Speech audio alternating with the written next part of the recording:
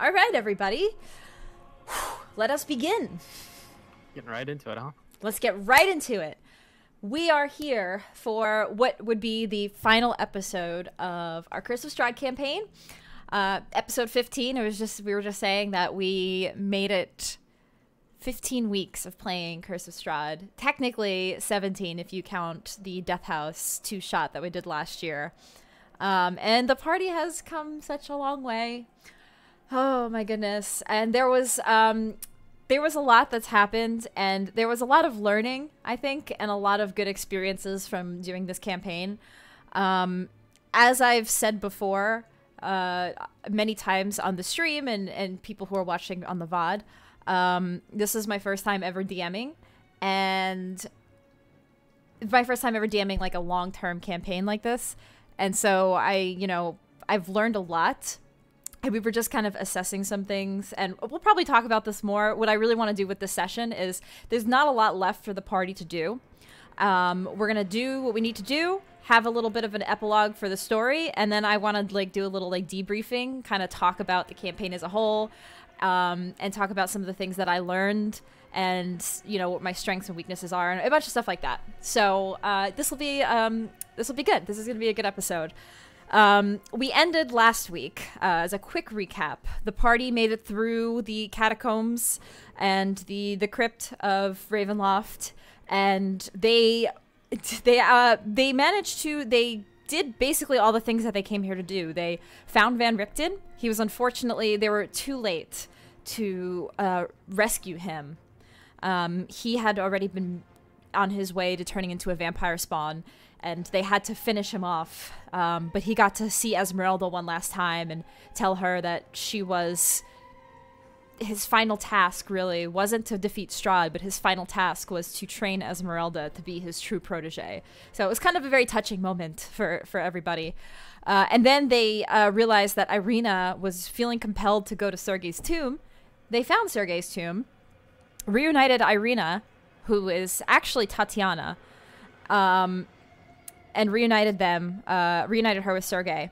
And at that moment, this is where Strahd, who was resting in his own crypt, trying to regain some of the strength as they did destroy his heart, and Van Richten was able to fight him a bit, he was awoken with rage and did attack the party. So we had a fight with Strahd, and the Sunblade was one of the true heroes of this, where the Sunblade had really foiled a lot of Strahd's plans and um, dealing a final blow. Uh, it was actually Thurkarel who dealt a final blow on Strahd uh, with the help of the, the light from the Sun Sword, uh, not allowing him to return back to his crypt.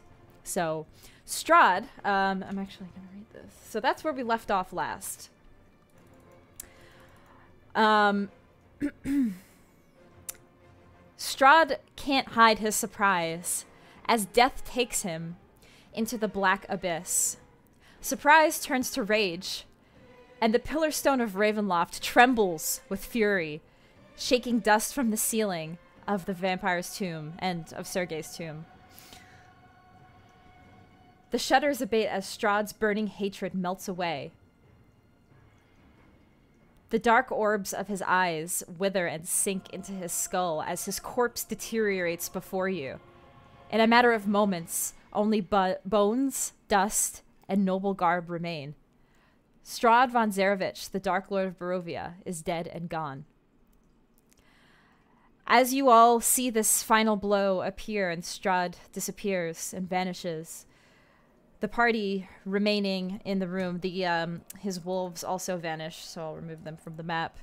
You see at the top of the stairs. How about the bats? And the bats, yes. Okay, good. Uh, Swap that's them away. Yeah. Um, appearing. Uh. Appearing at the top of the stairs is the Dusk Elf Chamberlain of Strahd, Rahadin. You must construct additional pylons. Thank you, White. Pylons. Pylons. Pylons. Master, says a voice from behind you. An elf with dusky brown skin and long black hair, his face is in, in a mask of terror, looks on uh, um, on what you have wrought and screams. Appearing next to him is a familiar figure that you've seen before. Strahd's nightmare, Bucephalus, stands there as the two of them had come to assist Strahd in defeating you all, but we're too late. As Rahadin stares at all of you, um, we are in an initiative, so I'm gonna go ahead and go by the initiative order. Um, I guess we'll start at the top. Uh, since it, Don't forget to add Rahadin. Yeah, in. Uh, I think I have. The I, older initiatives are not on the. I see it on there. Do you see Rahadin as 13? Oh, I, I, Yeah, yeah. I'm, I'm using the Strahd mini. Yeah. is Bucephalus on? And Bucephalus, I'm using the werewolf, werewolf. mini. okay. Yeah. Sorry, I, I should have um, made that clear. Yeah. So this is Rahadin, uh, and yeah, let me ping. Uh, Rahadin of Bucephalus. Um, so I'll go ahead and start this at the top of the initiative, which is Esmeralda. Um, Esmeralda will. Oh god, I forgot to pull up her stat block. I knew I was forgetting something. I pulled up Rahadin, Bucephalus. Let me pull up um, uh, Esmeralda. Hey, at least you don't need Ireena anymore. Oh, yeah, one less stat Rude. block to worry about, everybody. And I yeah, and I forgot uh, Ismark as well. So let me pull up the veteran stat block really quick. Mm, mm, mm, mm, mm, mm. Okay.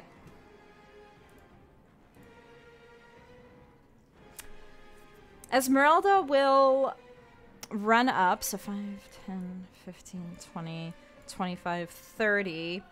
Uh, and I have her health here. She's doing okay. Um, she's going to cast. Um, she's going to cast. Um, magic missile. I feel like into the darkness. I think I might do this. Um, and uh, she's kind of out of spell slots. so I'm going to have her cast it. Oh, shit. I'm just going to pull it up here. D4. Okay, she did not roll very well. She rolls that three more times or two more times though. One. Yep. Okay. Um, all right. So she does that. Uh, and I'm going to just say that's her turn. Um, Tira, you're up next. Um, I'm gonna use eight points of lay on hands on myself. Okay. Bring me up to uh, 20. Okay. Uh, you're at 20 hit points right now. Yeah, I just. Uh, Oh, I'm right. fine. Can bring me up to Strahd almost killed you. Strahd Yeah. did down me. Uh, yeah. I Oh, was wrecked. that was my one moment of of Yeah, true you, like, glory. You did. You absolutely steamrolled me. Yeah, my one moment of glory when Strahd nearly murdered you. Yeah, this was not the glorious battle for Tira that she was hoping it would be. Um, and then. Gonna move here.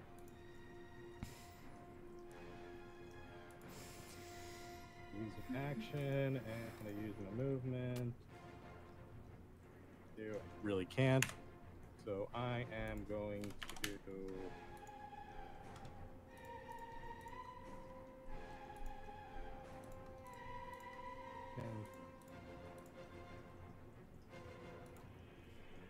Um, what's the range on the light crossbow? What's the range on light crossbow? 30 feet? Uh, yeah. No, it's 60 further 60 feet? Oh, okay, never mind. I use an action, so I can't attack. Uh, I'm good. I'm done. It's 8320. Okay, cool.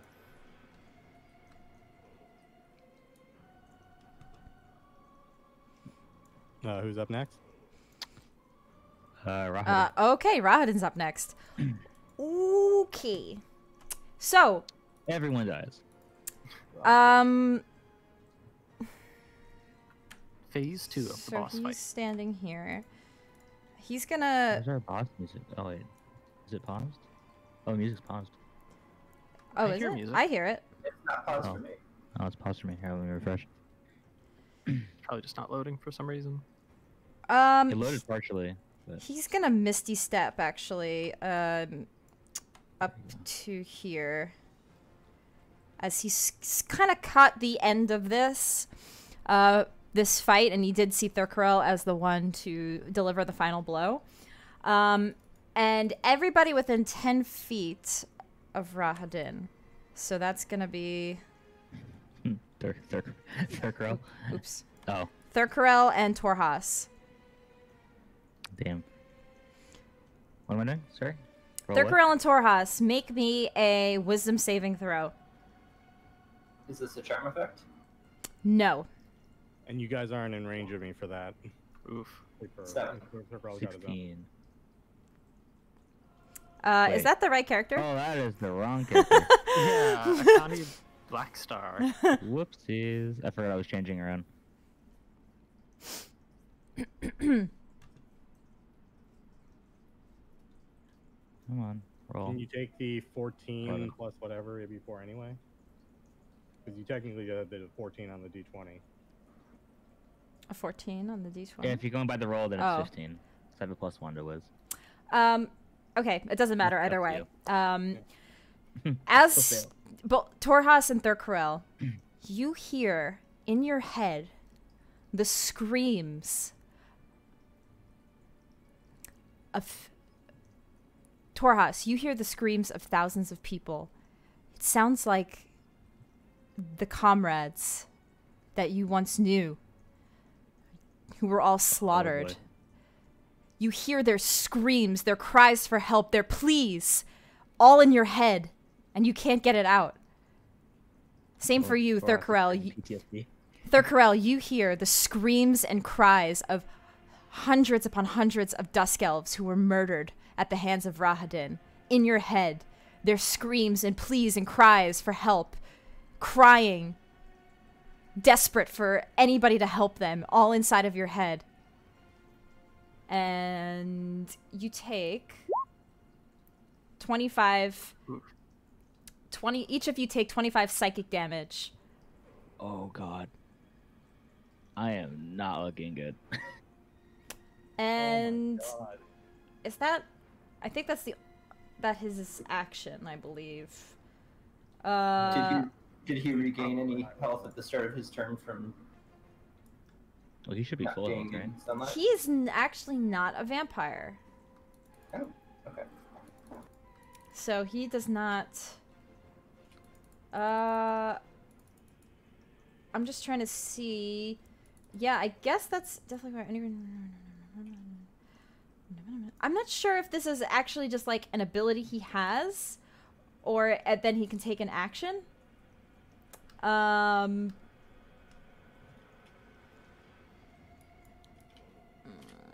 It says in the stat block as a bonus action. So it's a bonus action. Does it say it in the stat block as a bonus action?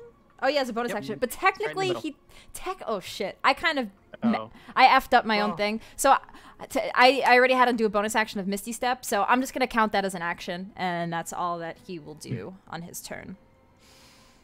Uh, I broke a rule there. So uh, Gizzard, you Oh well. c- can go ahead. All right. Um. Why would Misty Step be a bonus action? Isn't that just a normal spell? I think Misty Step is a bonus yes, action. it's a bonus action. It's Ah. a bonus action spell. Yeah. I'm gonna step to the side a little bit. Oh, oh no, wait, I forgot about he's Bucephalus. He's uh, later in the initiative. Yeah. Um, will I get any sort of like um, since I'm more than 10 feet away from him, will I kind of see or understand what happened to Thurkarel or Torhas? You guys probably you probably see them grabbing their head, um, and grabbing their ears as this is all happening. Um, so you see that what he they had some sort of effect on them. Torhas looks really bad. Yeah.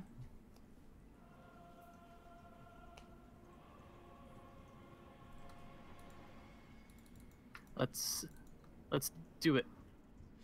Gonna use my last spell slot. Dun dun dun. Cast Chaos Bolt. I mean, we already kind of talked Oh about this. yeah, Oh, 18 to hit. baby, hit. it hits. Okay, I'll roll damage. Don't forget your wild magic. Yeah, well, we already kind of talked about this. So let's see. So that's seven and four. We're overdue. Um, Give I'll have a it taste of that psychic. do. Yeah, well, I have does it- it no, I'm gonna do force. Force is safer. We'll do force for now. It's 13 points of force damage, and yeah, to be in, like I, s- we we talked about it before. Wow. And seeing as I haven't had a wild magic surge like this entire campaign, we're just gonna do one for this one. Yeah, basically Gizzard's last hurrahs. He's out of spells. He's gonna Yes, and then so a 17. a seventeen. Cast Oh my god. nope. So This this is uh, appropriate. you guys as you see Gizzard cast this chaotic bolt of force damage, Rahadin is hit with it and he moves back. The bolt then suddenly turns into to him, to Gizzard as he casts it. He ca- like you see this magic come on himself and He a reflects on himself. This and Nope. it doesn't do damage to him. But the spell forms this beard? This long beard begins appearing on gizzard. Uh, his headdress still long and flowing but his his beard begins to protrude with feathers. A, a long beard of feathers appears on his face um, Gizzard, roll me a Constitution saving throw. Sure. Okay. 19. It they, they tickle your nose a bit, um, and it's like very tickly, but you're and you feel like you're ready to sneeze, but you're able to hold it in. Wonderful. Um, with that, um, Torhas, you're up next. I went ahead and replenished my tides of chaos, by the way, Okay. so I can use an advantage on something. Torhas kind of gripping his head, pretty confused. Is still gonna kind of stumble over toward the direction of the of the streams, and he's gonna make a reckless attack with his plus one hand. Actually, I guess I don't need to, but um, oh, I wanted to ask last time. Mhm. Do you count switching weapons as an action or no? No, I do Cool. not. gonna attack once with my hand axe recklessly. That is a 21 to hit. I'm assuming that hits. That hits. And Eight that's 10 slashing damage Ten slashing. Okay. because I'm raging. And then I'm gonna make. He's gonna like quickly holster his hand axe, grab his great axe, do another attack. Uh, 23 to hit, 14 slashing. Okay. and I would like to bonus action second wind. And let's see how much it gives me. Oh, it didn't roll it. I think if you click on the one The d10 one d10. Yeah. Oh, I can Roll click on it. 20. Oh, I think three. so. Oh, that's not great. So but it's three. Well, it's plus your fighter level, so I think it's. I already. That's the plus one. Yeah. I only have You one. still got level one fighter. Oh, okay, gotcha. I'm not That's right. barbarian levels. Uh, that's my turn. Okay. Um, Thurkarel, you're up next. I'm gonna say to Rahadin, uh, the dusk elves you murdered will be avenged, and I'm gonna try to stab him with my rapier. Okay. 16. Uh, that misses. okay, I will try an offhand with the dagger. 14, I assume also. misses. That also misses. Rahadin stands in front of you, swiftly dodging the two uh, blades. You fight well, elf, but not well enough. Um, and that brings us to Bucephalus, um, the nightmare, who will um, begin flying. so as Oh, you, wonderful. yeah, uh, Already did that. It's gonna go up about what's its uh let me see s- 90 feet. Um it's gonna fly up about tw- 30 feet above um esmeralda and ismark and fly right over them so ah 20 25 30, and we'll fly right above rahadin um and is going to try to swoop down and strike you, Torhas. Oh, I'm super dead. Um. oh. Yeah, I am on the ground. I am unconscious. Oof. So it, it takes its hooves and in a, a cloud of rolling smoke, its mane, tail, and hooves wreathed in flame. The creature unearthly m black moves. It moves with supernatural speed and and hits and f- uh, right past Torhas and, and knocks him out, appearing by Rahadin. And Ismark. Um, Ismark will try to also attack. I'm gonna just put Rahadin right here. Um, so he'll also try to attack uh, Rahadin. Mm, he'll do multi attack with his longsword. Okay, that hits. Uh, okay, yeah, so it does do the multi attack. But one. So when you do a multi attack, do you have to roll to hit twice, or do you just roll to hit once? Yeah. And actually, for the damage on here, so yeah, you'll have to roll to hit twice, and then the one on the left is if he's using the sword one-handed, so it's a 1d8, and the one on the right, it's a 1d10. Right. So that's if he's using it two-handed. So you have to roll it. Oh wow. Okay. So yeah, he has his longsword drawn. Fine. Once Ireena's gone, he starts hitting. I know. Suddenly, Ismark starts hitting, and Mark the Greater. yeah, yes, he feels Ismark feeling um, s- a, a sense of accomplishment um, as you guys have defeated Strahd. He uh, f- does so, some pretty nasty hits to Rahadin. Um, and that brings it back to Esmeralda, who is also going to try to move up here. She's gonna try to go for the ah. She's gonna try to go. She casts enlarge reduce. Um, she's gonna try to go for. She's gonna try to go for the horse if she can. Mm. I guess she can cast magic missile again um, at a higher level. She has not actually casted her fourth level spell slot yet, so I think I'm gonna do it at fourth level. Let's see, what fourth level spell does she know? She knows greater invisibility, which isn't really that Ooh. useful. If she casts it on one of us, though. really You know good. what? She's sh- you know what? She's gonna do that to to Thurkarel because he's the sneaky rogue. So um, yeah, actually, yeah, this is actually really good. Um, so she's gonna cast greater invisibility on you, um, Thurkarel.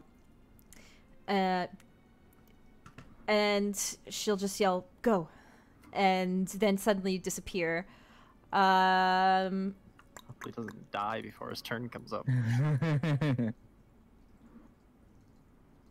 She's actually going to. Uh, yeah, that's her only um, action.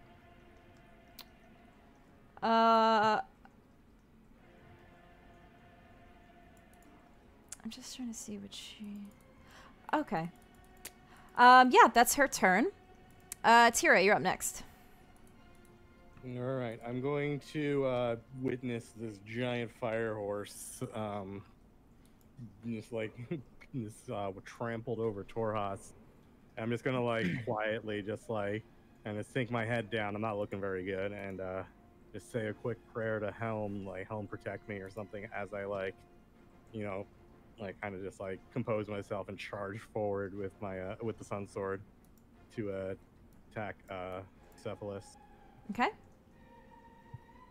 All right, so first one. And then hope that hits. That hits.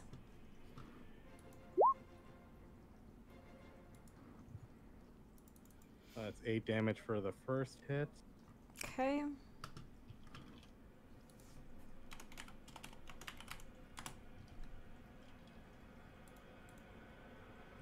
Then second attack.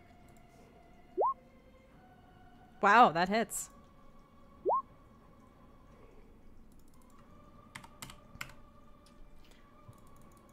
Okay.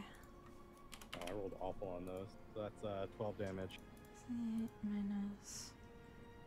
So the first one is eight. Sorry, Yeah, yeah. be- Sorry, 16 damage. Okay, minus eight. Okay, cool. Um, okay.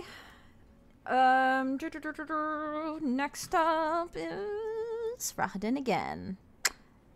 And everybody. So, Tor- Thurkarel, Ismark, uh, Torhas, you're dead, so it doesn't matter. Tira and Esmeralda. um, everybody roll a wisdom saving throw. Or is, Everyone gets plus two. oh, damn you. Wisdom saving throw. Oh, I really hope that saves.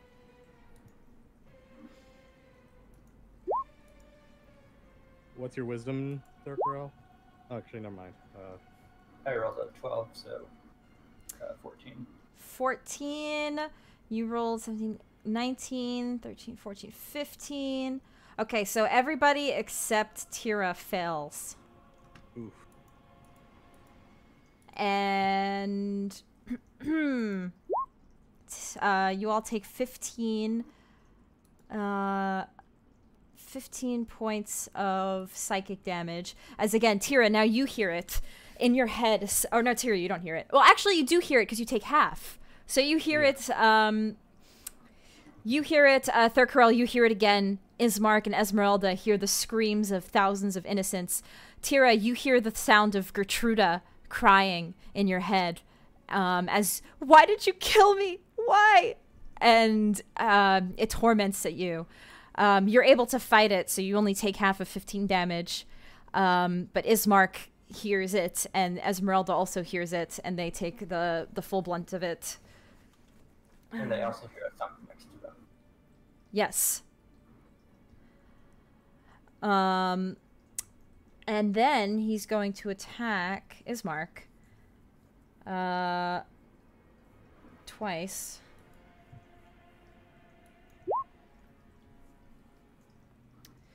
Nine eighteen.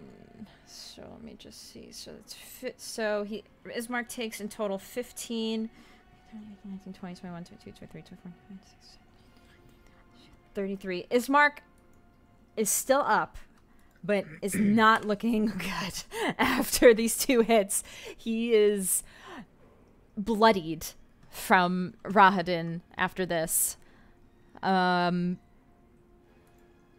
Gizzard, you're up next. All right. I can't do much.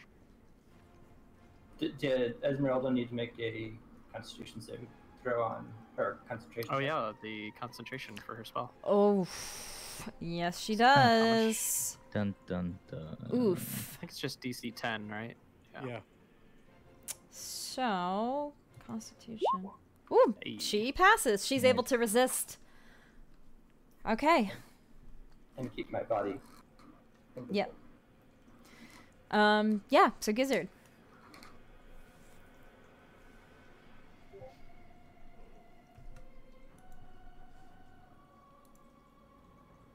Um, I'm just gonna move back kind of over here to get another good view of Rahadin, and I'm just gonna cast uh, Ray of Frost.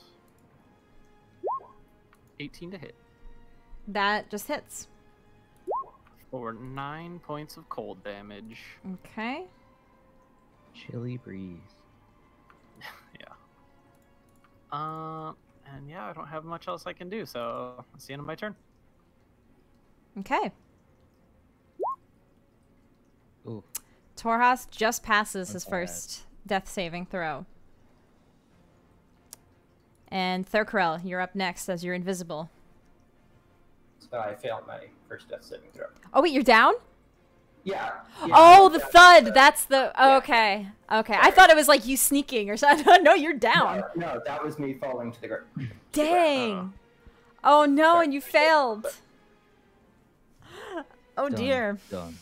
Dun. Okay. And he's invisible, so who knows if anybody noticed he actually. yeah, they. Yeah. Yeah, that's. Yeah. Did a rock fall in the distance? Oh, Yeah.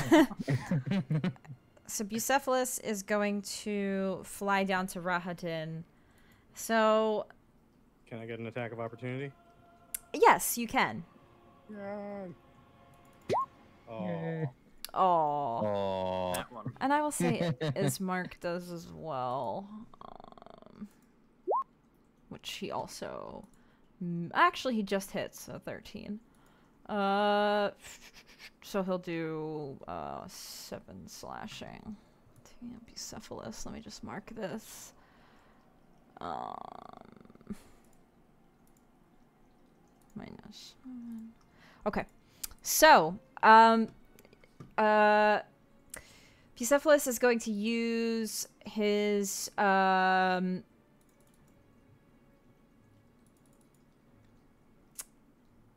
uh he's going to allow uh Rahadin to climb him and ride him. Um uh and then he's going well he on his way down actually tira you try to strike at him but he's going to try to strike at you as well with his hooves Oh, he can do that? yes All right. That's how I got knocked. so the hooves hit for 12 bludgeoning and 7 fire damage as again oh my god Up and here we go. everybody's dropping like flies oh my god We were not doing so well after the three rounds of Strahd. oh my Nope. god okay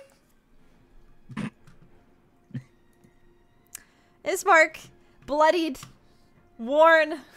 He's gonna try to strike. Um, I'm gonna say he's gonna try to hit. I don't know. I guess Bucephalus. Um. Okay, so he hits once for five slashing. Okay. Well, all right. Um, Esmeralda is. Oh boy, Esmeralda. We gotta do something here. Um, she's going to cast her evil. She has a thing called Evil Eye that she's going to stare her dread gaze at um, Bucephalus and try to cast Hold Person on it. Um, it has to make a Wisdom save. Well- Is it hold person or hold monster? It's Hold Person. Uh, it has to be on Rahadin. Okay, she'll do it on Yeah. Ra. She'll do it on Rahadin. Okay. So Rahadin has to make a wisdom save. Oh, Jeez. oof. He f- passes, so that doesn't work. Um.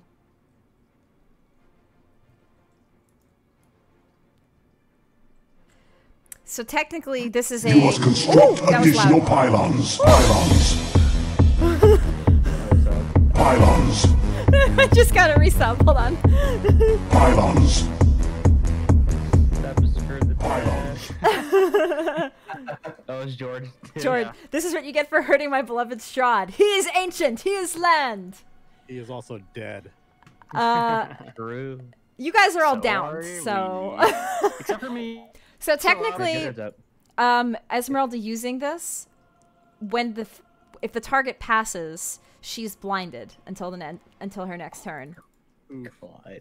Oh my god! Oh, gizzard. Oh, it's all up to you. So yeah, Clutch she. It's not my turn yet. uh she does nothing else. Um it has the turn before you. Uh, oh, god damn it. Someone get that tasteless GG. Okay. Um, Tira, make a death saving throw. Oh, natural twenty. Net 20! You're up. You Yep. Yeah. you have you have Helm on your side for doing the, the good deed of defeating Strahd, and you are back up. Do I get my action? It's yeah. You make your Your whole death save at the recorded. beginning of your turn, so you have every you have everything. You're probably prone, but other than that, you have your whole turn.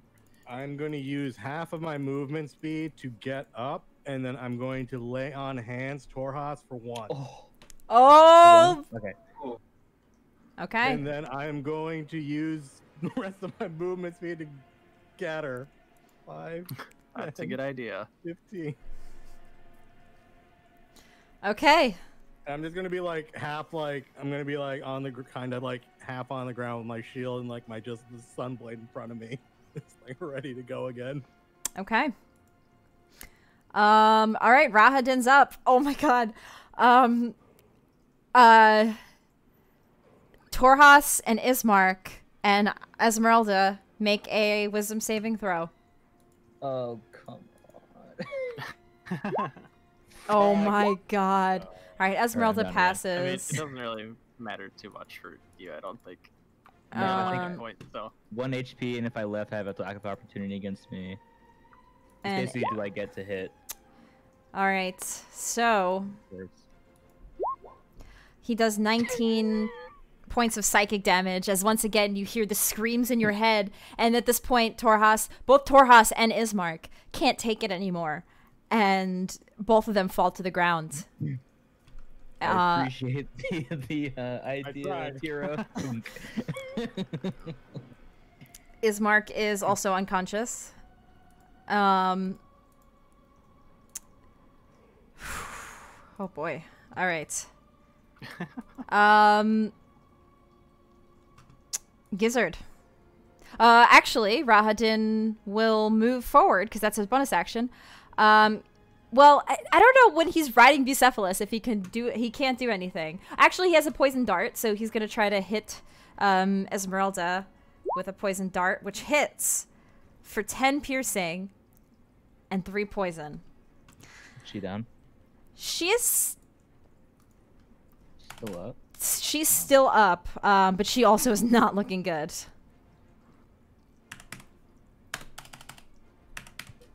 Okay.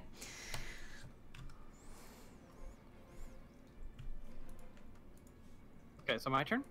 Gizzard, you're up. Okay, so just so I know what's going on, uh, Rahadin is currently riding Bucephalus. Yes. Um, okay. How's Bucephalus looking? Nobody's done Bucephalus. any damage to him, I don't think. Um, no, actually, No, we've hit him a bunch. yeah, yeah. Um, he's he's taken a bit of damage, so um, it's hard to tell because he's a Horse. flaming steed. Um, but you know that he's been dealt quite a bit of damage. All right. Do I think this is gonna work? I don't think that'll work. I have a feeling both of their dexterities are pretty high. Right? um, I don't know. We'll just try it anyway. I'm going to cast Acid Splash on both of them. So DC 15 dex save. Okay. Dex Takes save. seven points of damage. Rahadin passes. And the um, Bucephalus fails. Yeah, so Bucephalus takes seven points of acid damage. Okay. and Gizzard is gonna go and like run behind this tomb at this point, and kind of crouch down and hide behind it a little bit. Okay. Um. All right. Uh, Torhas, roll me a death save. Which it should be reset at this point. I reset him. Yeah. 15. Fifteen. I'll just Okay. Thurkarel, roll me a death save. And actually, as Esmeralda, wait, you have two fails. Yes. That's two now, yeah. Esmeralda actually has to roll um, Con save. Con save to see if you're still invisible. She passes. So you're still. Nobody knows that Torhas is dead. Dying. Or yeah, that Thurkarel is dying because he's invisible. Um. all right. Bucephalus. Bucephalus is going to fly to Esmeralda and try to hit her with Rahadin flying on him. Um, the two of them fly over to hover above Esmeralda and try to take her out, um, which they very well will do. Uh, oh my! Yep. Rip. Esmeralda goes unconscious. Which means that Thurkarel we also see is down. Yep. materializes down. And and as that happens, you see Thurkarel materialize, also unconscious on the ground. As everybody in this area is unconscious, Torhas, Ismark, Thurkarel, and Esmeralda are all unconscious on the ground. So Tira and Gizzard, you see your comrades all down. Ismark is going to roll a death save. Oops, I double rolling. Uh, so I'll take the 12 because that was first. Um, so he passes.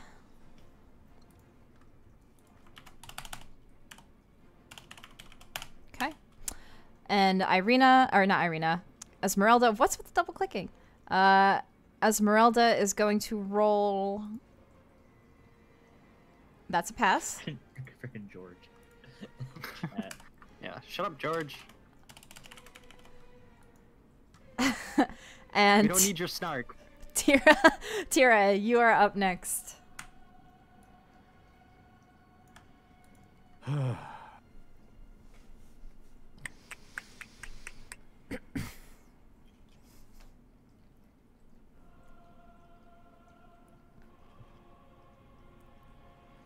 I'm updating my sheet.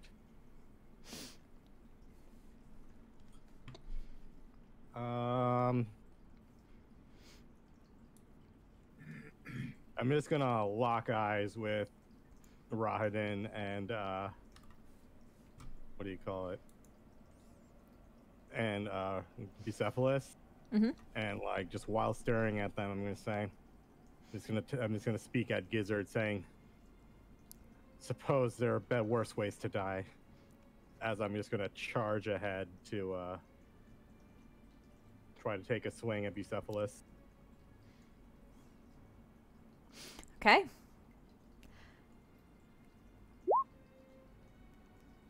That hits. That's 11. Okay.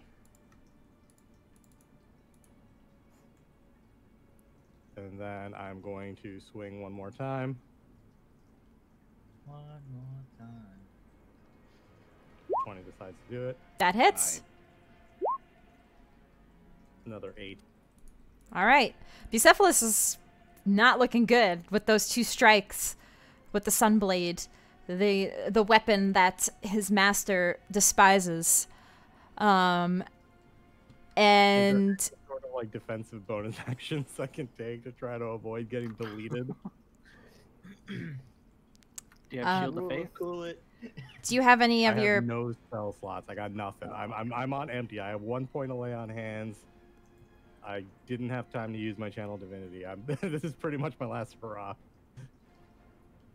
Okay. There's nothing.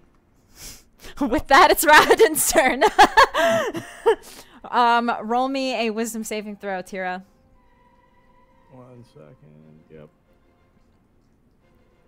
Saying a prayer to Helm IRL. I mean, Yes. even I'm still down. even yeah, you have one hit point, right? Yeah. Even if she rolls minimum damage, you're still unconscious. Oh my god. Oh my god. She rolled max damage. 30 damage is max. 3d10, 30 damage. with all of his might uh, he sees he sees um Tira's will and her hope and her encouragement of trying to stop evil and Rahadin laughs at it as he knows that she's weak, and with his last hurrah, he gives it everything. With this deathly choir in your ears once more, you hear the screams. You hear all the people in Vallaki. You hear the people in Barovia. You hear. You hear the coffin maker. You hear. You hear the Baron and his wife. They all suffer in pain. As I collapse down, I'm going to yell in Infernal, at least Strahd is still dead. As I fall to the ground, clutching my head. And Tira goes down. And with that, Gizzard, the last one up, what do you do? How's Bucephalus looking? Not good. good. Okay. Um, in that case. And then is Rahadin still looking okay or not? He Is looks he kinda okay. okay.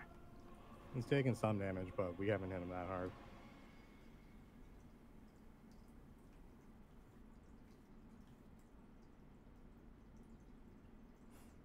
I don't know if that's gonna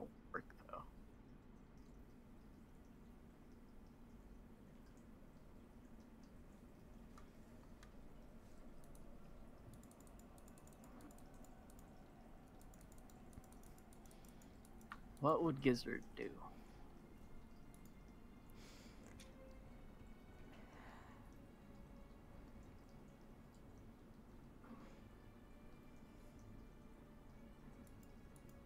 Um, I'm just gonna cast Ray of Frost on Bucephalus.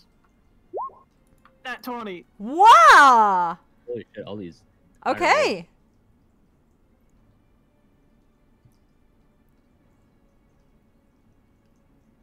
Hello, roll the damage, please. There we go. So that's For yeah, the first one. Oh, Um, God.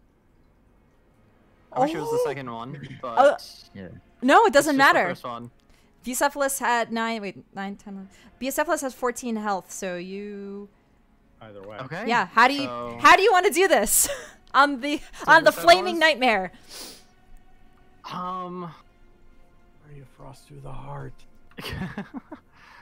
um. How high up Thing with the was flame. Bucephalus, by the way? It was Probably. He just, like, uh, well, was he he, was. on the ground or uh, He's floating? he's floating with Rahadin above Esmeralda. Um, probably not that high up, like twenty feet. 20 feet? Well, then I assume that once Bucephalus dies, he's gonna fall, right? Wait, if he's 20 feet up, how did he chorus me?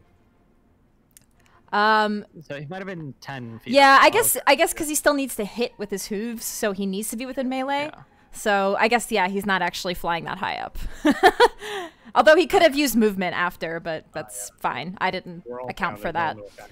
So yeah, he's he's within did, melee Did he use his of movement? Did he use? Did he use his movement? Because it it matters for me. Because if I kill the cephalus and he's riding on it, Oh, yeah. um and then I kill the cephalus and he falls. Did he move? Uh, did they fly upwards after? sorry, let me turn? let me just check the turn order. So no, It's, uh, Rahadin. Okay. because Rahadin had went and he was able to strike Tira, and Tira was able to strike him. Um, Bucephalus hadn't hasn't had the chance to move. His turn is later, so I would say they're within melee range of each other. Um. Okay. So. Okay. Well. Anyway, I killed Bucephalus at the very least. Yeah, so Um, Bucephalus, yeah, is dead and disappeared. Uh, Rahadin does kind kind of, yeah, I'll say he falls prone to the ground um, at Okay, this take- because you did roll a nat that. twenty, um, which I don't think either of them were expecting you, this wizard, like who's all the way on the other side of the room, to to kill him. So um, Rahadin just kind of falls out, like the horse um, uh, vanishes. Um, it doesn't. It doesn't look like it dies. You don't see the corpse of Bucephalus. It just vanishes. And Okay. Rahadin, not expecting this, falls to the ground and, and falls prone on the stairs of Sergei's tomb. Um, and that's your turn. Uh, is there anything else you can do? No. I have no spells. No. Uh, by the way, you still I can do. have um, you have some magical items and stuff too, right? I mean, kind of. I have a few scrolls, an alchemist fire, and my staff, but my staff not really useful in this situation. Okay. Brandon Um, Sergei, have him save us. Torhas. Torhas. Yeah, death saving. Yeah. 14. 14. So that's two passes, right? Yep. Okay. Thurkarel. Oh boy, this is the scary one. This is the really scary. chance. Oh my god. All right, here goes. Roll your death save. Oh! Okay. Okay, still alive. well, still still here in in in the this plane of existence. Still breathing. Still breathing. Okay, Ismark is next. This was Ah, the devil. Oh, so 16 um, is a pass. So he's also on two passes. And let's see if Esmeralda. I think when I have too many tabs open, my roll 20 like double clicks all the time. I'm just doing too much apparently. DM life 15. So she also pass. She also has two passes. So your allies are passing their their death saves. Don't don't jinx it. I'm up next. Tira, roll a death save. yeah. I mean, I got the nat 20 last time, so we'll take it. Oh my god, that's a nat one. no, that's not. No, that's No. that's a five plus one. That scared me. Yeah. Oh, okay, still a fail. Um, no. Rahadin is going to try to move toward you, Gizzard. So he spends half his movement getting up at the very least. Yep. So it's thirty-five feet. So half of thirty-five is 17.5. 17. Yeah, 15 or 20, however much you want to 5, 10, 15. Yeah, he can't move very far. You're in cover, right? You're kind of behind the tomb, so Yeah, I'm ducking behind it a little bit. I don't know how tall it is, but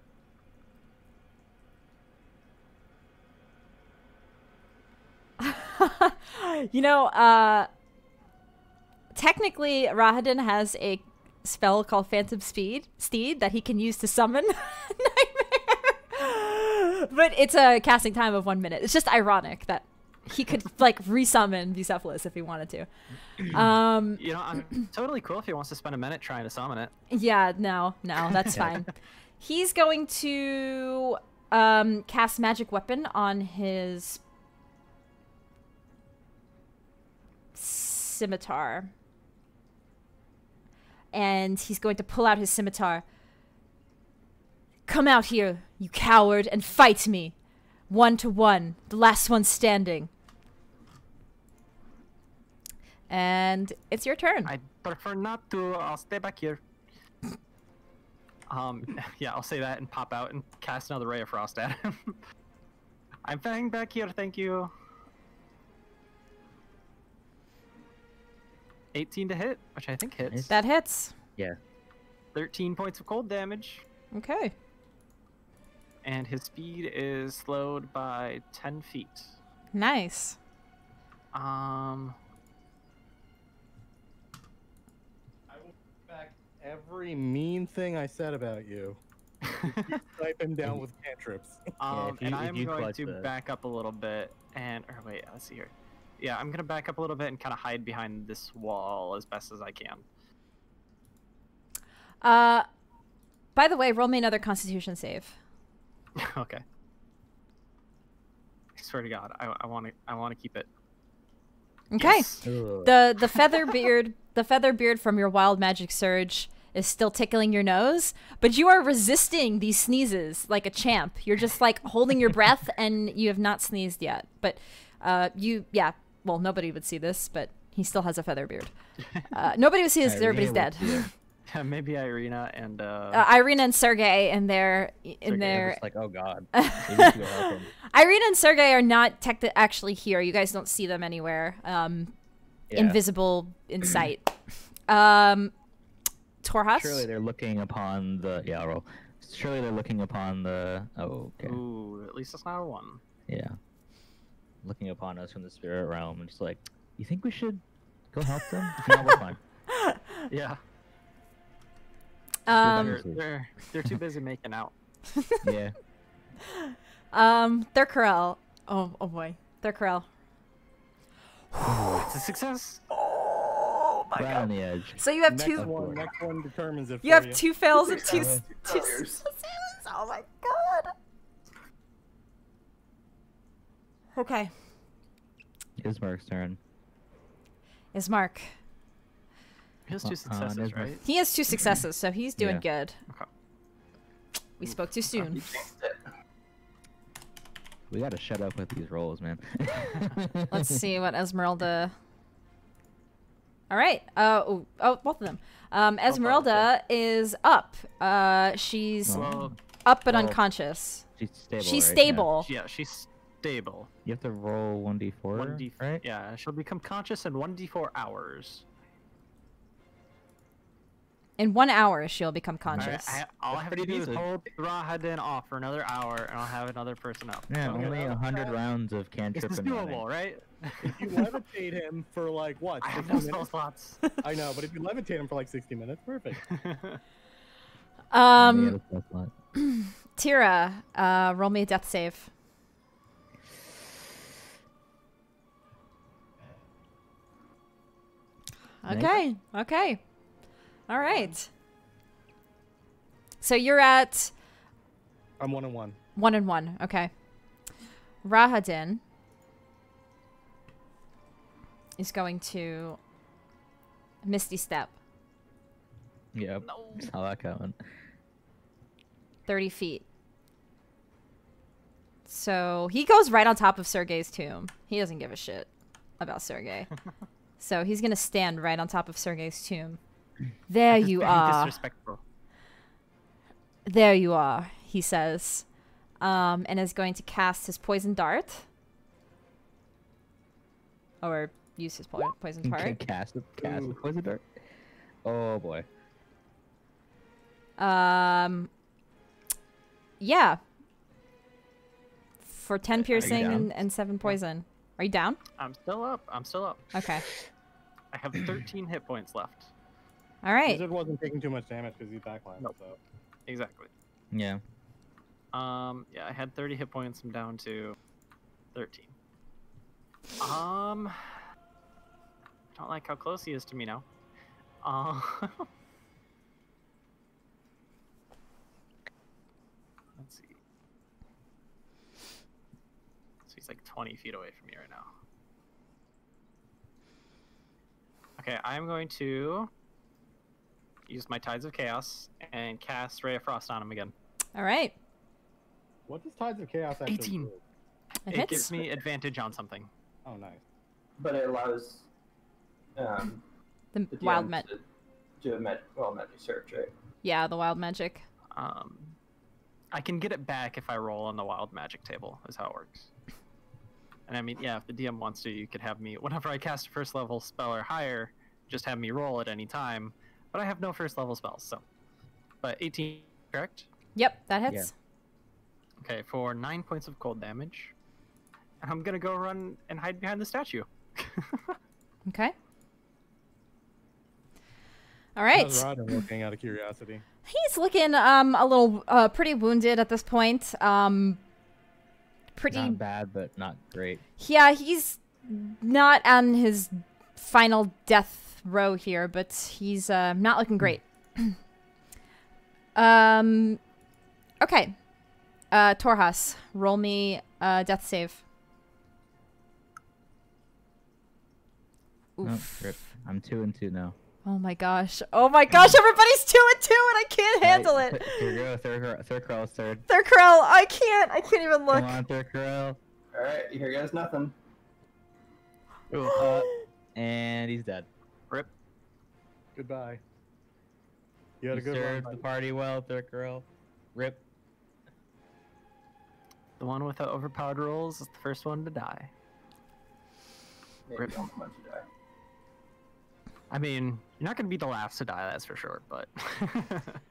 Thurkarel, you, um, in your unconscious state, trying to hold on to and cling to life, and you just, you don't, you're not able to, and you close your eyes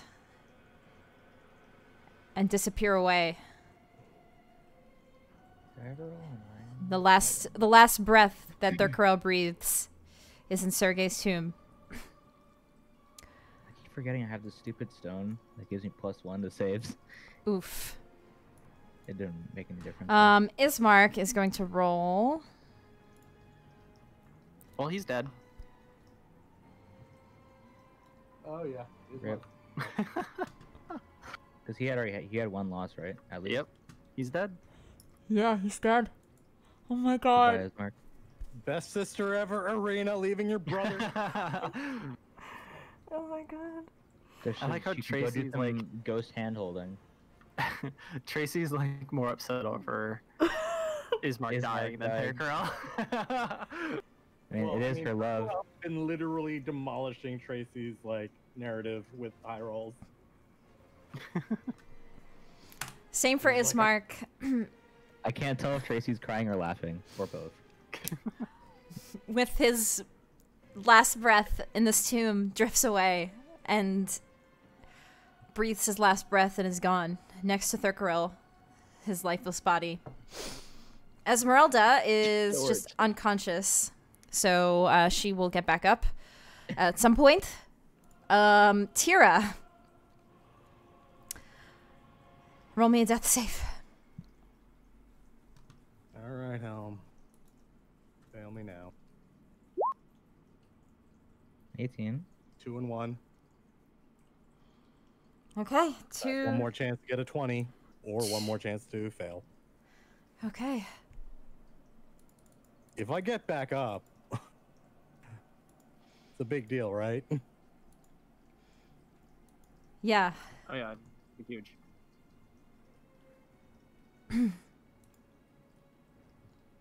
Rahadin. I don't know. Is he still I slowed? Don't know. Uh, yeah, because I hit so ten less feet of movement. You got twenty then, or unless he has more than normal. He's got 25, I think. So he can't quite get to me, but I think he can use his whisper thingy. So Um, no, because he can only move 5, 10, 15. it's 10 feet fewer than his normal. Okay. So if he had 35, which I think he said before, Okay. he, can move He doesn't quite make it to you just yet. Um, there is a giant statue in the way. Uh, Okay. So he doesn't quite make it. Um, uh, but um, Don't listen to George.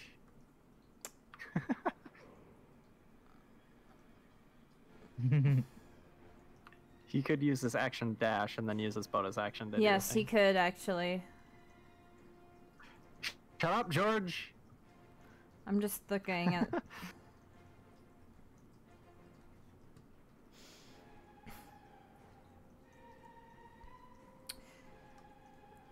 um, he's gonna try to hit you with the poison dart. Okay, 14 misses. Okay. Ooh. Tracy's being nice. No, giving me, giving me a chance. I think well, it's it's kind of tricky based on this like giant statue in the way. I don't really know. He could try to maneuver around it to try to get to you. Like he can't go through it, so he still has to like do what five, ten, fifteen. So it's. I say he like kind of moves here. Okay. He's like he has you cornered. Gizzard, it's your turn. Okay.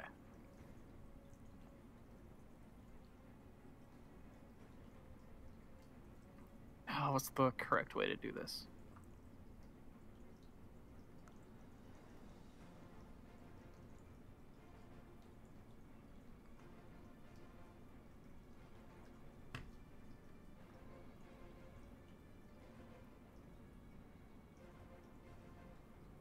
Uh, yeah, I'm going to dash. Um. Okay. So yeah, I'm going to run all the way fucking over here. pile Okay. of bodies. That is my turn. Okay. Torhas, this is your moment. If you live or die. You live.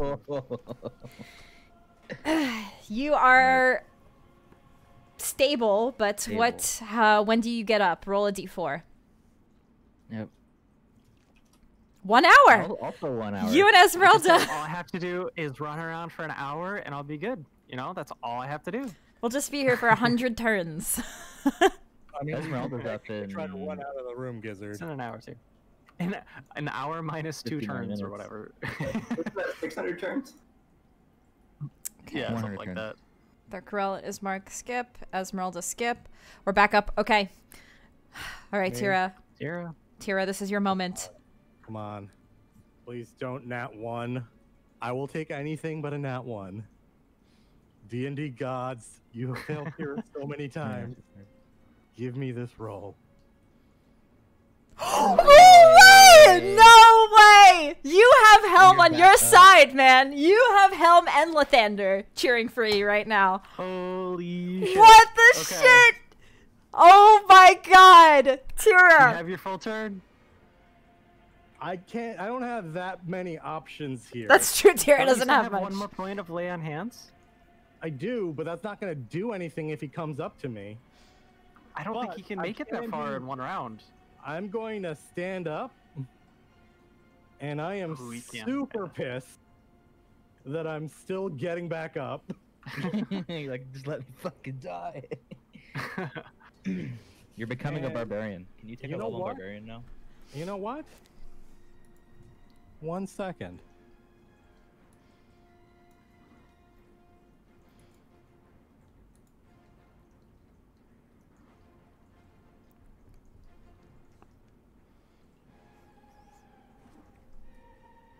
I'm just checking something.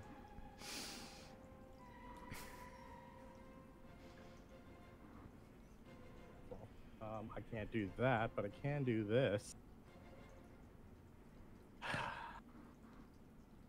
As I slowly get back up,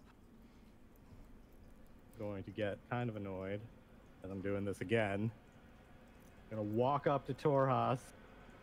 Gonna lay on hands him for my last lay on hands point So I have two HP. as I One No. HP. one Well, I already had one, right? Because I'm. No, if you stabilize, you No. stay at zero. Oh, but it's still zero. So you're Oh, it's kind of annoying that. And then I'm going to use my last five feet of movement to move this way. As I ready my weapon and turn the sun sword back on. Okay. It's gonna Um, like, get the hell up, Torhas. He's like struggling, like, I'm on it. Give me a second. Picking himself up with his axe.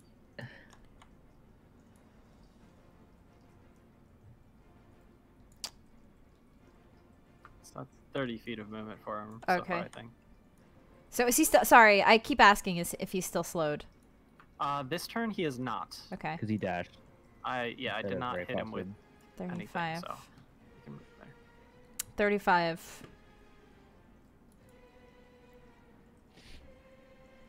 The question is no, he won't do that. um, he's going to try to hit you again, Gizzard. 15? 15 hits. Okay. For how much is that? That's 12, right? No, 8 plus 6 is 14? 14. 14. Damn, then I am unconscious. 1 HP, too much. Or 2, definitely. Gizzard is unconscious. That's why I'm like, is it 12? I would have one hit point if it was 12. okay. Gizzard's down. Gizzard, roll a death save. 19. All Good right. Start. You That- That pass. was a 20. that'd be- Not 20. Shh, that don't was curse 20. it. Don't curse it. Torhas, you are awake else? by some miracle. Your your friend Tira has brought you back to life from your unconscious state. Uh, you kind of see Rahadin um, behind, because this I, I think this is like a slight altar, so you do see him. Um, it's not like completely obscuring your view. Uh, you see the top of Rahadin. Yeah. Do I do it? I don't know what you're talking about, so.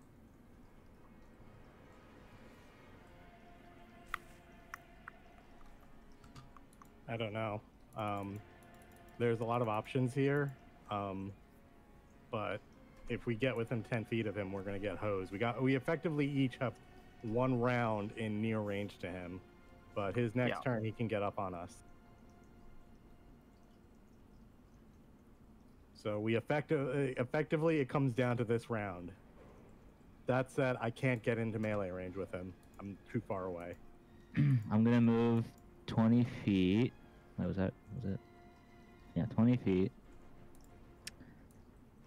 And I'm going to, with his last, not not literally a rage, but like you know, Yeah, he's angry. his barbarian might. His dragon might, Mm. and he's going to use his breath weapon in a 15 foot cone. Okay. Ain't gonna be that likely, but he's got his DC 15 Wow. Constitution. Okay. Uh, let me roll. He takes at least eight cold damage. He takes 15 cold damage. Torhas is like, just like super extreme cold, just straight out in this direction. Um, Wow. Um. Okay. and, How's he looking? and He's not yeah, looking he good. He Oh looks God. like one more blow could take him potentially, depending. Um, he kind of gets as he's hit with all this cold damage from this this breath weapon. Um, he grabs his arms in chilling pain and and looks at you, Torhas. You. And would you be okay with rule of cooling me throwing my great axe at him? Well, it was your action too. I know. I'm just saying, like, could you roll a cool bonus action, like last throw, Or hand axe, maybe. if or something? If not, I'll just move. Can you throw a hand axe? Yeah. You could throw I'm it. in range. Yeah, you can throw whatever you want, Um, Yeah. technically. I If will not rule it this I'm time as a bonus action. Yeah. So I'm gonna move this way, Okay. and that's my movement, and that's my turn. Well, wait, whoa, hold on. That was like way too far, right? You're no, here. 40, I, I have 40 hmm. feet. Oh, you have 40. No, Sorry, no, you're a barbarian. Sorry. use half of it to stand up, right? Oh, so I Yeah, have. that would be true. So yeah, would have been so 20 I, feet. I'm, so I'm still. Still there. Oops. You'd be here, I think. Yeah. Yeah. Okay. Yeah. I if for some reason there were, you shouldn't be able to move that far. Yeah. I forgot I had to get up. Tira, you are up.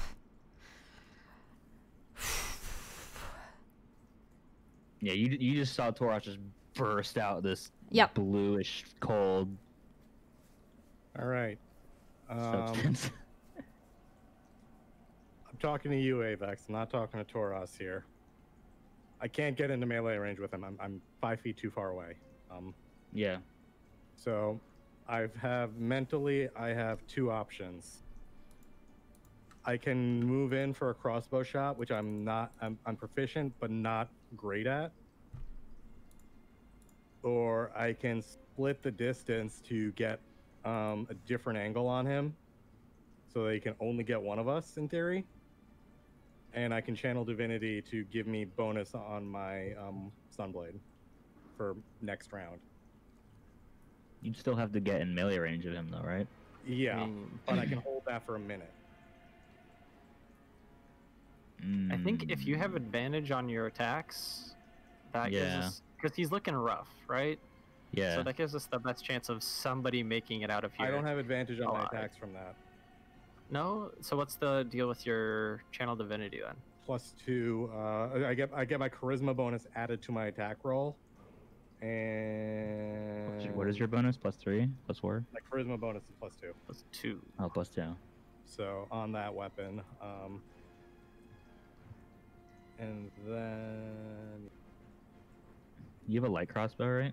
I do have a light crossbow. I can take a shot at him. I don't know if it's gonna do enough damage.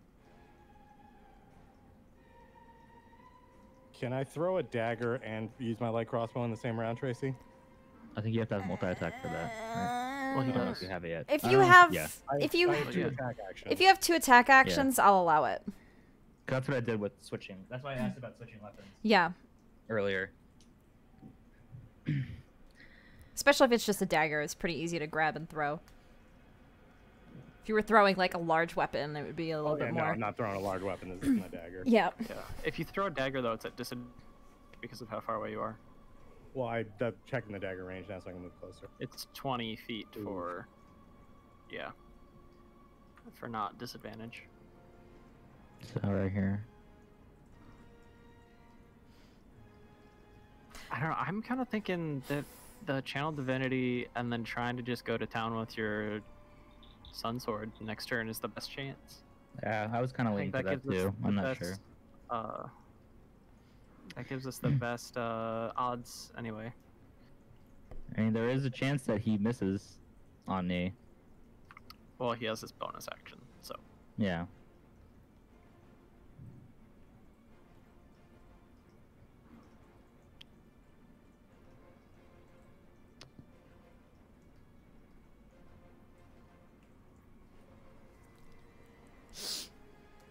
He actually could get up on me at this range. He could, but he wouldn't get up on Torhas. Yeah. He, so he can't get both of you. Yeah. And I think it's better if you live than me, because I can't do anything anymore. I'm not raging. I mean, still make attacks. Yeah. I mean, yeah, but I was just casting cantrips on him, man. that's a lot more useful than getting in melee range. Not really. You can slow him at least. I mean, It's a lot. You can kite him. Think of yourself as a marine Barely. against a zealot. Theoretically, you could infinitely kite. I mean, not really, but So- I said theoretically, not. So what are you doing, Tira? Are you gonna channel divinity or are you gonna try to range attack? I would I would go with the channel. I think so too. It gives you a better shot. Yeah. Because what you for like the crossbow and dagger attacks, it would be like what? What's your dexterity? Like a plus My two, dex so you'd have like a zero. plus. Yeah, that's oh, what I was then, yeah, like, Like, a plus three to hit. So Oh yeah, he's got a high AC too. Mm-hmm. yeah. I think your best chance is to use your channel divinity beef yourself up as and then much make as two possible. attacks next round. Yeah. Yeah. Too far. I, I have to get close to him this round. Well, he's probably gonna move closer to you as well. So If you can move, try to make it so he moves past me. I mean, granted, he can fucking face that, but like, you know, force maybe an attack of opportunity or something. I'm Just gonna stand thought. right here. This is this is my that's he can dart both of us. I think from here. Yeah.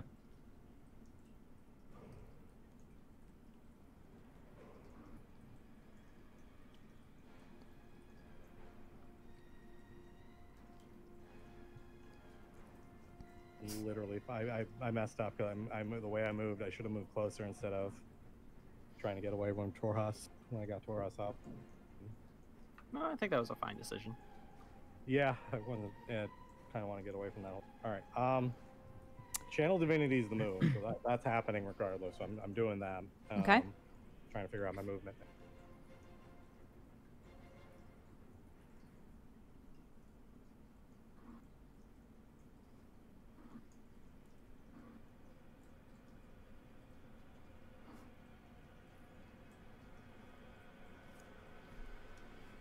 Doing some checks on him.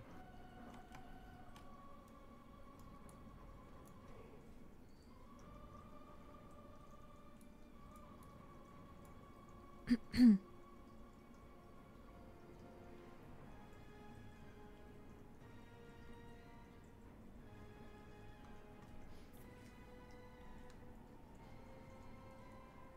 think this is the play. Okay. All right. Okay. So with that, Rahadin is going to Oh yeah, did Gizzard the beard go away? Gizzard's beard as he fell to the ground. You saw all of his feathers, a cloud of feathers, Damn. float up into the air as he hit So the you can hear ground. Sneeze as I fell to the ground. Ooh, poop. That'd be cool fan art though, like like a crypt, you know, and this lizard man with the feather beard and headdress casting Ray of Frost, running away from Rahadin. He is going to. Come on. He's going on. to uh, walk up to you, Torhas. Make me a wisdom save. Uh, fuck. I guess it doesn't really matter yeah, because You're unconscious. yeah. Oh my god. Yeah, Yeah, unless half of twenty eight. Yeah, you're you're unconscious. yeah. Is half of 28 less than 1? yeah. And then uh, he's going to look to you, Tira. Why can't I? There we I'm gonna look at him.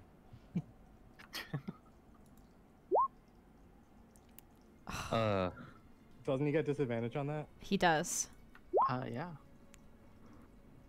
Does a seventeen hit?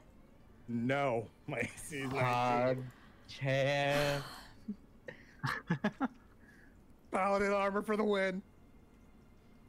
Actually, that's my shield saving my life right there. Can I He- just say, like, I like swatted away with my shield? So I realize he technically attacks twice with these darts, and I haven't been rolling to attack twice.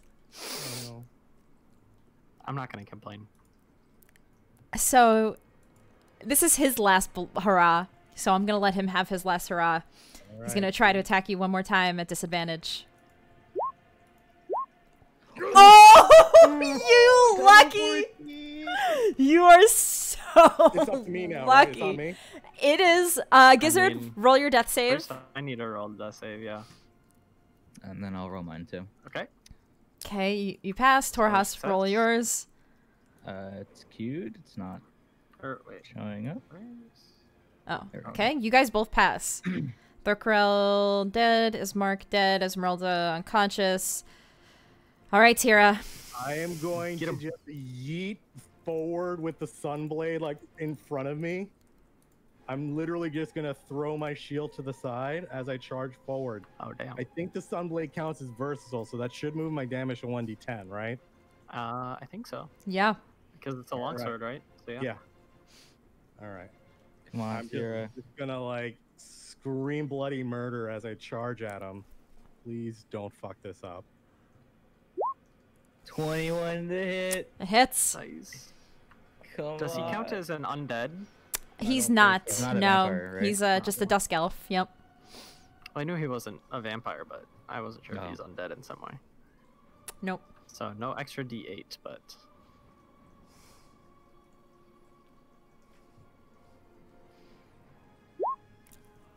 Oh, sorry. Uh, uh, Oh. what- um, I- well, no, that yeah. would be your second attack, right? well, bo- okay. Oh, I was true. both. Okay. I was changing the damage on it. Okay. Well, both of those. Okay. Seven. Three. Oh, Ten damage. Or wait, what's your strength modifier though? You don't have your strength modifier in there. Really? Oh, uh, yeah, two. right. So it's an additional. It's an additional four. It's a four. Yeah, an additional four points of damage, so that's So a 14 total damage. of- No way. Okay. That's 14 in total. Yeah. How do you want to do this? Yeah, He- that's 14 damage. He was literally at 14 health. Oh my Oh god. my god. No way. No way. What the? F- How do you want to do this, Tira? I'm literally just going to run him through with the sunblade and then cleave it up as my second attack. Nice. Split Okay. him in half kind of thing. No, I'm just gonna hit him directly straight through the chest with it, and then as I'm doing, it, I'm just gonna pull the blade up through him. Dude, that second attack wouldn't have hit without your thing, right? Um, Without your oh, channel actually, I divinity. didn't add the plus two. Because I get my plus two Oh, you from my didn't? channel Okay. divinity. So I didn't. I- 23 and okay. 20. Wow. So you got uh, well, uh, everybody's down. Nobody sees this. It's a one-on-one with Tira and her last, her final scream as she cries to Helm and attacks Rahadin with the sunblade, and the last two strikes take him out as the cold damage that he had taken earlier it pierces his body and he falls dead to the ground. And you stare Oh, at his you stare at his corpse. You stare at the corpses of many of your friends. Oh no, I'm not Should I done. make? I'm gonna let them do their death save, but I'm I'm Yeah. running over to Thurkarel to use my raised dead scroll. It's gonna take Okay. an hour. We had. Oh, Okay. it fell on mine. So, So I am stable. you're stable. Roll a d4 Yeah, to have see. three- Three okay, hours. three hours. oh my Um, god. Torhas, you roll Oh Uh, my God, I unless- so hard. unless Tira um is able to I got nothing. I have nothing left. Well, you could make a medicine check still. make a if you want to Yeah. roll a medicine check to try to stabilize Torhas, I'll allow it. All right, yeah, I'll try Which that. it's usually a DC 10. So Nice. Okay. So you do stabilize Torhas. Roll a d4 because you're also unconscious. but stable. Okay. All right, I'm gonna try to raise Oh my dead on God. Thorhouse. You raised that on on on Thurkarel. Fair bro. Yeah, yeah, that's what I meant. Everyone keeps getting us mixed. So wait, are we all going to make it out of here alive with this? Except Oh Esmar. my dead. Ismark's gone. Sorry. I mean, but all of the players. Wow, Yeah. you guys don't even care about make it- Ismark. Oh, but We Ismark, he's tried. gone. Like honestly, we. What else can we do? Like final fight? No, no, no, no. You should definitely ra- cast Raise Dead on Ismark instead of the player character. I'm I'm just kidding. I'm just Hey, kidding. man, dog killers don't get revived. Yeah. Rem- as you as I'm you're just gonna look. I'm just gonna stare at both of them and be like, like do the uh the do the sweating button meme. yeah the, the guy. NPC. You remember that Torhas killed that poor dog, Or Thurkarel. or Thurkarel. Thurkarel Jesus, killed guys. killed that poor dog, Borkovich. No, I'm gonna I'm gonna try casting Raise Dead on him. Okay. Um. So takes an hour. yeah, so it's about it's gonna take about an hour for uh, um, Esmeralda and uh, I think it was just Esmeralda, yeah, to get up. Um, so she will eventually, as you're performing the spell, um, you are able to uh, resurrect your friend. Um, uh, I'm just gonna give me one moment here. Uh, so um, I'll give it a few. Yeah, you guys have a few hours um of re- recouping. Um, Esmeralda gets back up. Thurkarel gets back up. Gizzard, after a few hours, you do revive as well. Um, and Torhas, you revive as as Tira is in here performing this spell, and and you guys are kind of recouping after this. Um, you are in Sergei's tomb, and Strahd and his henchmen are defeated. Thurkarel, this is a note in case we have any other little surprises left. You have a minus four on all attack rolls, saving throws, and ability checks uh, for the next. Um, each long rest you take reduces it by one. Yeah, for the next like four days. Four days, pretty much. We have some yeah, because uh, apparently, you know, dying is a bad thing. A pro tip: don't die, dude. So I am- Die. Just don't die, forehead. Just don't a- die. as I come to consciousness, I would see that Tira has a spell on me, and I would say, I am forever in your debt. I'm just gonna kind of like, as I cast the spell, just kind of wearily, just like half on my knees, like walk back to sit against the tomb over here. just like taking a knee. So you guys kind of gather your bearings after this battle, this long battle. There were so many close calls. You lost some friends along the way. Rudolph van Richten, Ismark, Kolyanovich. I actually have a question, Tracy. Yes. I got bit by Strahd and went down on that same turn. Oh yeah, heard about that. What does that mean? because we also killed Strahd. Give me I one don't moment. know how that. One moment. Um, I'll post it in Discord, Tracy.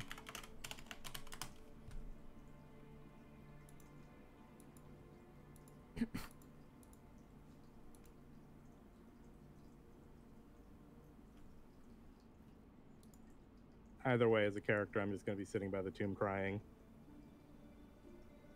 Because actually, yeah, I think we messed up a little bit on that, but I think it kind of cancels out because the attack should have been at disadvantage anyway.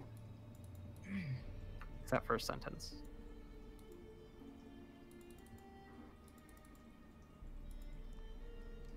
Well, sorry, just give me a minute.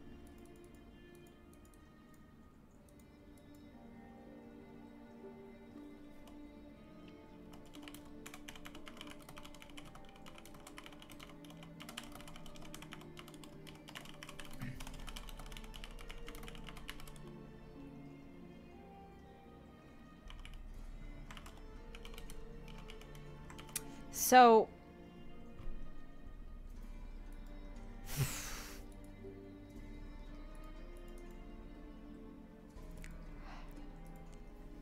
Tira.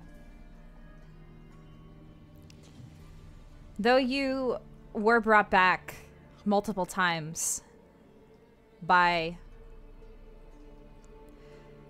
by Divine by the luck. by divine not luck by divine intervention uh, you you truly feel it was divine intervention by your god that you've loyally served you do look at your neck and you do notice that the bite mark from Strahd is still there Am I feeling uncomfortable around the sword? Or starting to at this point? At this point, it's been a been a few while. hours. You're starting to feel some effects.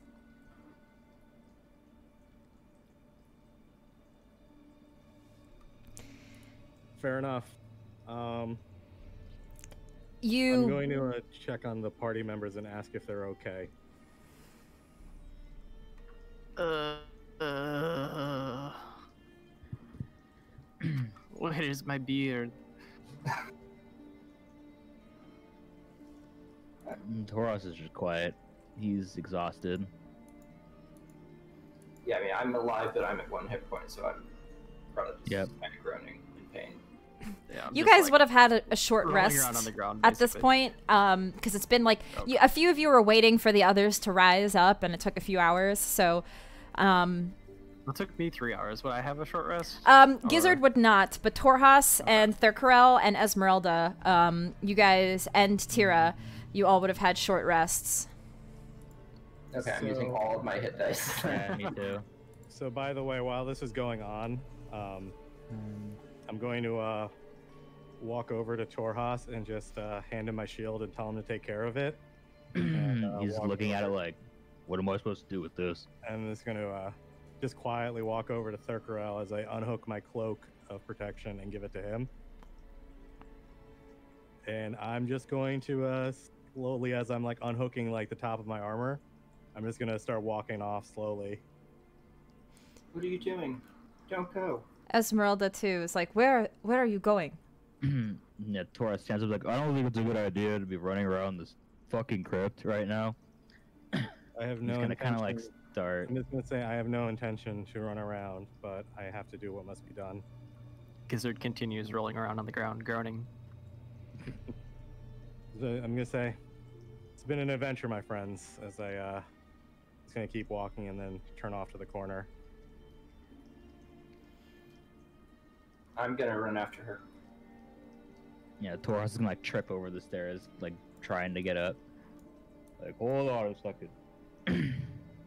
I'm just gonna uh, I'm just gonna uh, just pull like my hair aside to show my neck.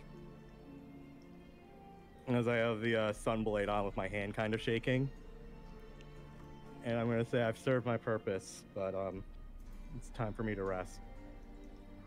And Torhas would appear and be like about to open his mouth and then see the mark and go, oh shit. Isn't there anything that can be done? The tome. Tira, at this time, you're beginning to feel things get colder. You feel a thirst. At, for you stare at your friend Thurkarel in front of you, and you feel you feel the urges of vampirism taking over I'm slowly. just gonna say, I'm just gonna say, go back and tend to Gizzard and the others. I will, I, I will take my last trek. It's time. I'm already feeling the effects. You know, I mean, I'm just gonna get kind of like my hands kind of shaking, holding the sunblade, um, and I'm clearly not happy that I'm holding the sword right now. Yeah, Torhas would reach out and be like, "Do you want me to do it?" I'm like, I don't, I don't need your, you don't need my blood on your hands. I can, I can do this. With tears in my eyes, I'll step back. I might not need it, but I'm doing what's right. and he keeps his hand out extended. I'm like, it's okay. If you can, return my shield to the order, or to my order of, of the um, Radiant Heart in Neverwinter, and at least tell them of my deeds so that someone remembers. He'd nod, but immediately like grab the wrist that's holding the blade. Give me it. I'm like, I can take care of this myself. It's my duty. If you turn and you have the weapon that makes it easier to get rid of you, I'm just going to tell him that this is burning so much that I want to get rid of it. I'm not going to go far. I just wanted to do it out of sight of all of you. Then what's to say you won't just throw the weapon away? I'm just going to point out that I'm currently not wearing any armor, and I currently left most of my equipment with the rest of the party. what else? Uh, how much of a threat can I be at this point? I don't take chances anymore. I'm gonna say, I'm gonna say, trust me once more. For this entire time, I have served all of you faithfully. This is my job and mine alone. He nods and steps back, releasing your wrist. Fine. I'm in no mood to fight. And he walks off. All right, I'm just gonna move like 10 feet, sit down, um, drink some of my last of my Red Dragon Crush, and uh, then I'm gonna turn the sun blor- the sun blade on myself and uh, just stab it into my heart. That was really beautiful with the Red Dragon. Crush. Also, I really like that. So Tira, you take this blade, and as you're wielding it and you turn it on, it it stings. Even holding it, it burns you. The bright light, you f- you feel the burn. You feel a light slowly going out inside. Roll me a wisdom saving throw. Plus two, so it's a nine. You're trying to drive the blade in, but you're not you're not quite able to. As it as your your urges are res- more resistant than the will to finish to finish it off.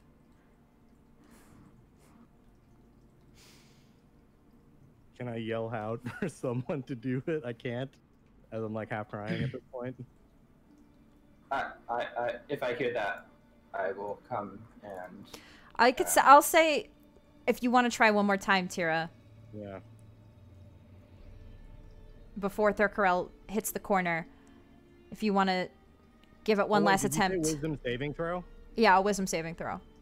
Oh, I did that, I did that as a straight wisdom roll. Um, it would actually be plus four on my wisdom saves is 11, 13.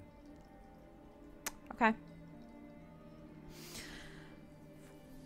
So with that, I would say even just like a little bit, you did resist at first, and you you cringed and and at your. Yeah, get my resolve Jeez. for the second one. Okay, yeah. You at first yell, and Thurkarel, you feel like you hear something from Tira. She, you're able, Tira, you're able to finish driving the blade into your heart. And the sunblade actually dissipates as you do this. And it's no longer there. Is They're the hilt there or the? The hilt is gone. Oh. Thurkarel, you turn the corner and you see your friend Tira slumped on the ground. Red Dragon Crush at her side.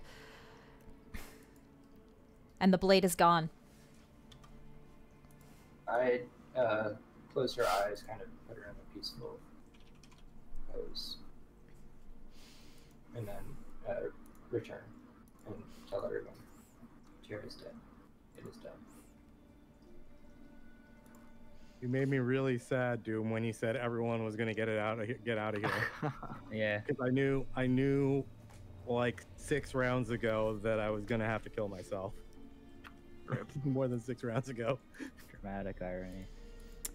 If you would have died, out- died, if you would have uh, failed all of your death saves, you would have turned into a vampire spawn Oh. rather than dying. It's So- it's good that uh, Helm protected me as long as he did. He did. Yeah. So, you guys, the rest of you, My tail is so sore. I think I fell on my tail. Torhas would go over, lend a hand.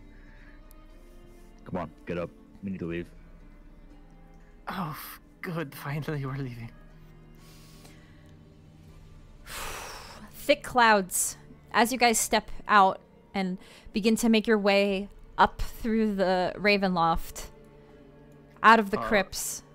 Is there any yeah, last if I- things that you guys want to do in these crypts? If I turn and I see Tira there, Gizzard would say, "We should take her with us and do a ritual for her." No. Don't you normally eat your dead?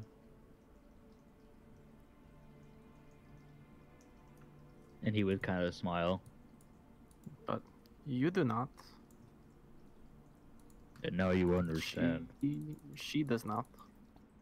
And he would go over and pick up Tira's body. What of Ismark? And I that one. I mean, I'm her. still, I'm still pretty weak, yeah. You try to Just, like, lift your crack my friend. head into the wall. You try to lift your friend, but it it actually it actually hurts you to have to see your comrade who you fought with till the very end end this way. Two of your comrades, Van Richten, who you idolized, and now Tira, who wielded the sunblade through all of this, is now also dead. And killed Van Richten. Yeah. So you just Torhas tries but just doesn't have the will. I will try. You get a Or- minus four. Remember that, bud. Yeah, Okay. I would say you seem worse off than me. As- I will try. try. I, I will try first. Oh shit. Okay. I just closed out of my game. Hold on. What's Esmeralda doing? I got Um, a 17. Esmeralda will actually try to help you guys as well. I Um, wasn't supposed to go with the advantage, but 17 either way okay. to pick up Tira.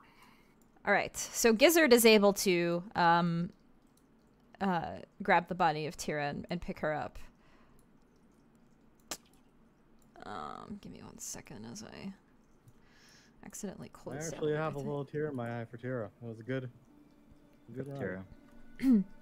This is So third character death. Th- there was like a minute where I thought we were all gonna make it, and then Oh, I knew it. I knew. I knew a, lo- a while ago, last session, that I, I probably wasn't going to. So. oh, last session I thought we were all gonna die. Oh yeah, no. Oh, yeah. like toward the end, like as it was going on, I still realized that regardless what happened, I'm I mean, dead. this session I thought we were all gonna die. Well, yeah. Yeah, I was. Yeah, me too. I'm glad I got a good exit though. So, you guys make your way out of the castle.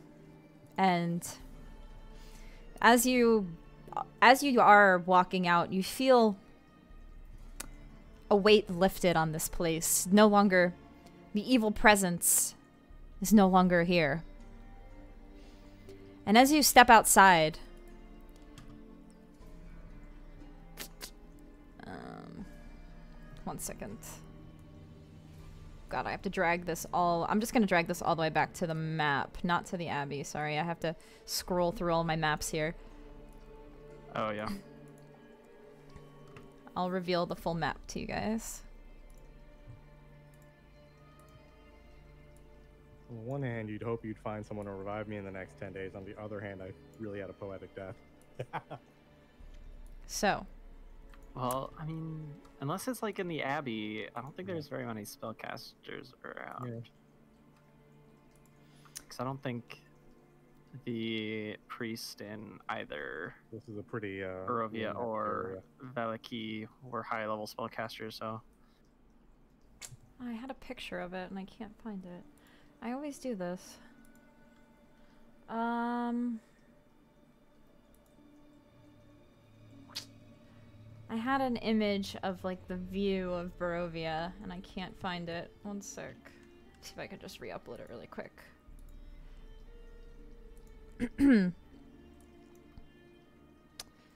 One moment, everybody, and we will go to the conclusion of this of this story if I can find the image I want.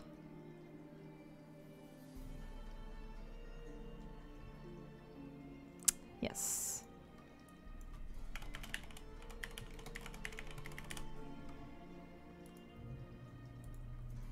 So, you guys step outside of the castle and overlook Ravenloft uh, from Oh, Ravenloft. says- over Lou.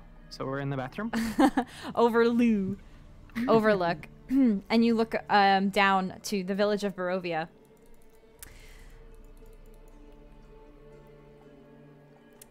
Thick clouds fill the sky. Through the chilly morning mists, the land of Barovia is visible far below. There is peacefulness here. Rest has come to the valley for the first time anyone can remember. And you do look up and you see sunlight hit the land below. The village of Barovia, even far out in the distance, you can see the trails that lead to Vallaki, the Tser Pool encampment. A, la- a light flashes behind you. Wheeling around, you see a stately man, a being of well, he's he's in a ethereal form, in shining armor, and a flapping cape. His countenance shows great strength of will, yet forcefulness of his presence is tempered by his calm, sad eyes. His features, again, you recognize. It is again Sergei. Where the fuck were you in that fight? I'm just kidding. Uh, he's not a, a person, but a visage of Sergei. And next to him is uh, is Tatiana, Ireena. His voice is calm and peaceful. My name is Sergei von Zarovich. He turns to Ireena. Tatiana, the time is at hand to rest. Come, my love and my wife. He stretches forth his hand, and the two of them grab hand in hand and look at all of you. Thank you. Ireena looks down at you. I. I am Ireena Kolyana. But in my past, I was Sergei's beloved Tatiana. Through these many centuries, we have played out the tragedy of our lives. Now, with our deepest gratitude to you, that tragedy is over. It is time for joy to begin again. She looks down. Some of you are his mark is not with you. No. Aoife. No, Tira.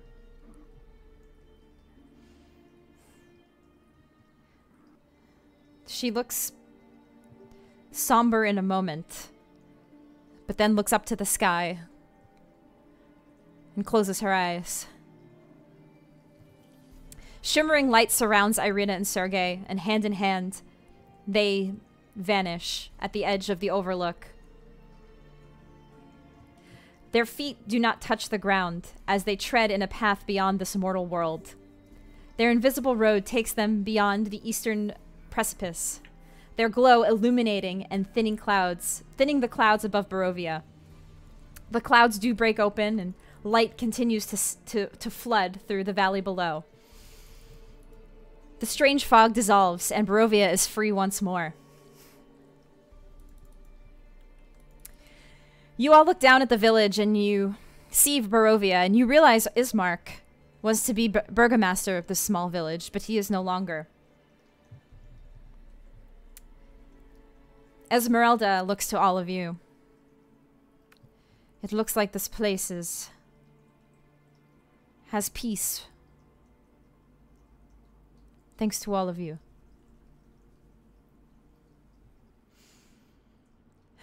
Thank you for your help in taking Strahd down and helping me with Van Richten. I I cannot thank all of you enough.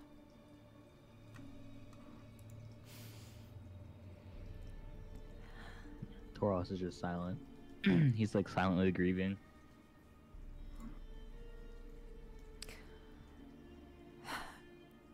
There is still much to be done here in Barovia. I'm.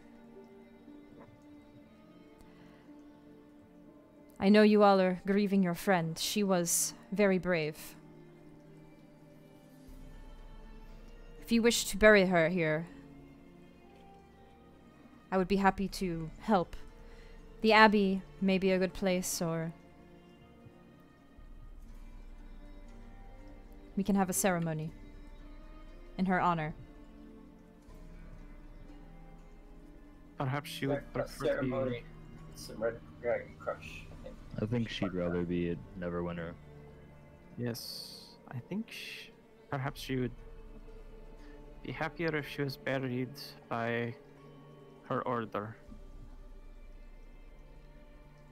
If we can get that to happen.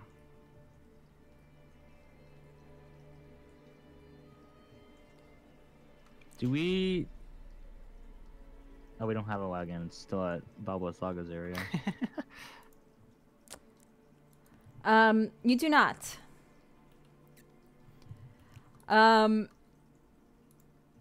however, um, you can do what you want. At this point, um, I will uh, let you know a few things as you make your way out of the castle. It is empty and uninhabited currently. Esmeralda tells you all that there are still other evils to be conquered in Barovia, and she's going to take care of them. The werewolves to start, as they are not completely gone. She and- Torhas would take out his last torch and look at the castle before they leave. What about you, Torhas and Tekro? What are your plans? Well, hold up. What do you want to do, Torhas? He's contemplating burning the whole castle. Well, or one torch isn't going to burn the whole castle. I can tell you that Well, much. the idea is it is it sets a flame and over time spreads. I mean, it's stone though, Well, so it's only gonna burn so much. yeah.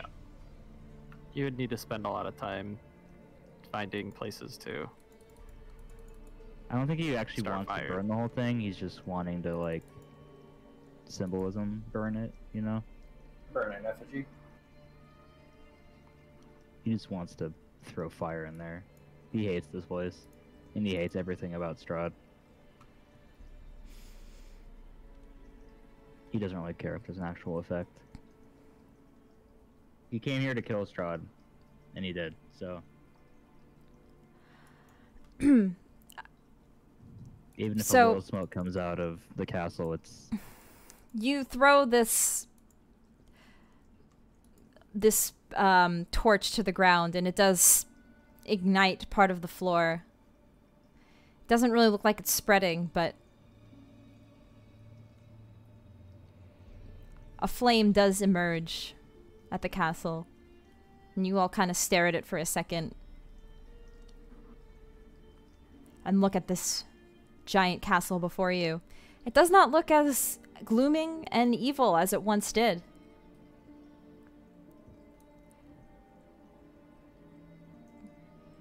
Torhas would start walking away. So,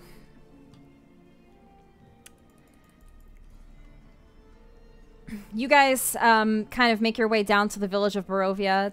Things look peaceful here. People are out and about. There is wine. there is. The shipments of wine that you guys helped save have made their rounds while you were in the castle. And you do see th- um, at the at the uh, tavern in Barovia. you um you guys kind of just have one last moment here in this small village. Esmeralda, she thanks you all again. I, I, I would offer to help Esmeralda if she wants help on, for instance, taking care of the werewolves or any of the other problems. Barovia. Yes. Gizzard would ask Torhas and Thurkarel what their plans are now that Strahd is dead. So Do they plan to stay in these lands or I want to ask each of you individually what you would like to do at this point. And we'll start with We'll start with you, Torhas. He's going home. He wants out. He came here to kill Strahd. He did, and he's leaving. He Okay. got the revenge he wanted. So he's going back to uh, his clan. What's left of it. Esmeralda thanks you again for your service, and she lets you know that she's planning on writing another book. Um, one final book called. I forget what it's called already. Hold on. Oh, who? Wait, did I take Van Richten's book, or did someone else take it? Did she take it, his or did? I take it? Yeah, I didn't take it. I know that. I don't remember if I did. Esmeralda's Encyclopedia of Evil is what she's planning to write. And she's going to finish studying some of the evils within this land and finish writing off her book. Um, she invites any of you to help with this. And so Torhas. notes that he'll he'll write what he can, and he'll find a way to send it here. And she's more than welcome to take whatever he writes. Okay.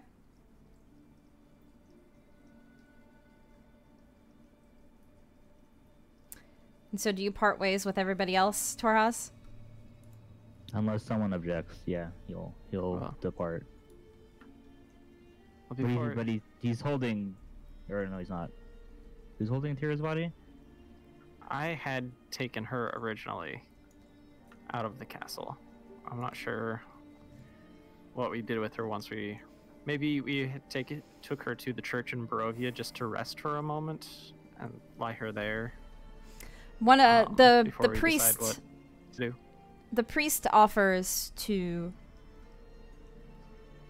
go get a um, one of the priests of her order to take her back to Neverwinter.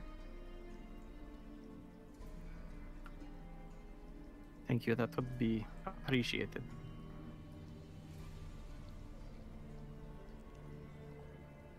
I ac- actually, Torhas would probably try to find a way to Neverwinter first Okay. before going home. Technically, I don't have an actual location where I am Okay. from. S- Torhas, you are going to. Uh, uh, the priest sets you up at the wagon, and um, you can take Tira back to Neverwinter, and you begin that journey. And I have her shield. Okay. Gizzard, what would you like to do?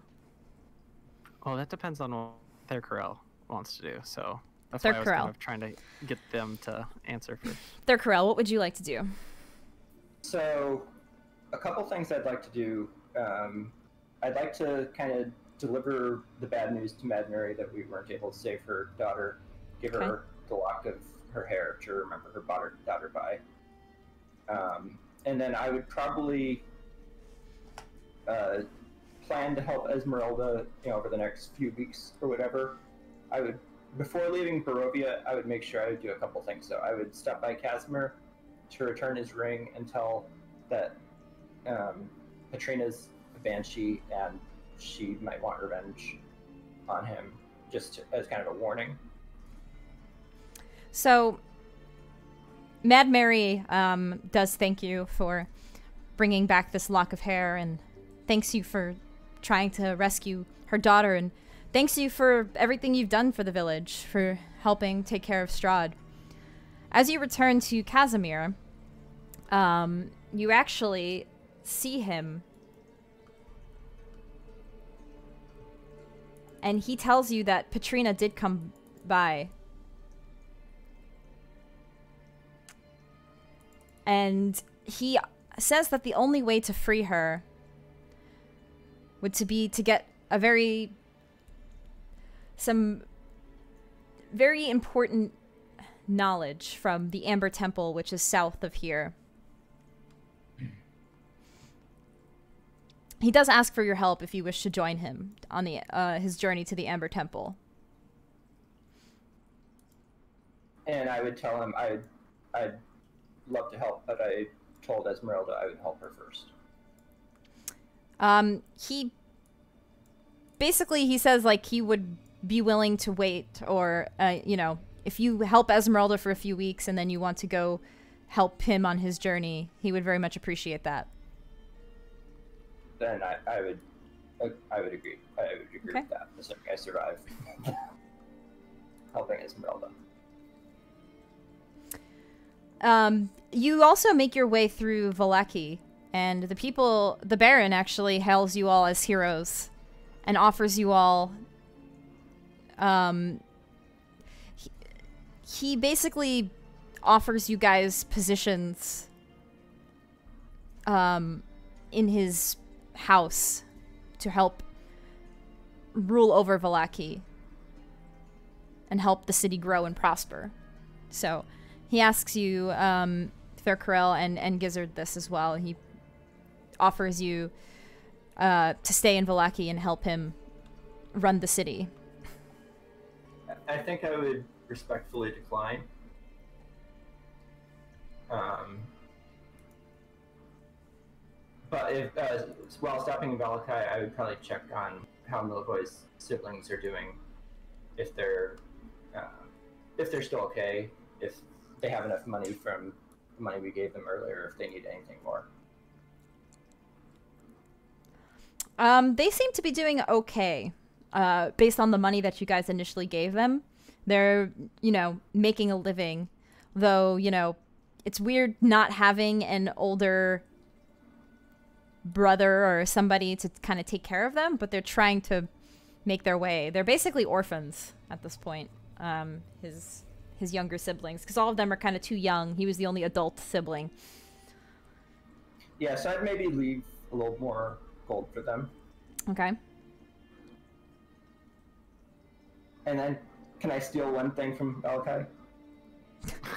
I put on the hat of disguise and steal the cat Midnight from Lady Wachter's house. Steal the. The, you said one. Of Oh, the cat. Midnight. Yes. Yeah, yes. I want to steal the cat Midnight. Oh my gosh. Are you gonna kill the cat too? No. Keep it the cat. So you steal one of Lady Wachter's cats, who have Yes. been very hungry actually, because they have not been fed. Aw. In in I will feed the others, but I'm only taking Midnight. okay. So now you have a uh, a cat familiar that follows you named Midnight. Okay. Okay. Um. All right, Gizzard. What would you like to do? Um, so I'm. see here. So you kind of went around and, like, I know that there was some sort of riddle, uh, or something or other. I like half wrote it down, which is like there's something to do with that holy symbol in Krezk, but I don't think I would really bother with that. I just wanted Don't you have to return that to Wizard of the Wines? Sorry, what was that? Wasn't there stuff to be returned to Wizard of the Wines? The uh, the seed or no the the gems in the hut. yeah, those gems. That is true. The wine must flow. Also, I really Um, want them to make my wine as a legendary wine in the area. Um, so let's see. So did Torhas? Did you just like leave right away, basically, or would you like go Um, and help us complete a few things? If you asked him to, he'd probably be okay with staying, but he would appear to want to get out when possible.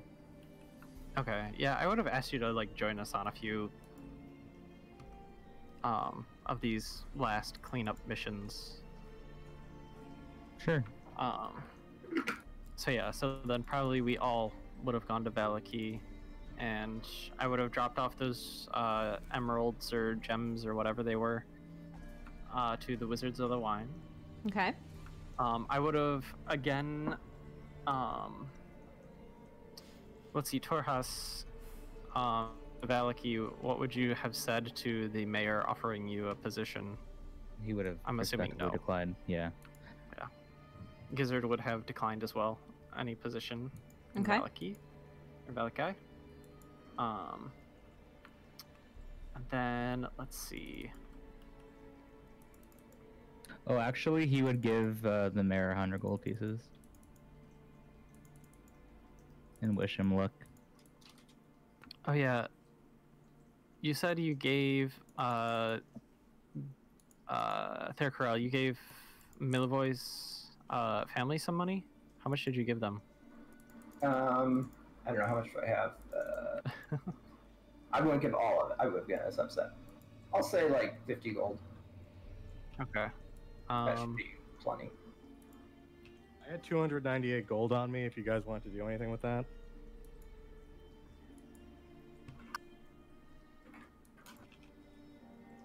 I would suggest we leave that to pay for any funeral expenses. And perhaps the rest could be donated to your order. We'll I don't know if that to you anybody objects to that. Sounds good to me. That's fair. Okay. I would give all of my 262 gold to Milivoj's family. All of it? Yep. Um, I mean, I still have a few silver and copper, but What about your throne? um, I would suggest, yeah, we swing by uh, the ruins of Berez to go and check on our cart and try to get the cart back on our way back. I don't know if anybody else wanted to go anywhere else, but basically, like, before we break up the group, I would be asking some questions. I don't know if anybody else had anything here I want to know in what happened. Barovia they wanted to do. Sorry, what was that? I want to know what happened at Wizard of the Wines.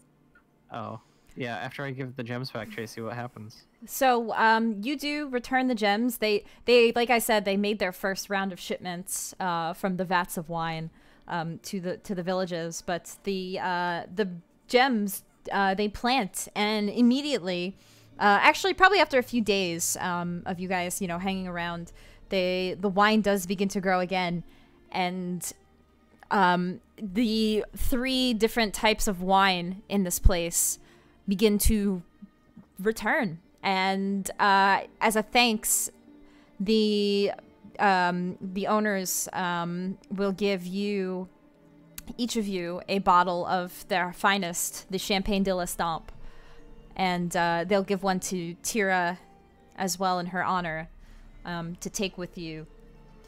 Uh, to take with Tira uh, as she returns or leaves Neverwinter to what Neverwinter, and um, yeah, they they bring it, and you guys, as you're making your ways through the towns, you see people, some people at least, are drinking this wine and smiling and talking. And this is the first time you've seen in many of these different locations people actually smiling, laughing, playing music, dancing in the in these these taverns and on the streets with their wine, and they are very very happy. Their shield heart sangria yet? Oh, and yes, they actually made their first round of Shield Heart Sangria. I am now alive forever, boys.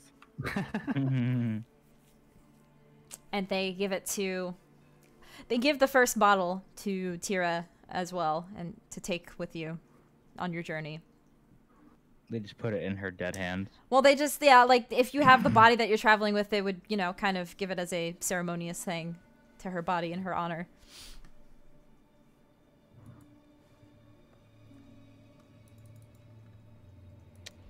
Uh, if that's everything, when Torhas is leaving Barovia, he would look, reach into his pack and find the Bucephalus horse figure, and just fucking chuck that shit way off the wagon, and just hopefully hearing it shatter against a tree or something.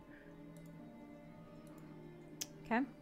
Yeah, that thing breaks into tiny little pieces as you remember your friend Blinsky who crafted it. Um, and it just is shattered.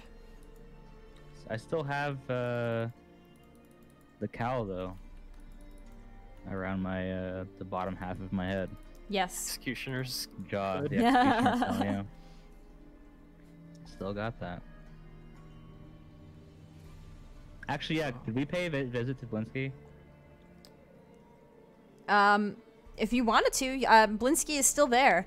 And yeah, I'd give him fifty gold okay, he and a hug. he thanks you so much and and with tears of joy gives you a hug and thanks you for everything and he actually will give you a parting gift. Aw, Um, Blinsky's awesome. He will give you a parting gift of one moment. Uh, where is it? Where is this chart? You know, Tira never met Blinsky. Oh yeah, Tira Shame. did. The two times he, we went there Because I met, I met, I, I was the one that met Lady Wachter. and killed her. Well, she deserved it. He will give you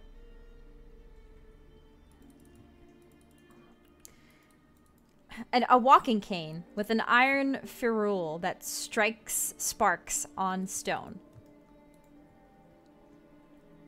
Wait, sorry, what?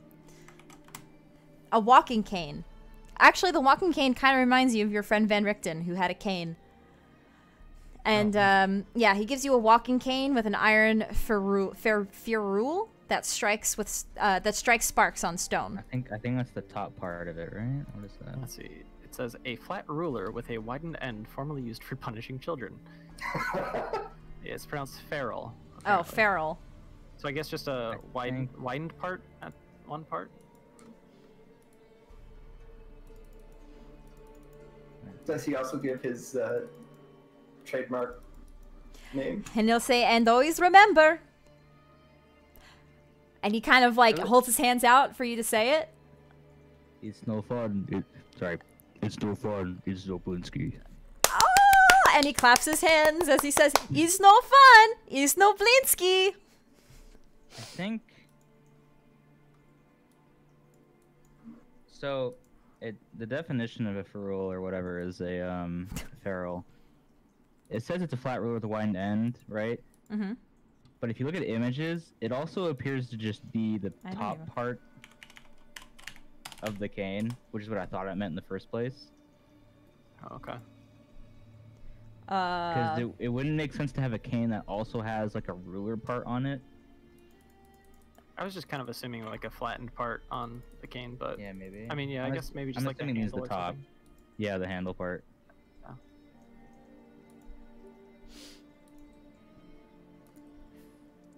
okay.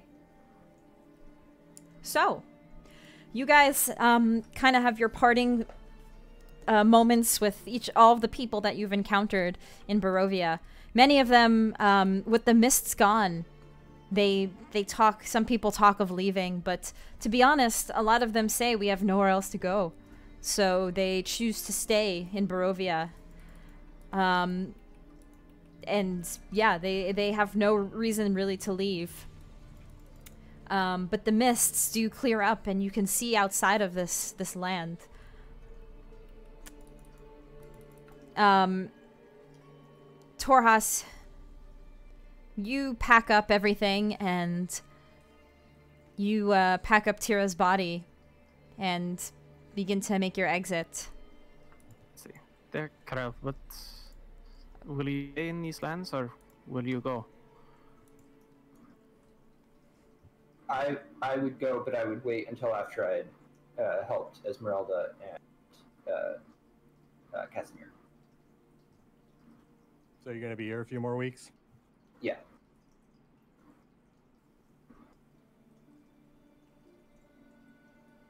And what and what have you guys? Just kind of like look back and forth between Thurkarel and Torhas. I would wait Say, in case you wanted to leave with me. yeah. I know we going say- back and forth between me. I've left like six times. Yeah. Because I'm trying to, yeah, decide exactly what Gizzard would do. Uh, he says, I wish to stay with my tribe, but it seems we are going different ways. What do you mean? Consider us our your tribe. Let's go about. Backstory. I mean, my tribe here. You and Ter Torhas and Thurkarel. I would stay with you, but we are going different ways, it seems. Normally, we dragon folk keep to our kind, but you are more than welcome to be a Darden. I already forgot my fucking last name. Dardendrian.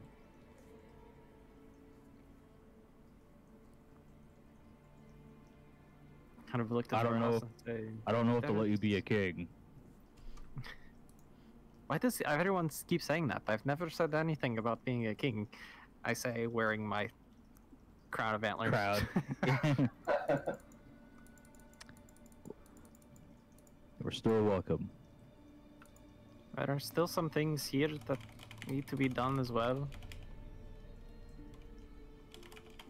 uh, Torhas would reach into like uh, his pouch and grab a, a bit of parchment and kind of start writing descriptions about you know where his land is.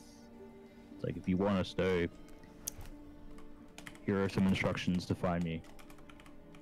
And I'll hand them over to Gizzard. All right, I'll take take the piece of paper, stuff it in a pocket. Well, Thurkarel, I guess we'll clean up the rest here, and then where will you go? I We could- guess. Maybe Torhas. Once we clean up here, we can attend Tira's funeral, the ritual. I'll be there. As he kind of pads her shield. Then we will meet you there at the or, what, Order of the Radiant. Order of the Radiant Heart. I was uh, Radiant Radiant Heart Heart, Artillery okay. though. Okay. Okay. Um, and after Tor Torhas, he's like, I'll go to Thurkarel and say, I don't know how to read this. Uh, you You tell me where to go. is it in a language that I understand? it's in common. Oh, it's in common. That's- yeah, yeah, okay. Yeah, so yeah, I'll- I'll is say- kind of dumb. It's very Okay. dragon script looking, but it's common. Okay. Yeah, so I will um, tell him that I can read it and that I can lead him there after we're done here.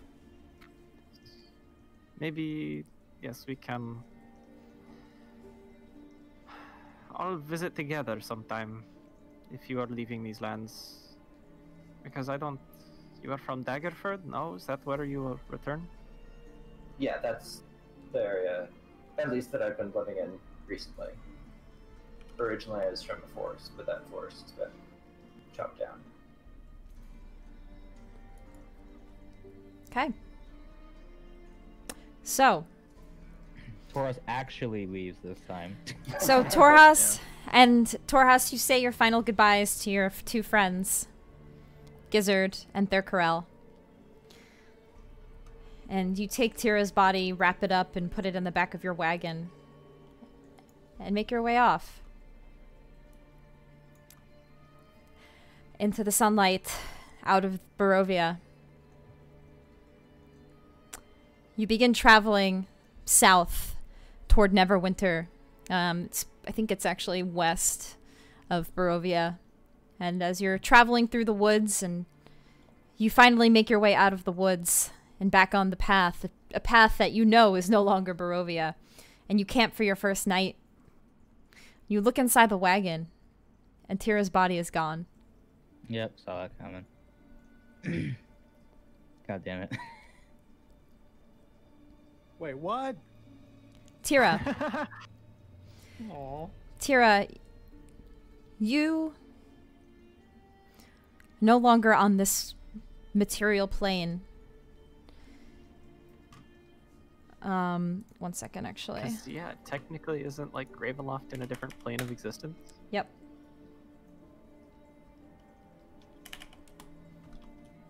Uh, sorry. Uh.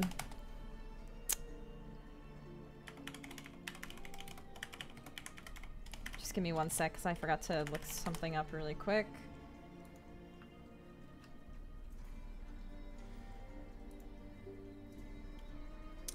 Uh.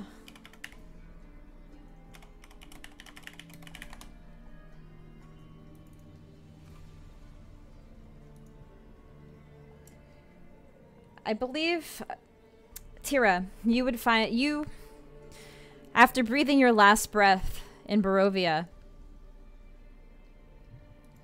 You find yourself in Elysium.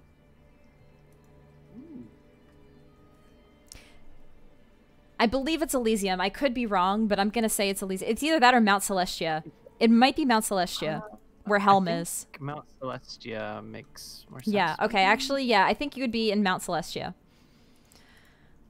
You awaken in Mount Celestia and are greeted by your god, Helm, who thanks you for the work that you've done and welcomes you with open arms. And you embrace your god, and you are truly at peace. But Helm tells you that where you died is a place that that is in a domain of dread and hate. And though your soul is here with him in Mount Celestia, your body will Oh. forever be in Barovia. Apparently, Helm is in uh, Nirvana Everwatch. But For, oh, Helm's in Nirvana? whatever. That's weird.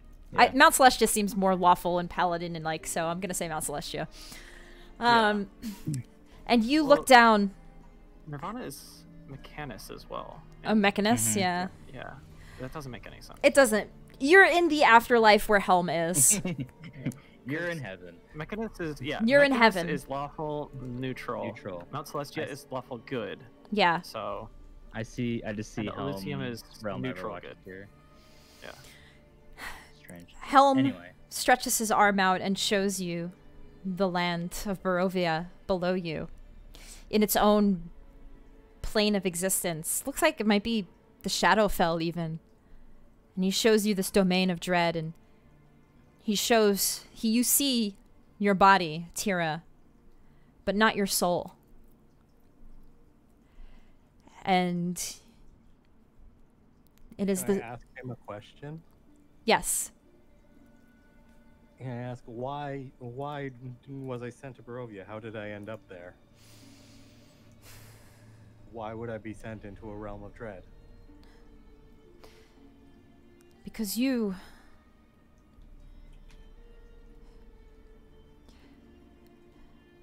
You were one of the few that could overcome that dread. At least for a time. I'm gonna quietly. You.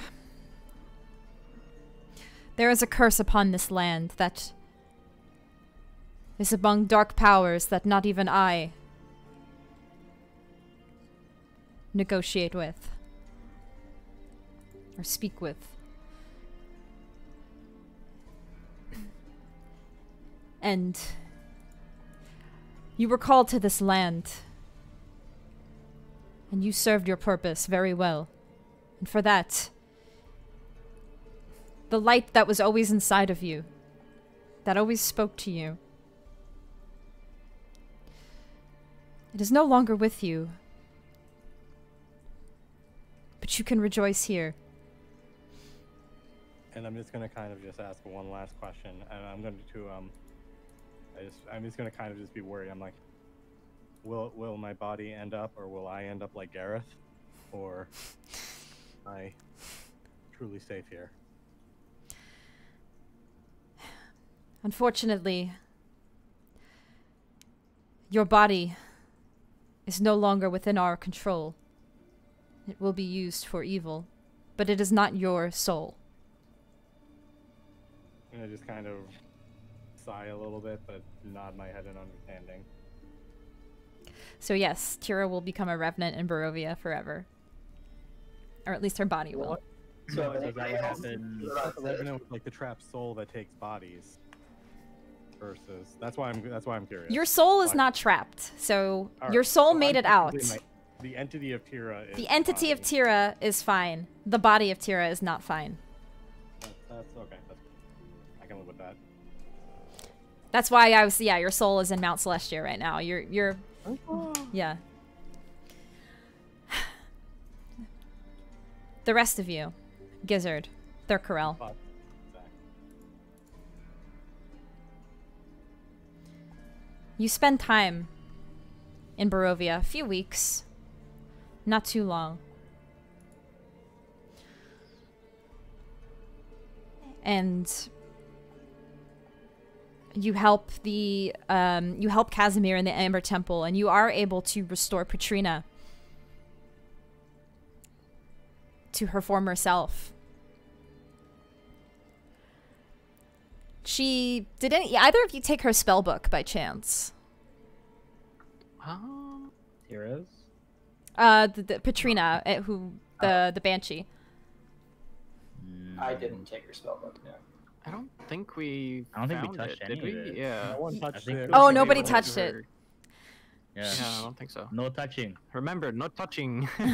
No touching. She thanks you all for um, help, and she returns to Castle Ravenloft to retrieve her spell book, as she wants to continue to study to become a powerful archmage.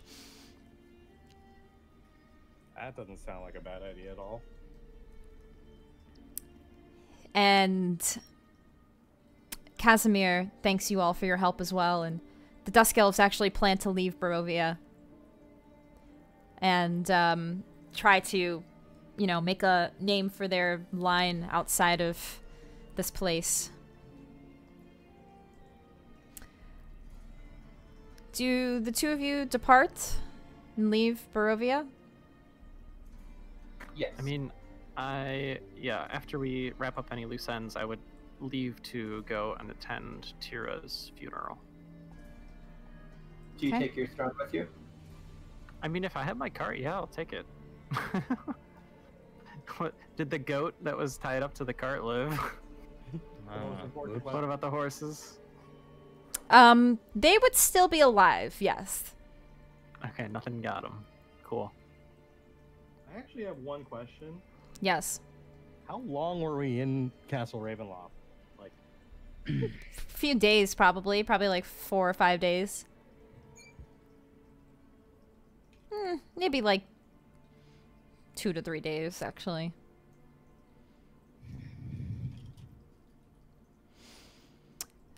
So, you guys make your way out and you travel out of Barovia.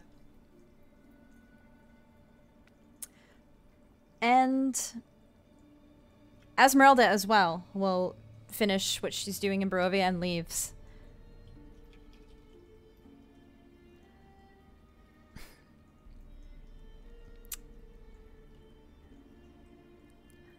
A few months pass and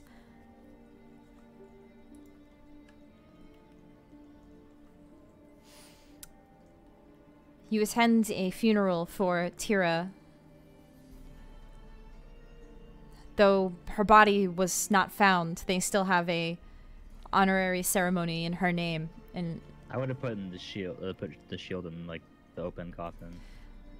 and they, it's a beautiful ceremony that the um, Radiant Heart has in Neverwinter for her, as you all tell the tales of defeating Strahd in the land of Barovia. Oh, what happened to the holy symbol? Because I didn't do anything with that. It's a good question. It would still be on you. It would have been on my body at the time. Yes. So it would still, if you didn't take, if none of you took it off or took it anywhere, it would be with her lost body. I would I would have left it on her body. Okay. Well, so you guys could leave it uh, and bury it with this shield, or you can uh, keep it for yourselves. Though none of you can really use it. I, yeah, I can't use it. So. I don't think I can either. Yeah, I wouldn't take it. I mean, we could maybe give it to to the order. Okay. They keep it in an uh, like in a kind of like archive. Um, and they do, you know, ask you lots of questions about your time in Barovia and and recount a lot of the things. You guys can recount whatever you wish to them.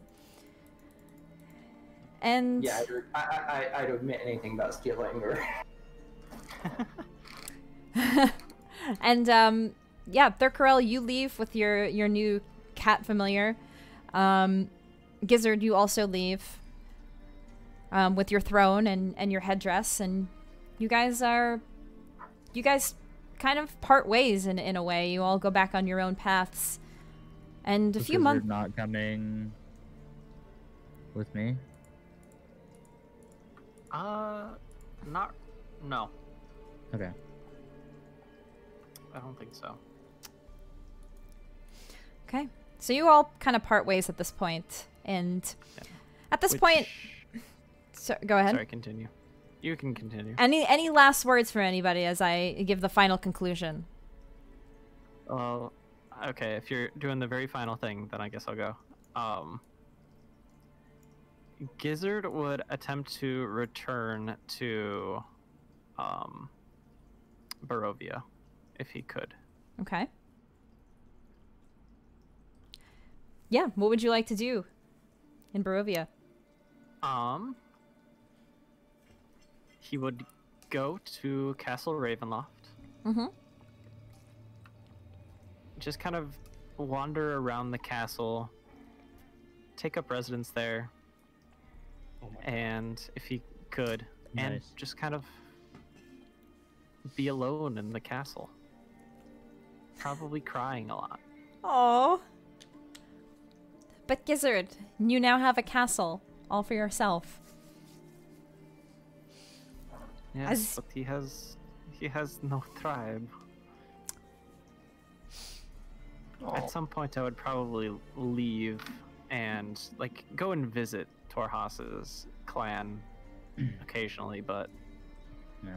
Every time he would come, Torhas would open, you know, welcome with open arms. They'd feast and and he'd probably meet the different soldiers that Torhas knows that lives.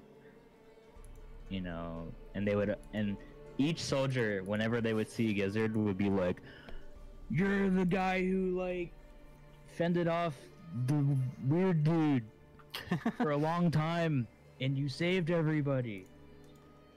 kind of thing. Like they look at Gizzard in awe, and they any anytime Gizzard starts to leave, they would try to like make him stay. Anytime hmm. they like tried to say anything about that fight, I'd be like, "That was all Tira." Oh.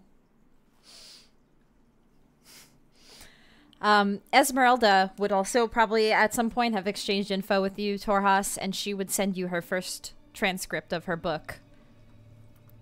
Um, Esmeralda's Encyclopedia of Evil, and she would write like a little inscription in it for my friend Torhas. Oh, that's sweet. Yeah. And so, you all kind of go off and do your own thing. And Gizzard, you return back to Barovia and kind of go back and forth and you sit back in the castle. castle Ravenloft. And you look over as you sit on this throne and you head out and you look out on the balcony. Once again, you look over at the village of Barovia and you do realize that things have been really going well for this land and things are prospering. Um, the the the village elected a a new burgomaster um, after Ismark's passing, um, and for the first time in a very long time, Barovians discover what it's like to live a life of peace and hope, thanks to you. However, Strahd's destruction is temporary, for his curse can't be so easily ended. The ancient dark powers with which Strahd forged his pack, his pact, do not let him die forever. And just as Barovians cling on to this feeling of life and peace and hope, is when Strahd is reborn.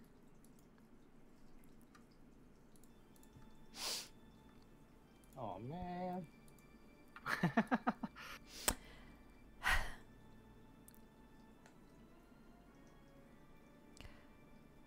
One day, Gizzard, as you're looking out, you look out into the distance and you see a storm coming in. The first time in maybe three months that you've seen a storm in Barovia. The clouds appear over the sky and the mists begin rolling in again. And you see in the distance Strahd and Bucephalus.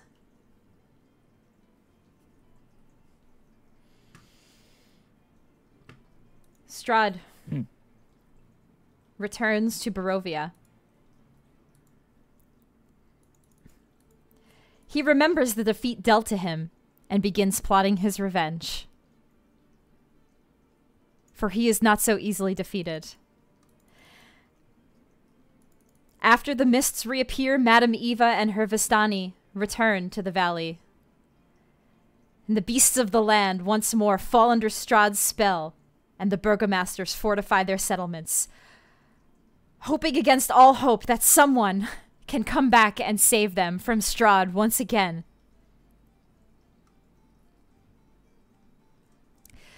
Torhas, or sorry, Thurkarel. Thurkarel, you, after living many, many months away from this place, one night receive a message. A letter. A wagon rolls up, and a letter hits your doorstep, wherever you are living at this time. It has a familiar wax seal of a raven, a symbol you had not seen in many months. I nervously break open the seal and read it.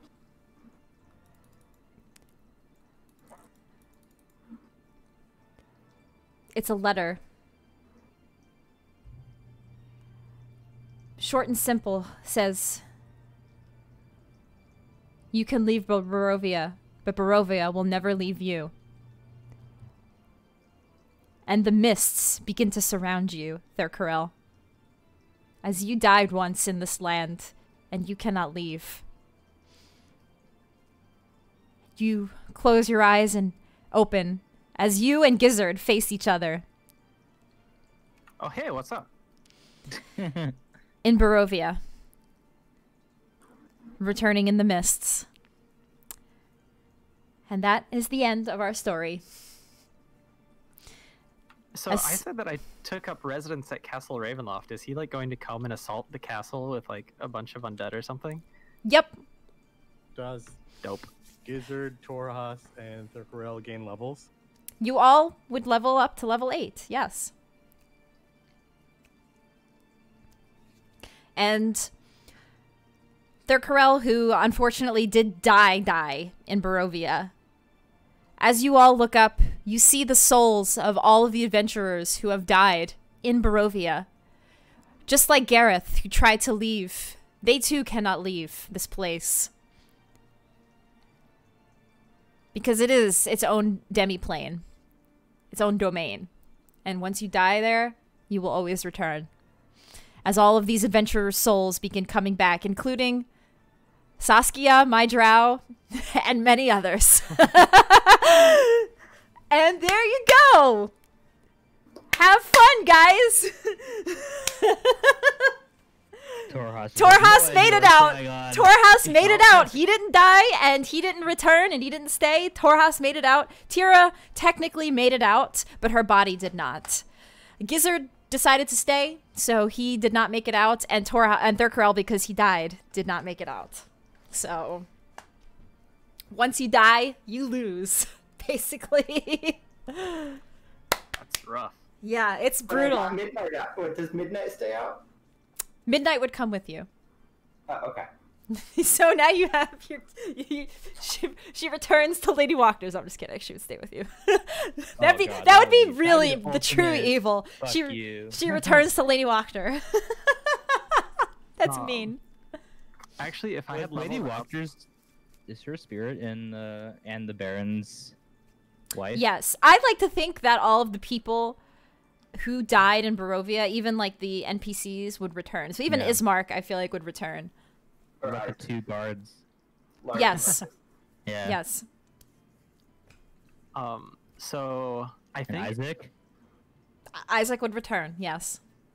Kill him. at The only one who wouldn't return is Ireena, whose soul truly went Mm. off into the beyond with Sergei. Oh, that sucks for Strahd because he's gonna be pissed now. He's gonna be even more pissed because he didn't get his girl, and uh, He yeah. never get his bill and he's now, still right? eternally damned. I mean, yeah, he's he's probably gonna send his Vistani to try to get you Torhas, but you have no like you could probably fight off like any of the Vistani. I, I do have an entire Dragon Ball Yeah, clan like, of warriors he with he me. he begins plotting his orge- avenge against the people who wronged him, which would be all of you guys. Um, and he has Gizzard and Thurkarel, so he'd try to go for Torhas, but probably wouldn't really succeed. Ah, damn, I was thinking of doing something, but it's not on the sorcerer spell list. Fuck. At level eight, I was thinking, yeah, I was thinking if at level eight, I was gonna take sending as a spell, but it's not on the Yeah. sorcerer spell list. hi and I would have sent please a help. message. Yes. well, the message would have been just a very simple: Strahd has returned, and that's all I would have sent you. But I can't do that because I apparently it's not on the sorcerer spell list. I'm very surprised. Whew, all right, guys. Well, that's the end. The, the the true ending is Strahd always wins. Um, That in the, campaign. yeah, um, Hey, we I'm killed him once. it he didn't You can win. kill him again. you did. I, you know. I congratulate all of you for He a job well this time. done. Yeah. That was a that was a good campaign. Yeah, it was Yeah. fun. Yeah, that was awesome. Yeah. Curse of Strahd is a really good. I just love the narrative of the story. I think it's one of the stronger ones um, for the- for I D think and it's D. strongest one. All right, Yeah. so uh, start rolling for new characters, right? Next campaign, let's go. Tracy needs a break. She's got too many TTRPGs. Uh, Yeah. RPGs going. Yeah. Yeah. Uh, And congrats to you, Tracy, for running and finishing your first campaign. Woo! Yay! We 15 did it, sessions, guys. 17 sessions.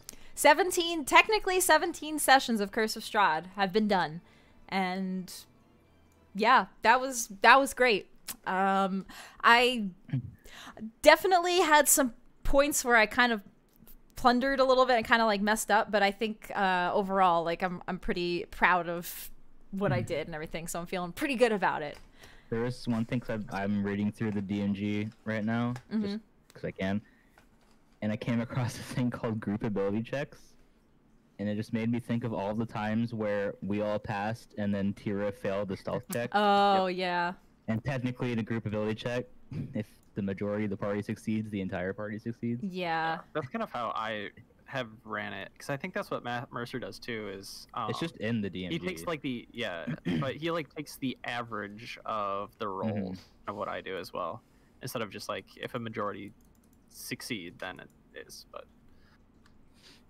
yeah it's I kind of just the thought same about thing. it. I thought it was funny, Slightly different.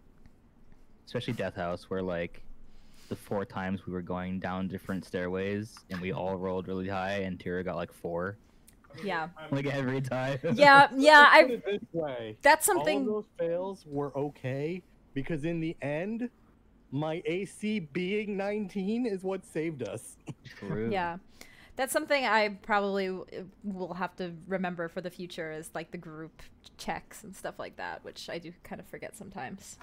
I mean, it is technically optional, so Yeah, it's that's true. different way. There's like yeah, I don't But- know if you actually read through the DMG. There's a lot of like optional rules. There stuff like yeah, there's a lot. My god. The DMG has a lot. Um Yeah, it's a cool book. yeah. I kind of just just because I've played so much D&D, I just kind of go by like what I remember or like what I know. like That's probably pretty normal. that's yeah, I feel like that's what a lot of people do. I forget a lot of shit too. Yeah. Thankfully, Doom is usually around, so it's like, oh yeah, For me, I've like read through. The most important thing to do for anybody that wants to DM is really you don't need the dungeon master's guide. All you need to do is re- read through the player's handbook. That's all that you need to do. yeah, yeah. yeah. Like, the DMG has some awesome like optional rules and good ideas and stuff like that for um, if you are looking to spice some stuff up or do something slightly more interesting. But really, all you need to do is read through the player's handbook. That's it. Yeah. Yeah.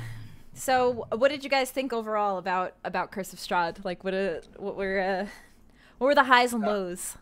That that was the best campaign I've ever played in. Oh, I can't think there of any lows. yeah. Um, I mean, other than my rolls, there were really no lows. Um, I, I, would, I would rank this up. I, I played in, I think, over the past ooh, 14 years, I've played about 20 odd campaigns. This ranks in top three. Hmm. That's awesome. The only Wow. the only low was probably getting to Ravenloft way too early, but that's not your fault. Yeah. That's my fault. Yeah. Yeah. touching. So, yeah. touch anything. I felt I felt kind of bad about that because I really like I hate when players feel railroaded. Um, so I was really worried that like you guys would have felt like railroaded into going to Ravenloft. No. But It, it, it threw a huge wrench in all of our plans in such a way. Yeah. that The last few sessions yeah, became like uh, really and like I mean Really this tense. way. They became Yeah. really stressful. yeah, in Yeah. that it, it, it worked out in a way that it took away our control that we usually have in situations. right. Which I actually thought it worked out to make the campaign a lot more exciting. Yeah. Because like we all had these ideas and it But yeah, just much change. The truth is, at that point, no matter what, you guys were getting very powerful very quickly, and Strahd was gonna do something about it. Um, hmm So yeah, like I like I've said before, you guys had the Sun Sword, and you had Ireena, which are like his two big things that are like what he wants and what he wants to deal with. So the fact that you guys had both of those in that moment, he was gonna try to deal with you one way or another very Whatever quickly. happened to um, what's his name? Fuck, I already forgot. The dude with the ballista. Um, No, uh, that was Strahd. Vasily. That was Strahd. That yeah, Oh, he is Strauss, right? Yep. Yeah. Yeah. Yep. I found that out the hard way. Yeah. I yeah, forgot about that. Yeah. Um, I don't know if Gizzard has still put that together or not. By the way, yeah. I feel like there's a lot of things Gizzard didn't fully Oh, wait, understand. I think I, I think I missed. I think I missed that session. Maybe that's why I didn't remember. I feel like I have to get Tony to paint that. There was one session a couple weeks ago I, I had to miss. well, yeah. Um, I'm gonna have to talk to Tony about getting that scene I don't painted now. yeah, There's- yeah. There's a couple of good ones though. There like were a couple of good yeah. scenes. like me coming down on the Revenant. Um, Um, I just Gizzard Gizzard levitating. floating in the chair. Yeah. Another me beard. coming at uh, Oh yeah, the beard. Not realizing he's Strahd. Yes. I think I don't want to do like the last one where I'm like beat down, but at the same time, Rahadin's not as interesting as like Strahd for that final blow scene. yeah. my highlight was probably Tira lifting up Torhas into the sky. Oh yeah, that too. Oh That was, yeah. that was awesome. I don't. I, I was having a hard time trying to visualize what that would be. Would it be just like me with like one arm holding him, as I'm like trying to yeet up? I don't know. I pictured it just like you had your arms kind of on his lower torso and like hoisting yourself up. style. Yeah, kind. Well, kind of. Yeah. He'd be below you because he's really heavy. So there's like a few things that I skipped um, for this module. Like there's still yeah, there's yeah, there's the Amber Temple, which. I like. We didn't even do the Amber Temple in ours because it's actually I heard the Amber Temple is one of the hardest things in this module. It's actually like it is a big dungeon crawl and it's really difficult. Did you Um, even get a hint for that? No. So technically, Kasimir is supposed to invite you guys to go to the Amber Temple like early on, or there's like a few ways to get yourself to the Amber Temple. Um, I just like wanted to skip that one because it's a lot. Um, Yester Hill is technically where the druids are, um, and to deal with the druid problem, you're supposed to go to Yester Hill. okay. I just kind of skipped that because I feel like you can kind of deal with the druids at the Wizards of the Wines, and then you know, can be on your way. Um, Where's the other tower? Um, the, the other t- oh, There's it it, two, right? it would be like, the old here. Wizard's Tell. Yeah, Oh, it's not. It's not actually on the map. Okay. which that wizard, by the way, is Mordenkainen, who is a very, uh, Oh, okay. yeah, it's, yeah, th- there's a whole crazy thing about Mordenkainen in, in Barovia. Also, when we were camping with the with the crazy dude that I ended up drowning, Oh, um, yeah. uh, I accidentally looked at the lake. I didn't look. I didn't accidentally. I accidentally saw something when looking up the lake, and there's a. I think there's like a massive beast underneath.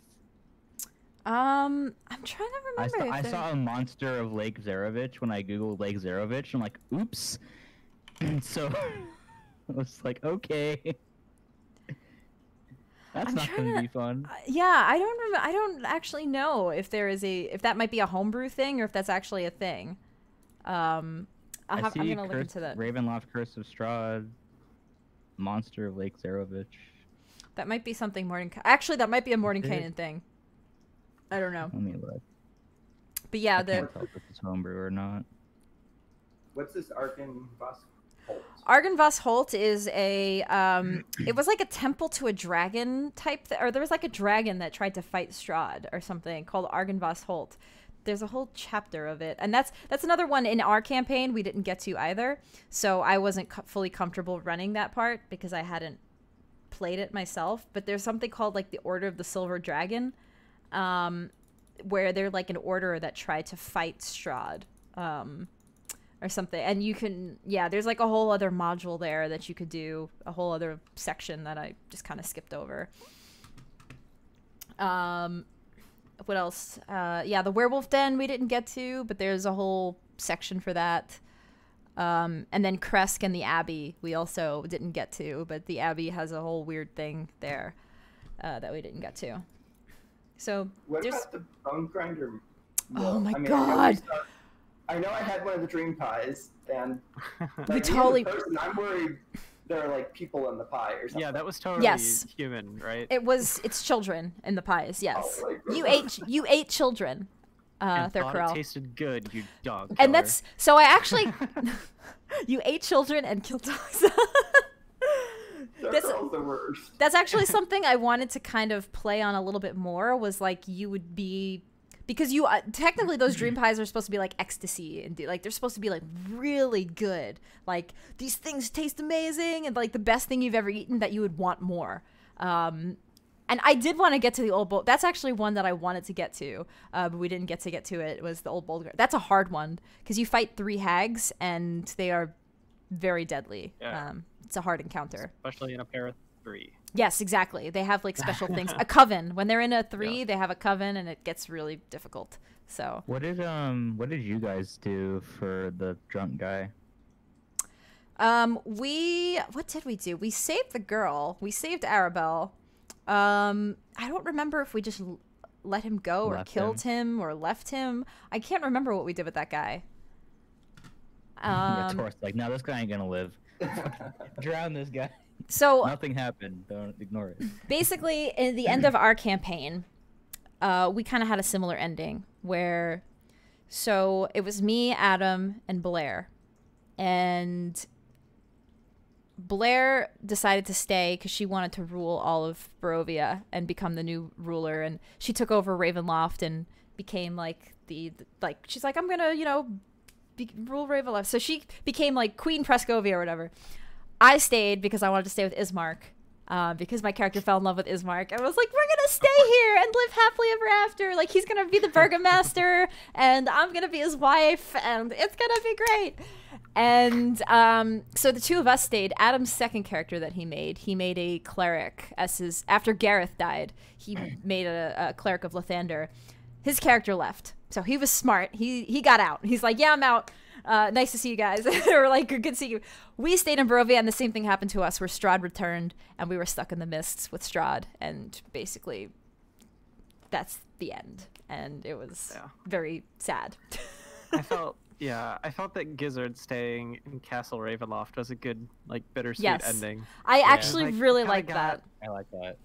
What he wanted, but he didn't really like. Yeah, I because he always just wanted to be. have the people that he cares about. Yeah, like Yeah. he he found a new tribe.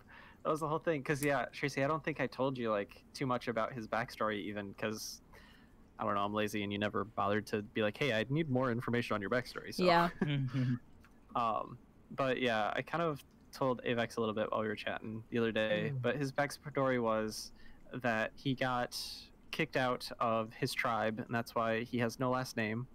Which I was trying to get people to Oh, like okay. pick up on that whenever I was asking people their last names and stuff like that. But nobody actually asked Gizzard.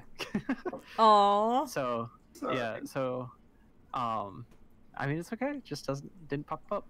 Um, And then the other thing too is like we were at the point where we didn't have a chance to like sit and talk about those things. Like once you kind of reveal that to me, it's like, Yeah. well, we're in Castle Ra- Castle Ravenloft. We didn't Yeah. have a time to chat. Yeah.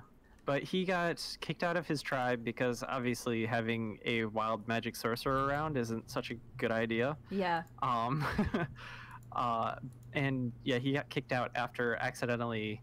Uh, like I hadn't decided exactly why he got kicked out, but as soon as that child popped up, um, uh, whenever we were fighting Baba Saga, I decided that he got kicked out for killing a like hatchling, a little kid on accident. Oh.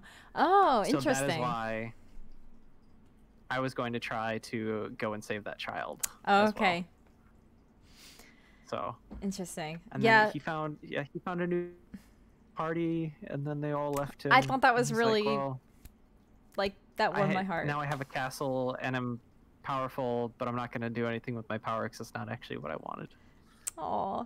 I, d- I do picture like you sitting on the throne, like just kind of like by yourself, like the, the castle is empty, and it's kind of like a bittersweet ending for some time. Yes. Um, same same for like uh the way Tira went too was so like I almost cried. I almost teared up in that moment because I I thought I did think I was like shit like Tira technically would become a vampire spawn and I was like oh no like this is so sad but also it was a really beautiful way to go and I was planning on it since last week because I was kind of like, yeah I'm like, like the moment you said Strahd bit me, I'm like, okay, there's a chance I won't turn. But when he dropped me, I'm like, based on what I know about vampire rules, like, I met it a little bit. I'm like, I'm I'm dead. Like I knew I was dead no matter what else happened. yeah So pretty Oh. much at that point, I was kind of just like, you know what? How am I going to do this well? And I thought about it for a while, but I think uh, just by the way everything, like, I don't think it could have played out with the way the rolls and everything went. I think it just ended up being just super epic either way. hmm Like we were on a knife edge for literally that entire Oh, session. God. yeah, for like well, we've been on a knife edge for like four weeks. So Yeah. Yeah. That one, like, look, honestly, if I didn't get one of those crits, well, like, it would have. Oh, yeah. differently. I realize Like, that none of us would have gotten the mm, send off. those nat twenties There's death saves. there's no way you guys. I realized that if the way I had the encounter laid out originally with Strahd, Rahadin, and and then and Bucephalus, were there's super dead. there was no way Yeah. you guys were gonna survive that. There was no Yeah. way. Like I think my my breath. That's why the it. entire time we're like, we're so dead, we're so dead, we're so dead. Yeah. Yeah. And then we actually managed to kill him, and we're, nobody like celebrated because we are just Said all in what? shock. yeah, yeah. wow. I think the the breath at the end too was pretty big, like showing Uh, that he's weak. Like, yeah, That did a lot more damage than normally. the That did. Kinda yeah. Damn, what did that do? I like think it did 16 almost max damage. It could do. Yeah, yeah, you rolled two fives and a six on 3d6. And he failed to save with a plus seven to his con. Oh, that Rahadin, like, that Rahadin Yeah. ability is devastating. yeah. Oh, yeah. Oh my god, Because everybody, we only have Mia's range, pretty much. that So everybody is- was just like grouping up around him, and everybody's taking damage. Oh, that is a brutal. Uh, like that's what I was saying last week. I was like, oh my god, like Rahadin has this brutal ability.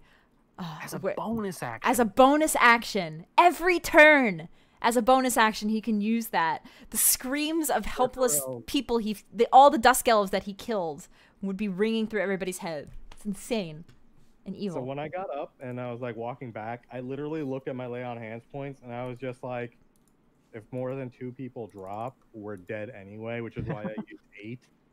Because I was just like, this is the last hurrah. There's no point in holding these back. I can probably get two people up because I'm like, if two people go down, that means I'm probably in that same grouping going down. So there's no point holding back. yeah. So- How many hit points did he have, like, before I went down? how many did he before you went down Yeah, like before like, like my last 30 hit on maybe? him. 22 i think Oh my god, I was like debating because I had the scroll of sleep, and the average that that rolls is 28. I went and looked it up, and I'm just like, I could just like go and cast sleep on him, and maybe he has like 30 hit points left. I don't know. I was like debating on just trying to put him to sleep, and then like, yeah, but i it's think he's probably he's an elf running. so i think he Oh, has yeah, advantage on being put you to sleep have known Well, that. no, he's he would just be immune. oh He would be yeah he's immune That's right. So I'm glad I didn't do that then. yeah yeah. So Oh. I had I did have plans for if A if Strahd defeated you or B if Rahadin defeated you. Basically like I'm not gonna have it like be a wipe and then that's it. Like you guys are done. All right, campaign over. Basically, what would have happened is if Strahd defeated you guys, you all would have passed out and went blank and went dead, and you would wake up at Strahd's wedding to Ireena, tied up, and you'd be forced to watch Strahd turn Ireena into his vampire bride. Um, Even after, because he appeared after Ireena was already good. So, oh, that's true. Actually, that was the original plan. So you, so technically, if Strahd killed you, that probably would have been it. But Rahadin, if you guys would have all died to Rahadin, he was gonna tie, also tie you up, and you guys would awake, uh, regain consciousness, um, completely like in in the in the uh, torture cells below, tied up. Um, and Rahadin would basically he knows Strahd is going to come back, so he would be like, "Well, you guys are chained up here, and you'll have to wait till Strahd returns because he'll be back in three months." So, um, so at that that point, I would have tried to have like an escape session, or you guys like trying to escape Ravenloft and and get out. Um, so that would have been interesting. But yeah, uh, Oh. that would have been how that all played out. But you guys managed to defeat him. I think I did mess up on a few things. Um, that he can attack twice with the poison darts, and I kind of messed that up. So he probably could have done a lot more damage than I Oh, yeah, originally put out. probably could've. And then, well, I don't know if he was like within 20 feet a lot of the time either. So Yeah. because he would need to be within 20 feet to not have disadvantage on it. So Oh, I think he was most of the time like for attacks against me, but Yeah. yeah, there's so many little tiny things to keep in mind sometimes. So. Yeah, it's hard. Whew. But yeah. I'm trying to think of some of the things that you guys missed. So there's a few things in Vallaki. What was yeah? What was at the top of the mayor's house? What was in the attic of his place? So in the attic is his crazy son. Um and so his son is trying to train to be let me actually just really check again really quick because I'm trying to remember. Um uh, so basically, um, in in Vallaki, Lady Wachter was trying to marry her daughter to the burgomaster's son, but the burgomaster's son is insane, and um, kind of messed up his his um da- uh, Lady Wachter's daughter. So that's another reason why Lady Wachter hates him. Um, let me just check really quick. Uh, Victor's Oh, What bedroom. I'm, what I'm trying to realize now is that I actually didn't succeed in deleting Lady Wachter. Yeah, because she's still alive. Technically, yes, she's still alive, along with everybody else. All the Oh, good guys are still alive too, though. Makes me sad. I thought it would have been cool to delete her from existence with the Sun Sword. Oh no, I didn't have the Sun Sword then. I deleted her with my flail. Never mind. It wasn't Yes. the power. So, uh, yeah, he's like this crazy like wizard, and he's trying to bake make a um a teleportation circle to leave Barovia, which I think technically it can, if I'm not mistaken. Like, there's actually like another way to like get out, but yeah. So that's and he actually cursed the Lady Wachter's daughter, and now she's insane and thinks she's a cat. And so you guys were upstairs at Lady Wachter's house, I think, and you heard Hearing that meowing. you heard meowing. Oh. It wasn't a cat; it was his- her daughter. Um, I was really hoping, I was really hoping you guys would uh would visit her. Uh, yeah, I think th- there was a locked And door. Tracy can roll we play a see cat. there, right? Yes, actually, I want She's gonna have to be a crazy cat. Oh, this is just holds Minnie up. this is um yeah uh, basically this is i i because i make a joke that this is who i would be in barovia if i was stuck in barovia because it's this room is musty and dark an iron fame bed scurrying away from you on all fours is a young woman in a soiled nightgown she leaps onto the bed and hisses like a cat little kitty nightgown. doesn't know you she shouts yes little kitty doesn't like the smell of you the young woman is Stella Wachter, Lady Wachter's insane daughter. A greater restoration spell uh, rids her of the madness, if she, uh, makes her think she's a cat. Um, Jesus. yeah. so, yeah, basically the burgomaster's son, Victor, um, is the one that gave her this madness, and yeah, it's pretty messed up. Like the Vallaki's a pretty messed up place. Uh. And you guys, yeah, you guys found all of the things that Madame Eva's fortune read. Um, so technically, Okay.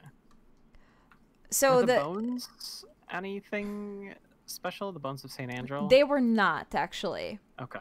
Because Wow, at we first I think I was thinking that that was the uh the amulet Yeah. that we ended up finding. So The amulet was the fortune, right?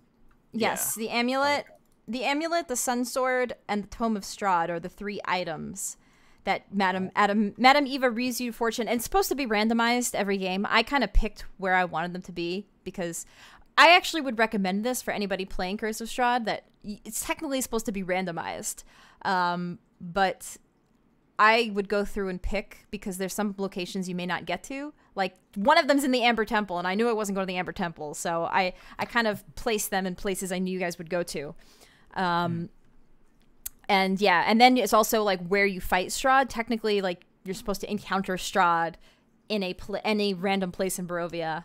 I, I just happened to make it the crypt Oh. because I knew you guys were going to go there anyway. Avernus does that same thing. There's Yeah. some areas where it's like, this should happen here. They should know this here. And it's like, To have some replayability. And there's also so this card sheds light on one who will help you greatly in the battle against darkness. So you are supposed to have an NPC friend who can help you. And one of them is Esmeralda, so that's why she was so helpful. But there's like a bunch of NPCs that could be your ally in battle. did Van Richten die before you guys, or did he live? For us, Van Richten died. I think he died. But he didn't get turned to a vampire spawn. He just died fighting Strahd. If I remember Oh, so you got you guys got to him in time, and he fought Strahd with you. Um, Or you mean fought like the one v I one? think he fought one v one and died. Like I think he just straight up died. Um, he didn't get bit. no, Oh, that was something I added in. Oh. I kind of I liked the idea of Van Richten dying and Esmeralda like having to make the hard choice to to kill him. I thought that was a good story element. Um, so I added that in. Yeah, I thought that was normal. Yeah. But Van Richten basically does come to Barovia to 1v1 Strahd. Like that's his that's his goal. And One v and one me He noob. won, Yeah. He won me, bro. yeah. And then he dies. Fucking hacker. Yeah.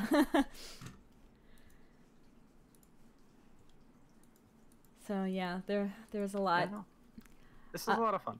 yeah. I'm super glad that we got to run it. Yeah, uh, I'm I'm really glad too. It was um it was really enjoyable to run. Um I I really liked the story and and everything. So it was good. I'm glad that you guys enjoyed it. Uh, is there any like suggestions? Other well, I know uh, one thing for me personally as a DM, I definitely need to work on um, understanding combat rules and stat blocks a lot better. Um, I definitely will not mess up my BBEG as bad as I did Strahd uh, for my next Honestly, campaign. It, it it might be good if you do a dungeon crawl adventure just to kind of force you into thinking about combat and stat blocks more. Either that or Even just do one. like shot. run an Or yeah, or one shots. think as well. Run an adventure that you haven't played in is a suggestion I have for you Okay. because there's sometimes where like because obviously you've played this and you kind of, kind of have an i- idea pre uh, beforehand how you kind of want to do things. Mm-hmm. Yeah, like I think running something that you haven't played in before might help you grow a little bit more as a dungeon master because you have to kind of um like come up with the ideas yourself and kind of let you expand on your improvisation ability. Like I think you did a fine job with like all of your roleplay improvisation, Mm-hmm. but for like combat improvisation and stuff like that, um, like how do I run this encounter type deals? Yeah. like that. So Yeah, Also, you're you're com- you're subconsciously comparing yourself to George, who's a really good DM, too, yeah, that's true. and that, that's that true. can be a detriment to you. That's true. yeah. Well, uh, yeah. It's no Just like, different well, from like George did it a this way, so I should do it this way too. Yeah, Right. it's, it's no different from like the Matt Mercer kind of thing. Like people Yeah. who watch a lot of Critical Role and then expect their D and D to be like Critical Role levels of stuff. It's like that ain't gonna happen. Yeah. Which is so unfair because 99% of why Critical Role is so awesome is because the players are. So Yeah. if Mhm. you're upset that your game isn't as cool as Critical Role, it's it's the player's fault mostly. like there's points whenever in Critical Role do- Matt doesn't say anything for like two hours because the players Yeah. are just role playing. Yeah. he's just letting them talk. You know, It's true. Yeah. Yeah. sometimes the, like the the best. I, like I don't know if anyone's watched the most recent episode, but there was a couple of times I'm where he's just he's just chilling, just you know, hand on his his uh, chin, just listening to everyone. I mean, even campaign one, like like the whole um after uh Vax comes back. Mm-hmm. I'm trying to be vague in case no one's. Oh, it. the ra- yeah, the Raven Queen stuff. Uh, Shut up. I just all I said was Raven Queen. um, yeah, but the whole Vax thing and Yeah. like everyone, the whole group talking about that. Yeah. Um, Yeah, that's not Matt being a good DM. Like, obviously, him facilitating that is good, but that's, That's the what I mean, players yeah. being awesome players. Yeah. Um, yeah.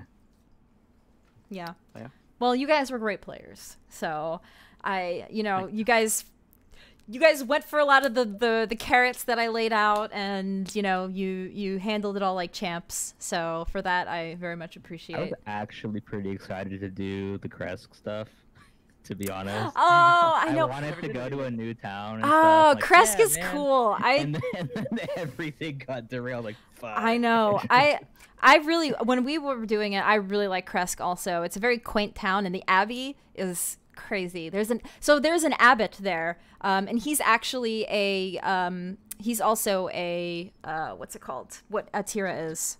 An Aasimar. Paladin? A diva. Oh. An Aasimar.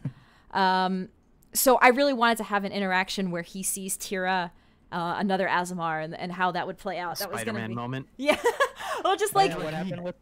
Did you what happened to the Dusk Elves? Did they all die out? t- to the what? The Dusk Elves? 'Cause they The can't- Dusk Elves. So the Dusk Elves leave I mean, and they. Oh yeah, they leave. So do they like come back whenever Strahd comes back? Yeah, or- that, that's more what I was asking. Um, that's actually I I would say that they don't. They are free because they're not like Tracy giving special permission to the elves.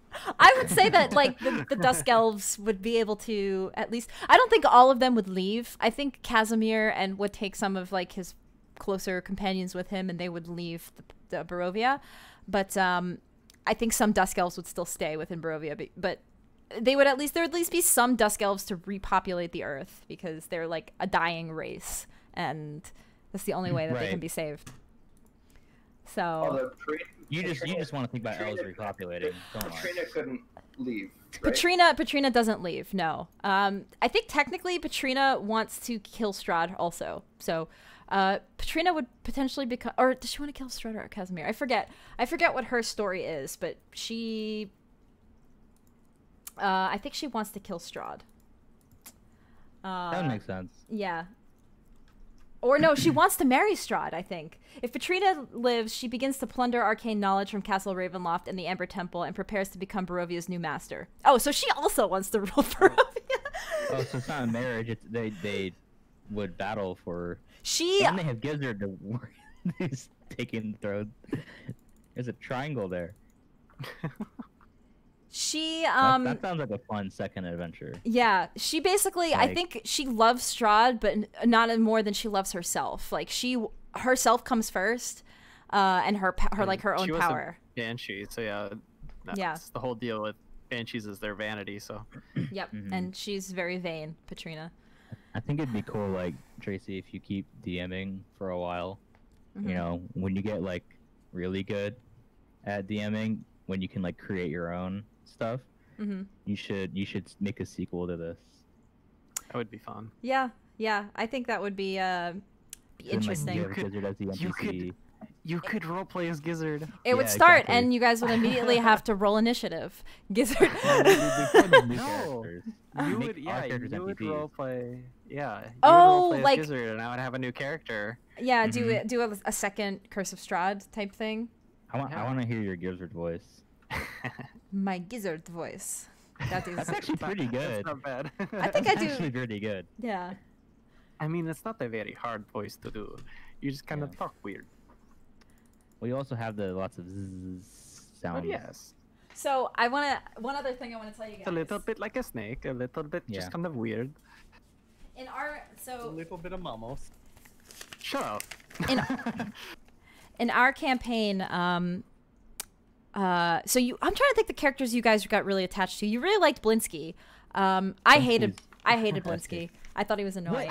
what is wrong with you? I thought he was. awesome. He just makes like really useless toys, and like it's weird. Uh, I mean, that's why we like him. cowl? him You're the edgy weird rogue? noises is Yeah. why we like him. I was a very edgy rogue, so that's probably why I didn't like him. But I- you, you didn't even get the executioner's cowl. It's like No. right up your alley. I'm trying to think of what you gothic got it, you would've liked trinkets. him. Yeah, that that that probably would have been a, a good trinket for Saskia. Um, so we really liked um, uh, my character. What, what what would happen with Arabelle? Because I gave her that Strahd dummy. Oh yeah, the little doll. So Arabelle I is just Vis- remembered that. Ar- Arabelle is Vistani. She's Yeah. pretty much she's a servant to Strahd. She technically Okay. Yeah. All of the Vistani work for Did, Strahd. did me giving her uh the the doll like impact her at all? she might become a bride of Strahd. Okay. That's, that's a mm, when she grows up, she becomes a bride of Strahd. Okay, I was like, that's that's not. Strahd cool. needs. You guys killed all of Strahd's brides, so. Um. so, so Oh, George. George is gonna join uh, the the Discord and uh, provide Okay. commentary. Oh, that's it. I, I, I have a question. We we saw there was an attack on the Vistani by a saber-toothed tiger. Was that intentionally done by That Van Richten? Yes, Van Richten does send. So Van Richten, technically in his story, the Vistani kill his son, um, or are are involved with Oh. Van Richten's son death. So Van Richten does send the saber tooth tiger to kill all, that Vistani camp. So, Hmm. yeah. Hi George, welcome. Hey, dude. Yeah, we're just we're just kind of epiloguing all of the things that they either missed or like had questions about now that the campaign's over. Um, but yeah, the saber tooth tiger was part of Van Richten's plan or Rictavio's plan. So in Van Richten and your guys' campaign, um, and in Tracy's original campaign that she played in, um, the what happened to Van Richten, by the way, because I heard you guys asking earlier, in his campaign, uh, Strahd was able to kidnap Ireena Oh after he had killed Gareth. Oh. Oh. yeah. Yeah, so he killed And Adam's so the- character. Yeah. So the party, uh, after Adam's character was dead, uh, Esmeralda, Ismark, uh, Tracy and Blair, and then Adam's new character, who Esmeralda recruited, because Esmeralda like knew him already. The uh, the group of them all go to Ravenloft to get Ireena back, um, and so as they go to Ravenloft to face uh, uh, Strahd and, and rescue Ireena, they are going through. They get actually lost, and they end up going through. There's two towers in Ravenloft, and they knew that something they needed was at the highest point in Ravenloft. It was the Tome of Strahd. And so they went to the top of one tower. Oh, that's not the highest tower. So then they went to the top of the other tower, get it, then wandered down into the crypts. And on their way to the crypts, things are, are, are going pretty well. Uh, and actually, Van Richten's not with them. Uh, Van Richten had had disappeared uh, like earlier in the campaign. So Esmeralda's with them looking for Van Richten. So they get down there, and on their way to the crypts, they just stopped by Rahadin's office. And I had no idea Rahadin was such a beast in combat. so I'm like, oh, okay, so uh, yeah, uh, you're gonna face Rahadin, and uh, and then I looked at a stat block and I went, oh, like Oh I had.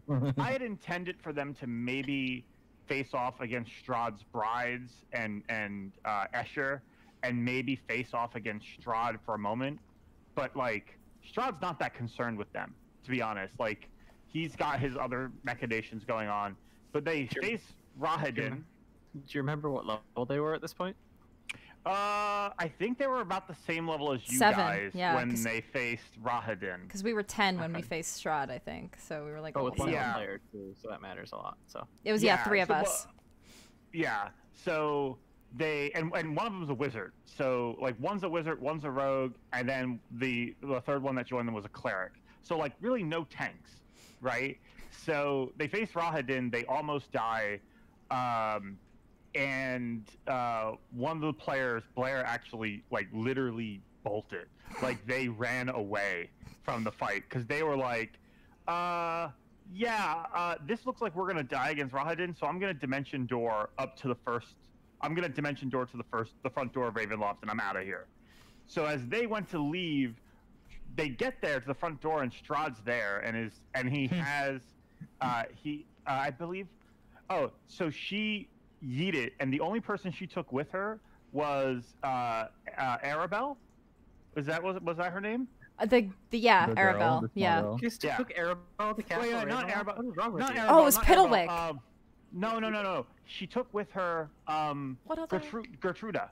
Oh, Gertruda, Oh, right, okay. Gertruda. She took Gertruda and Piddlewick, teleported to the front of. You know, I let Piddlewick. I was like, well, technically he's like an object, so sure. The three of you dimension door up there, and so as she's like running out, Strahd sees her, and like Strahd's like right there at the front door. Like now you have to get past him, and he goes, "Give me the go, and you may leave Frescovia." And she's like, uh, and Gertruda's like, "Well, I I do love you," and Strahd like drains her and then breaks her neck, oh yeah, so like in front of the Somewhat player. to what happened for us. Yeah. Basically, like I don't really want her, and I'm just gonna break her neck. I'm not even gonna keep her as a bride. I'm breaking her neck just to upset you. And so my uh, Blair just like bolts as she leaves. While the other placer, players are facing Rahadin and almost dying. Tracy somehow managed to kill Rahadin. Like yes. it was like a close fight. The two of them at level seven, and uh, Esmeralda against Rahadin. It was really close, but she was able to pull off the victory. Um, meanwhile, Blair escapes, and on her way out of Castle Ravenloft, she sees Van Richten's wagon pulling up, and Van Richten takes her with her, and is like, "I'm going to, you know, we can save your friends still, and I'm I'm going there to face Strahd. Like I'm actually a vampire hunter." And she's like, "Oh, oh shit, okay, fine, I'll go back." So she goes back. The party uh, finally reunites after like communicating a little bit through like message and stuff like that. They re- reunite. They go into the crypts to get Ireena, and in, in the crypts, it's they're not just facing Strahd, but they're facing Strahd, the brides, and Escher all at once. Jesus. And it was pretty clear that they were like outnumbered, and and Ismark wasn't in great shape. Like he got really messed up, and the party was really messed up. Uh, and uh, I think uh, uh, Esmeralda gets knocked out. Uh, like she Mhm. gets, she falls unconscious. So Van Richten tells the party, "Take Esmeralda, go." Like they, uh, one of the the cleric had done like a wall of fire to like put a barrier up for a moment. Which yeah, so they all did. left. yeah, so they all left, leaving Van Richten to like hold off their escape and die the death he wanted. Um, Yeah. so they all escape, and they escape also with the Ir- unconscious body of Ireena. So as they're rushing out, Ismark's carrying Ireena, and or he escaped first. The party like got him out. He ran away, and then the rest of the party went to join him at the wagon after Van Richten holds off Strahd. When they get to the wagon, uh, Ismark is bleeding to death on the ground, and they see Ireena. He, uh, uh, uh, Ismark had been able. He was able to lock Ireena in the tiger cage on the back of uh, Van Richten's wagon, uh, just after she bit him because she'd been turned into a vampire spawn already. Yep. So the party had to stabilize uh, Ismark. Then uh, they all fled to uh, Krezk, uh, knowing that Van Richten's probably dead. Yeah. And in Krezk, the party, like, honestly, at that point, I think I defeated the party emotionally Yep. because they spent two months, like, what are we going to do? Like, Yeah. and like, like Tracy's like, well, I'm gonna go check in on Ismark, and Ismark at this point, he's been keeping Ireena in a cage, and he's just been living in like this barn that he's storing the wagon in in Krezk, just drinking every day, and he's Yeah. not sleeping. He's just and all day and all night. Ireena, you know, um, what was the what's the kid um, Oh, the the first one in the vamp- original Abbey. no, the, yeah, the one, the vampire in the, uh, the vampire that's the son of the priest. Uh, oh, Father yeah, Donovich. Father, Father Donovich's son. I basically did it like that, where Ismark is upstairs in like this attic trying to sleep, and downstairs you would hear, "Brother, I'm starving!" Like just like she's just like she is not Ireena anymore. yeah. And the party's like, look, we, we gotta we gotta kill Ireena. Uh, like we someone's gotta talk to Ismark. We gotta do something. And Ismark's like, I'm not fucking having it. And then eventually, uh, the party decides, well, uh, one of them actually builds a small church by the. Um, you guys don't, don't know it because you didn't get the crest, but there's this, um, there's this like uh, pool. Uh, I forget what it's called. The Tesver pool. yeah, the Tracy? tensor pool or something like that. Yeah. Yeah, there's the Tensor pool that's in uh, Krezk. Krezk, which one of them started building a church in these two months. And For the Morning uh, they're like, yeah, so they're like, well, maybe we can go and like do like a ceremony to help Ireena, and if it doesn't work, then Ismark agrees to kill her. So they're like, okay, we'll do that. Maybe the Abbey can help. So they all go to do that, while Tracy goes up to see. Uh, she goes up to see uh, uh, Ismark? Strahd. Or Strahd. Uh, no, no, not Strahd. Kasimir! She goes up to see the Abbey. Oh goes no! up to the Abbey. Abby! And Oh. as she goes up to see the Abbey, uh, she finds that the Abbey uh, has. I'm not going to spoil what the Abbey's working on, but he's completed what he's working on.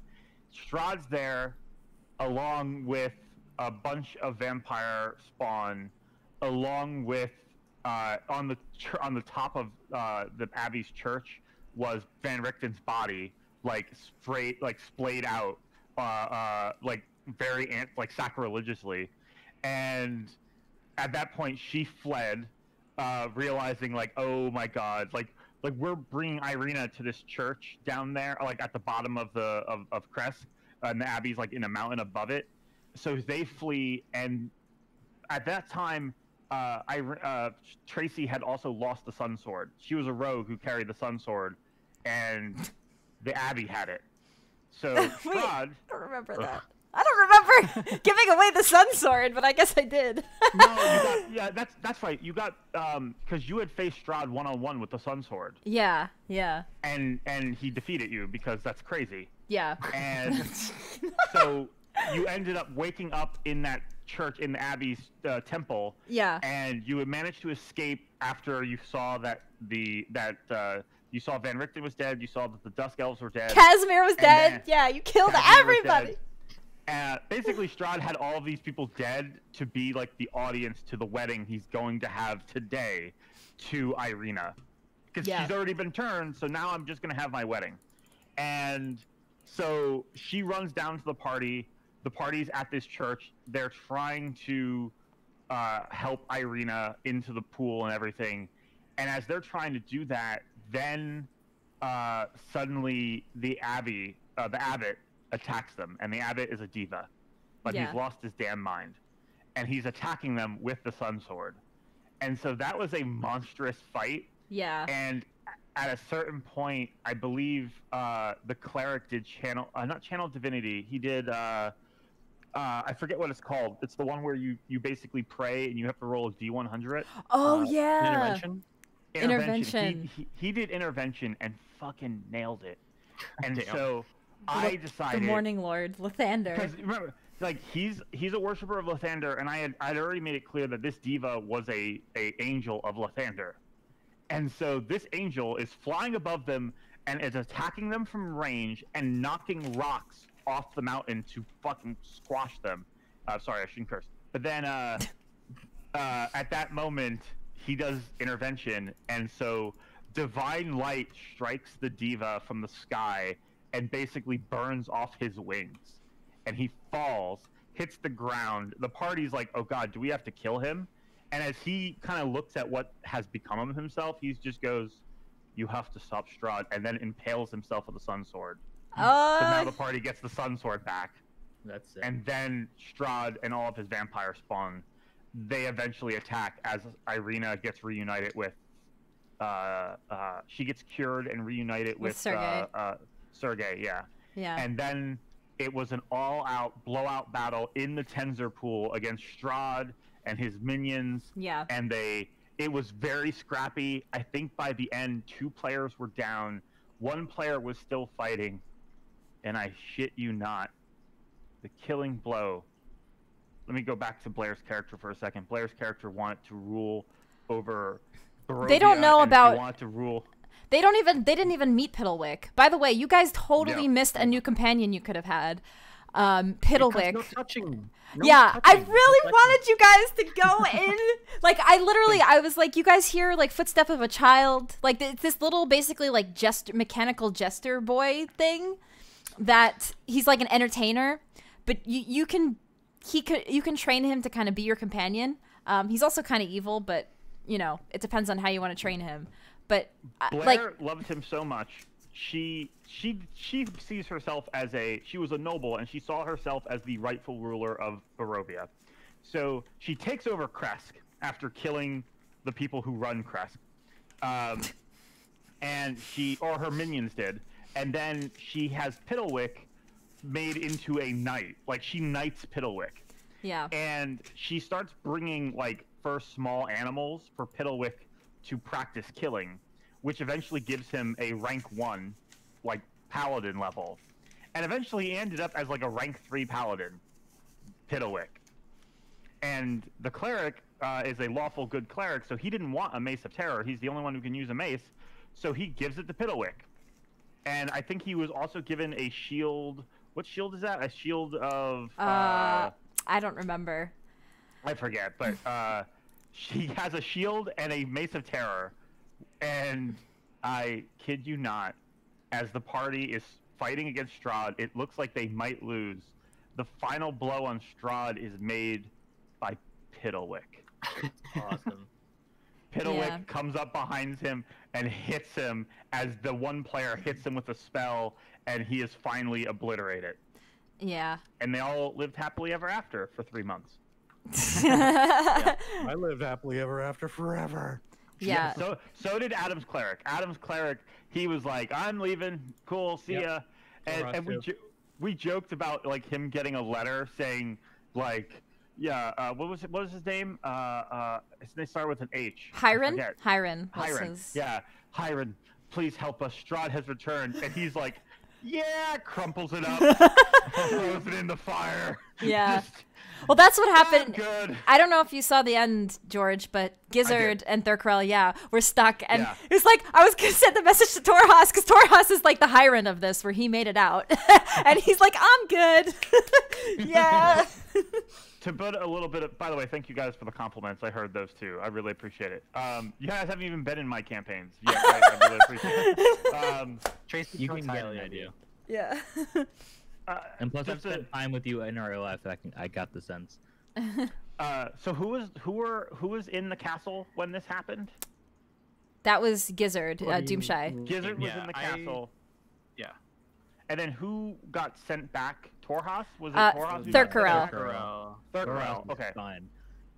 So to put my spin on your guys' ending, Gizzard, you would be in. You would be like she said. I, I like that she like you're out at the balcony of Barovia, and you know of Castle Ravenloft. You're looking over Barovia, and as you see the mist roll back in, you see Strahd like in that pose on the mountaintop, and then you just see him on his nightmare, making a straight path from where he is to you as the mist just rolls in and takes the land.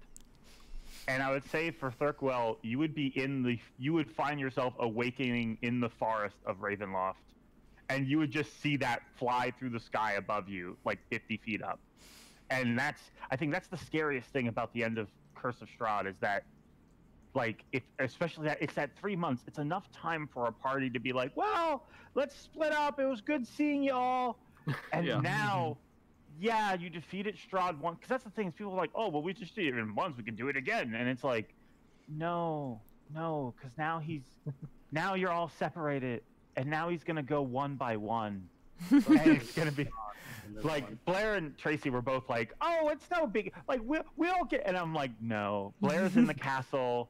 Like I, I had her, she's in the castle, and she's like, "Well, what should we do today, Pidlwick?" And he's doing a dance, and her minions are like, "Oh!" And then the mist just barrels in through the front door with Strahd just. I kind of, I kind of like that that idea because Torhas is with this company of Dragonborn soldiers, like yeah, hundreds of just Dragonborn fighters, and just seeing them have this incoming barreling mist, like him trying to come for me, and you have this epic like, Well, so you're the one. No, you left fight. Barovia, right? yeah, And so I don't. I, so I think if if like, and this is you know obviously Tracy's your DM. She- What her word says is law. So, but if if it were me, like there would be no mist coming after you and your army, but it would just be something like one day, one day you would just like, you would have fun, you would cut loose, and then you would be like, oh, what was in that drink? And then you would see Vistani like, are you all right, friend? You know, like, please let Yeah. us help you. And it's like, what? to somehow No, get back that- there. That's a weird accent. And then just, oh no. Oh no. Like, and like then your tribe is like, where did he go? I don't understand. What happened? Like, we went out drinking Yeah. last night. He should be back, right? And meanwhile, you just wake up in a Vistani camp. Yeah. Oh, that's so that's so scary. I think yeah, Vistani are, are definitely the Vistani who serve Strahd are definitely scary people. Um, the Vistani in total are not. They are wonderful people. But uh, So, Yeah, Tracy, the- DM question for you actually. Um, what would happen to the Sun Sword? uh, It dematerialized in ours at the end. you, you want me to answer that, or you want Tracy? I, am curious what Tracy's thoughts are on it. Um, Um, return. So that's actually a good like. So I actually got that from George. Um, like you kill. George's like yes. so George could answer this actually. Um, I, I, I think you killing yourself with it as a vampire is like the ultimate justice, I think, for the Sun Sword. Um, and like that would make it dematerialize, but I don't know I don't know what you think, George. Yeah, that, that was that's what- that's what I wrote to her because I was just watching and I, I'm I, I'm typing tips to her, and as I'm as you're like saying like I realize you're doing this, the Sun Sword is, I mean I forget it's like a legendary item or very rare item, but it, it let's be honest it really is an artifact because it is something that is tied intrinsically to the land and and the spirit and everything. So to me, artifacts, if you look at all of them, the ways of destroying an artifact are very they're very specific conditions. And I just thought like if you said this was an artifact and like you know, what are the chances a vampire would kill themselves with this artifact? And that's just so rare. Like, you know, let's say you wanted to destroy the artifact, you would have to find a vampire willing to do that. And you're never going to because that's the nature of a vampire. So you impaling yourself with it is like this truly divine act, which is just like it. It just like breaks apart the energy of the blade, and it and it, it crumbles into dust after doing this last deed, which normally could never happen, right? That to me, that's that's what I thought. Like, oh yeah, that thing might yeah, just so I'm wondering because I'm I'm thinking more like effectively Strahd is a cycle. So what's the next cycle look like? Is my curiosity. Yeah, um. Uh, Ireena and Sergei are free. and the Sun the Sword's Sun Sword guard. is gone. So Strahd the way is I, real pissed. the way I think of it is that um, nothing gone. nothing ever truly leaves Barovia, and it, it's it's because this cycle, it's it's Strahd's endless pain that is is feeding these dark powers. So it's like, okay, yeah, like even like uh, Ireena and Sergei or Ismark, like I don't think Ismark would come back instantly, but it would be something where be like reborn later. one like after a hundred after 50 years of Strahd just torturing the people who are there then you know there would be a new Ismark there would be a new not necessarily Ireena but there would be like her New whatever her next reincar- like Yeah. even I, I think about her and it's like the dark powers I think even when she is set free they are powerful enough that they they couldn't do this for everybody but for her specifically they find a way to get her soul back which if you think about it for her she gets to experience heaven for you know maybe 50 years but then she's back in Barovia and it's just you know it's it's just this endless cycle Yeah. Um, but I, I also have my my theories on who the dark powers are, which is a big part of my campaign that I'm running now. So, um, like I, I like I think Bashaba is one of them in my opinion because, like, what's more unfortunate than being in Ravenloft? You know, Yeah. like, Yeah, um, yeah. but yeah, But- your guys' campaign was awesome though. I can't Yeah. believe you killed Rahadin. I I- was rooting for him. yeah, I could tell in chat, George, you were rooting Yeah. for him. We all I I had a little foam finger hand that said Rahadin number one. Yeah. Actually, Oh. technically it said Rahadin number two. My other hand had like Rah- uh, number Strahd one. number one, but like yeah, I couldn't use that one anymore. So I, yeah, it's hard for me because I kind of was cheering for the players. to- Like when you guys f- passed your death saves, I was like, yes. I was like, because I was worried that everybody was gonna die, and I was like, oh my god, everybody. Yeah, I was I was pretty concerned when So many death saves. nightmare just crit me immediately. I'm like, oh, I'm dead. Oh, yeah. I, I had said to Tracy think- that if Odds of me getting two twenties on death saves. Jeez, Wow. that was insane. Crazy. I had suggested to Tracy that if Rahad, because we knew, I knew Rahad, she had told me about what happened, and like next week they're gonna have to fight Rahad, and my thought was like, well, if Rahadin beats them all, like he wouldn't be, he wouldn't be hitting to kill, right? Even if you failed all your death saves, like that's just meaning you didn't wake up in the fight, and it would be, you guys would all wake up event. My this is my thought, obviously Tracy's word is God, but uh, it, like my thought would be that Rahadin would basically defeat you all, and you would find yourselves woken up, maybe stuck in jail cells in Ravenloft, Yeah. and then eventually find yourselves like tied up in the church as the mists are eventually going to like basically he would keep you guys for three months Yeah. I. because I. Rahadin knows the cycle Yeah. like I told them a little bit of it. see you all when you get back yeah Yeah, I, I told them that was my plan. That if uh, if they didn't defeat Rahadin, that would, would be what happens, and it would be an escape. Now it would be like escape Barovia kind of uh, mission. Objective: escape. Yeah, Yeah. new objective, escape Barovia. But yeah, Well, you I was guys. pretty much dead no matter what happened after after Strahd went down. No matter what happened, I was dead, pretty much. Yeah, the that was so sad. You becoming a vampire, Spawn. Oh my god, it's so tragic but beautiful at the same time. I was like, oh my god. It's so poetic. Oh yeah, It I- is I poetic. Oh god, it was so beautiful. I love that. Like, oh, it added such a good element to the story. Ah. I don't know if you saw what happened with that one, George, but literally Strahd just ghosted onto me and then deleted me in one round. yes, Yeah, crit. Because- that's what I said to her, like, because she was like, I can't. They've defeated Strahd, and she was telling me some of the play-by-play, and I thought, I, I had actually said like, and this is, I'm also a, a more evil DM, but like, if Strahd downs a player with a bite, to me, like that's It's just win. death. Like that's Oh. like Strahd. Strahd would take a legendary action immediately to finish. Like you know, it's like when you get like a Capri Sun and you just drink it in one go. like he would just and then just drop the packet on the ground. You know, like That is one of the best vampire analogies I've ever heard. in my life. oh, d- Yeah. I yeah. actually think of that every time I get a Capri Sun. Actually, I'm I Strahd.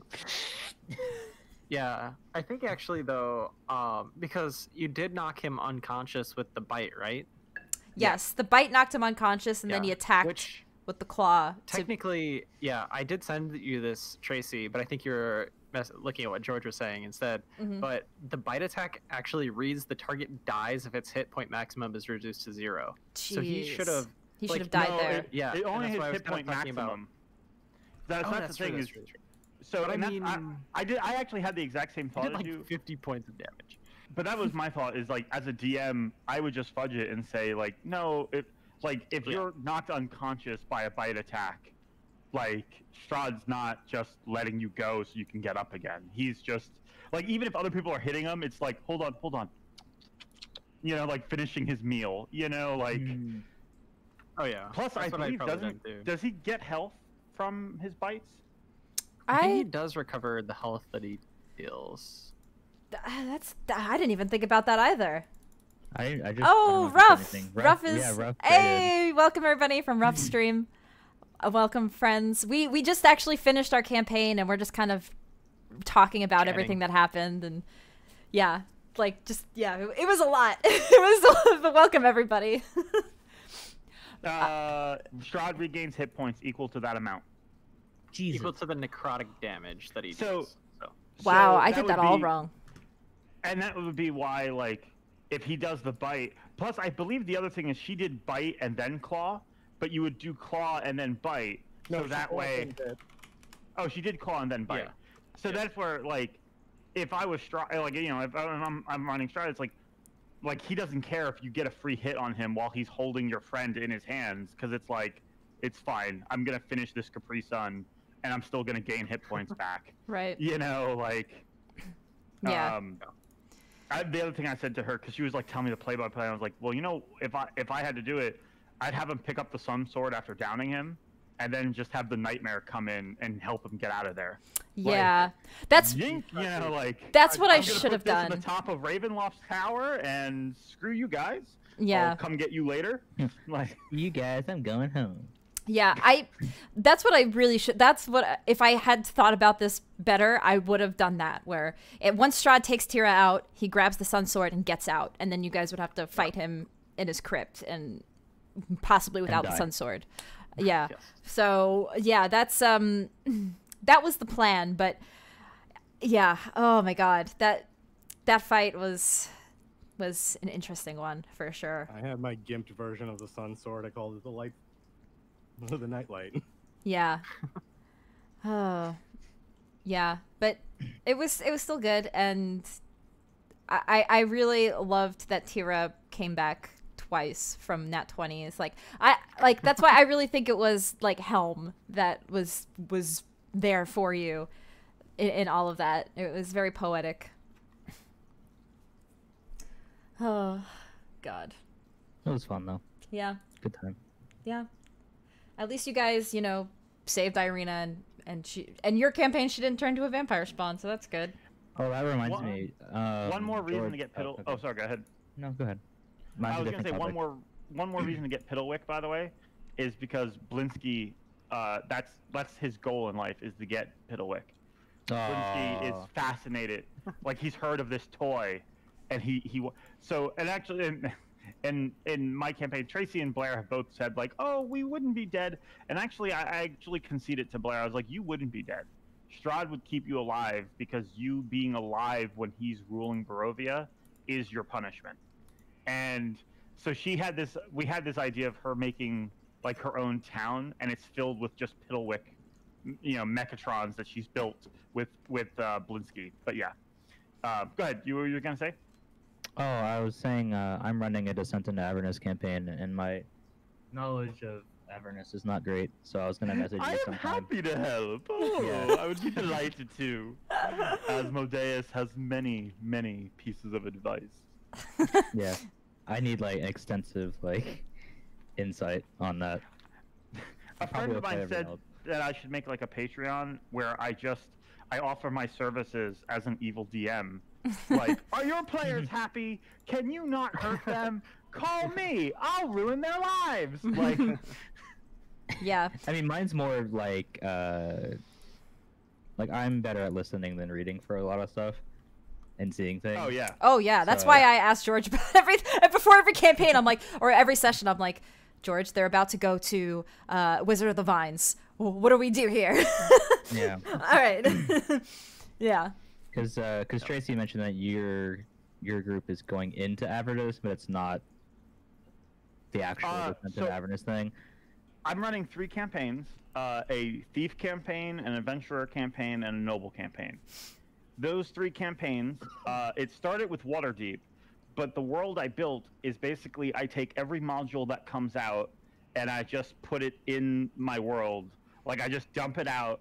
It's I kind of like a the living world thing. Mhm. Yeah, and it's basically every plot hook is happening at the same time. So, uh, and it's pretty messed up. Um, I hope no one's listening, but uh, Are you saying Uh, Avernus spoilers? Because Doomshy is in that campaign. No, the Uh, noble are. Okay. it's it's it's it's actually it's the premise of uh, like how have you guys started it already or We have, and they We don't know session. what happened to that place yet. Oh, They don't know yeah. what happened there yet. Okay? What- They're in what- Baldur's Gate, and they've gotten to the um little Bathhouse sewer. thing? Yeah, the bathhouse.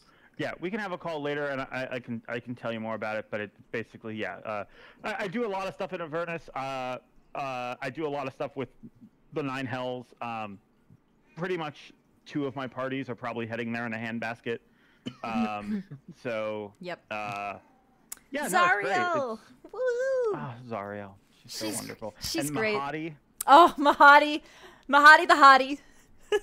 we love I- I- Mahadi. I, I love Avernus because it's like, it's like, uh, it- it's kind of feels like uh, Barovia, where it's like a little sandbox you can play in, but it's a Yeah. sandbox with like, you know, really crazy stuff in it, and it's very fast paced. Whereas Barovia is, is mo- meant to be scary and downtrodden. Down there, it's meant to be scary and action packed, and it's Yeah. it's very different. Right. But yeah, Yeah, I've read Oh, ahead yeah. a little bit, You- so I kind of know what to anticipate. But You should definitely tell George my character's backstory and get ideas on how to punish me for giving you the. I already have to that. some things because yours is actually fits pretty well. Um, I figured it would be fun for you for a descent into. Yeah. He's playing I- a, I- a, a tiefling. I'm playing Oh, a nice. tiefling cl- cleric that is like basically the religion that she follows is like a heretical version of it. So like technically she may not be worshiping the person that she thinks she is. that Like if you uh, want to play around with that. that, that yeah that that is something that happens uh, in in Yeah. the world of D and D. Yeah. um, so I basically gave him the keys and just said have fun with my character. That's the best thing to do. Yeah. yeah. Uh, yeah, all the characters in that campaign are actually pretty fun and interesting. well, if fact. anyone ever wants help ruining a player's life, uh, or a player character's life, uh, not a player's life. I'm not going to go like call their house and stuff, but a player character's life. I I am free at all Well, hours. I mean, if Tracy ever plays an our c- campaigns, then you know we could call you up and ask to ruin. So Just How do we That'd be easy make for Torment the people I love. I need to help with that. George. genocide again? all the elves? Oh yeah, Yeah. definitely. Sabine? I I was so Oh. when when they did Barovia, like I had not I had read through Valakai uh, uh Vallaki Valakai uh I had read through everything about that town and they're going through it and I'm really excited and we're doing stuff and then they got to this point where they went to the uh the the, the Vistani Kelp, yeah, the camp with the elves. and I had I was so unprepared for that. And like as I'm as I'm going through it, as I'm reading it, I'm like, oh my god, all my players are gonna think I made this up. Yeah, for Tracy Tracy. mentioned that once. yeah. Like I'm like, like I had to say like guys, it's in the book. Look, look, it's in the book like this. yeah, because I, I asked Tracy as soon as we came across this, like, did you make this up, Tracy? Come on. I I didn't. I I can't even take credit for this. The fact that there's only men elves in this camp. All the women and children are gone. There's only men, and I was just like, "Oh my god." Yeah, my char- my character basically was like teetering, like staying with Kasimir, but but she was already like in with Ismark, and I was like, "Oh no!" Like I can't like. I can't just like break Ismark's heart. Like I couldn't just you can. leave Ismark for Kasimir. So I ended up just staying with Ismark. Uh, But I think the other big thing that shaped our campaign, the first Strahd one that Tracy was in, oh no. is that I so the way I pitched them, I was like, guys, like, because I already had like a main campaign going on, but I pitched to Adam, Tracy, and Blair, like, hey guys, uh, why don't we do, why don't we play some Curse of Strahd? Uh, I'm actually, I, I think I just want to have fun with it. I'm actually gonna make it like, you know, like a fun campaign full of romance, like, and I pitched it to them as as uh, Sex in the City Barovia edition, Yeah. Oh my god. and we were like, were yeah. and and that wasn't a master stroke on my part to like manipulate them. That's because I, I actually intended to do that. But then once I started going through the material, it's so dark like and yeah. Yeah. so You can't do evil that. that like Brooding. I just had nowhere to put in any sexy people. And then suddenly they run into an, a camp that has no women in it, full of elves somehow. So one other thing I have to tell you guys about our campaign, the last thing I want to I want to share is Vasily von Holtz was one of the main reasons we failed. Like like not failed, but we Oh, really yeah. messed up. Our biggest mistake. For the good of the land. the, our biggest for the good of the land and i did that to them too but so so we are this is again the sex in the city barovia thing. We me and blair meet vasily von holtz in Vallaki and we're both like met in enamored. Oh we met him in Krezk and we're both Yeah. enamored by this guy. Like we're like, oh, like this handsome. And we, I use the art that George used for Vasily because there's actually no art in the book for Vasily von Holtz, but it's like this young, a- attractive nobleman or whatever coming, and me and Blair like swooned over this guy, and we had no idea it was Strahd, and and so we're like, oh, it it was. We make a joke and that's like a meme now in all of our campaigns because he's talking about him being big into magic because Blair's character was a wizard, and they're talking about magic stuff. And they're like bonding over magic, and I just jump in. My character jumps in. I was like, "Oh, I love transmutation magic. Tell me more." And and, and everybody looks at each other like, "What the fuck? Like she's a rogue. she doesn't give Blair a was a shit." transmutation wizard, and so Strahd, when Blair's asking him about what music he knows, like Or what what magic, magic. he knows, uh, he's like, "Oh, uh, yes, I I practice transmutation magic," because he's just like feeding into what she wants to hear. And Yeah. so Tracy just runs up, "Oh, I love transmutation magic," and Blair and Adam and me all said, "You love transmutation?" like it was like a chorus. Yeah, like, like what And- the shit? buddy. So we're like this, with, like Vasily is like totally playing us, and we're like all his friend. Well, Adam knew something was up. Adam was like, this guy cannot be trusted. Um, but me and Blair didn't give a shit. We're like, oh yeah, maybe, but you know what? He's so like charming and nice, and so we're like going around with him. There comes a point where Vasily, we split the party, and we were going to. Ireena wanted to go to the old bone grinder. She wanted to go to where she wanted to go to this uh, this uh, windmill, right? Because she had visions of being there when she was a child. and she wanted to go there. She felt something was compelling her to go there, and Ismark is going to go with her. Obviously, Gareth, who, despite Strahd threatening him with his life, Gareth is dating and banging Ireena. Ireena. and Gareth really well for him. yeah. already looks kind of like Sergei. Yeah. So, like, this is a recipe for destruction. By the way, Adam's character, because he thought it was Sex in the City, he made his character a paladin oath of conquest. And I joked with him. I was like, "It's an oath of sexual conquest." so, like, he had like a list of types of women, and like he was trying to cross off the list. One of them was a noble, so Ireena. Uh, so, uh, Adam, Ismark, and uh, uh, uh, Ireena are all wanting to go to this windmill. And Vasily's like, "Well, I will go with you. Uh, anything I can do to help for the good of the land." And Blair and uh, Tracy me. have both committed to, and who?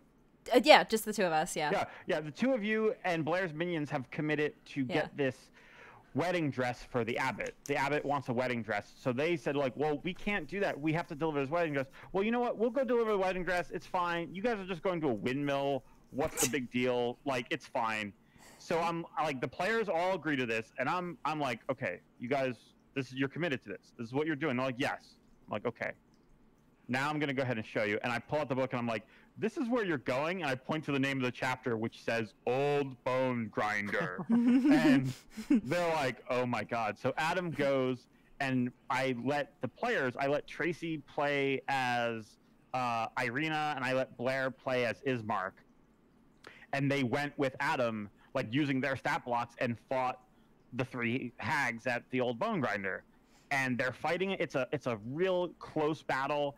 Uh, they almost die. Vasily's helping, but like when I say Vasily's helping, he's like doing some stuff, but like he's not He's hitting doing him with enough a dagger. Yeah. like like he's doing like magic missile, you know, ray of frost, and uh, by the way, the witches know what the what they're looking at, so they're just like not touching him, and they go through. Yeah, they they kill yeah they kill the hags, but it's a all out blowout fight.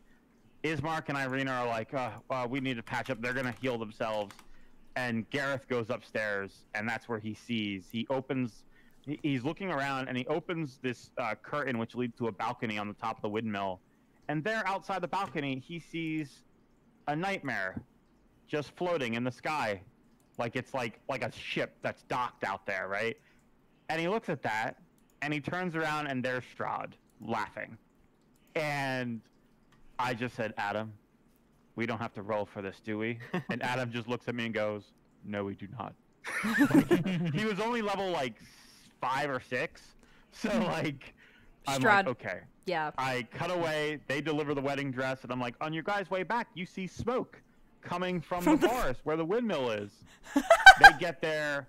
Ireena's gone. Ismark is like a bloody, beaten pulp on the p- floor of the place, burned a little bit.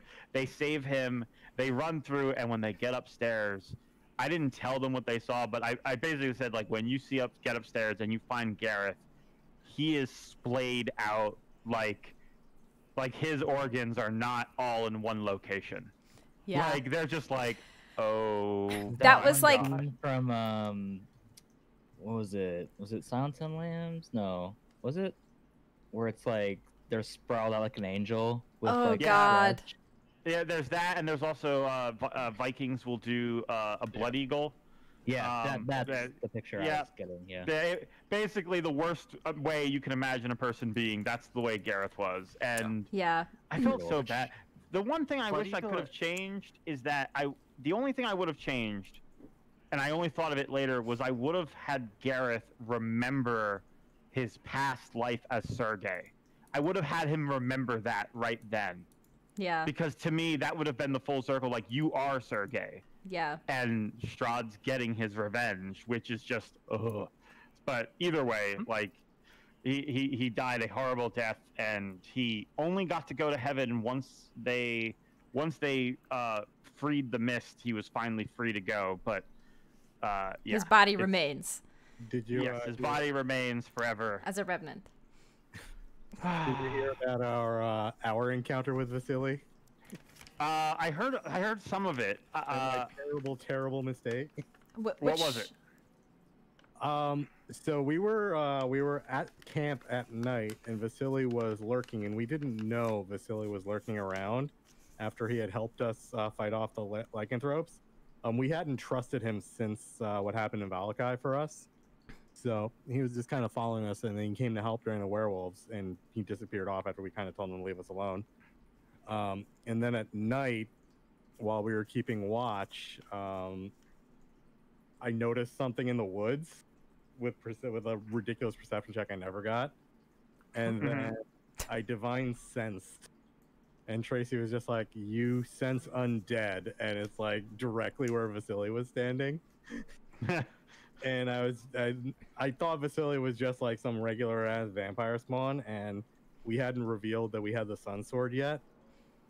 Um, oh So- shit.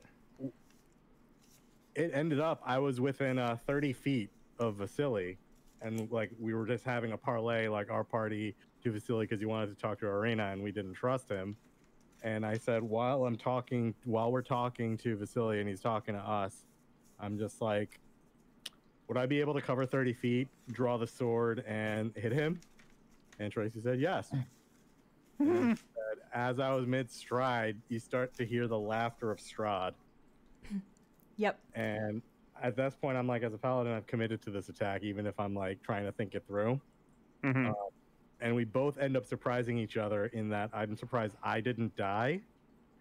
Um, Strahd's surprised that I hit him, and Strahd is also surprised that I didn't die because I have resistance. To He when cast a tried to blight. drain me. Yeah. Yeah. he Oh, nice. Like I, I hit him, and he, he pretty much just like grabbed me and cast blight, and And this was whenever we were like level three or We were like, four. Yeah. it was like four four. or something, and I passed the saving throw by like one, which quartered it because of my natural resistance, the Masamar. Yeah. And so we were both. I would literally when Tracy said, "You hear the laughter of Strahd," I'm like, I am so dead, and like everyone, Yeah. part, we were all ready for my character is going to die right now. Yeah. So yeah, yeah. You so first of all, you try to attack him with the sun sword. So Strahd now sees that you have the sun sword. He tries to annihilate you with blight, and you he he sees that you resist it with with your power. So he knows that you're like this holy divine paladin with the sun sword. That's when Strahd knew like you were the enemy. Like you gave him a lot of information in that moment. So yeah, it was great. my my kind of evil is changing out Strahd's spells every once in a while, so that way you're not sure what he has prepared. And so my kind of evil is when you do that, he casts fly and just brings you straight up into the sky as fast as he can. Oh my god. And then Oh and then like the party might wake up. Jumps on Hey, Beucephalus. Where's where's so and so? And then just they hear Flat. a falling sound. Yeah. Just Well, well, it doesn't was- matter. Yeah. conscious and like everybody was aware that Vasily was around, so it wasn't like it was just like, him. Oh, okay, okay. Yeah, yeah. Yeah. So, we didn't trust him. We were still kind of tired from the fight. So Mhm. like we woke everyone up. So it was like a party of all of us, and then Vasily was thirty feet away at the edge of the circle.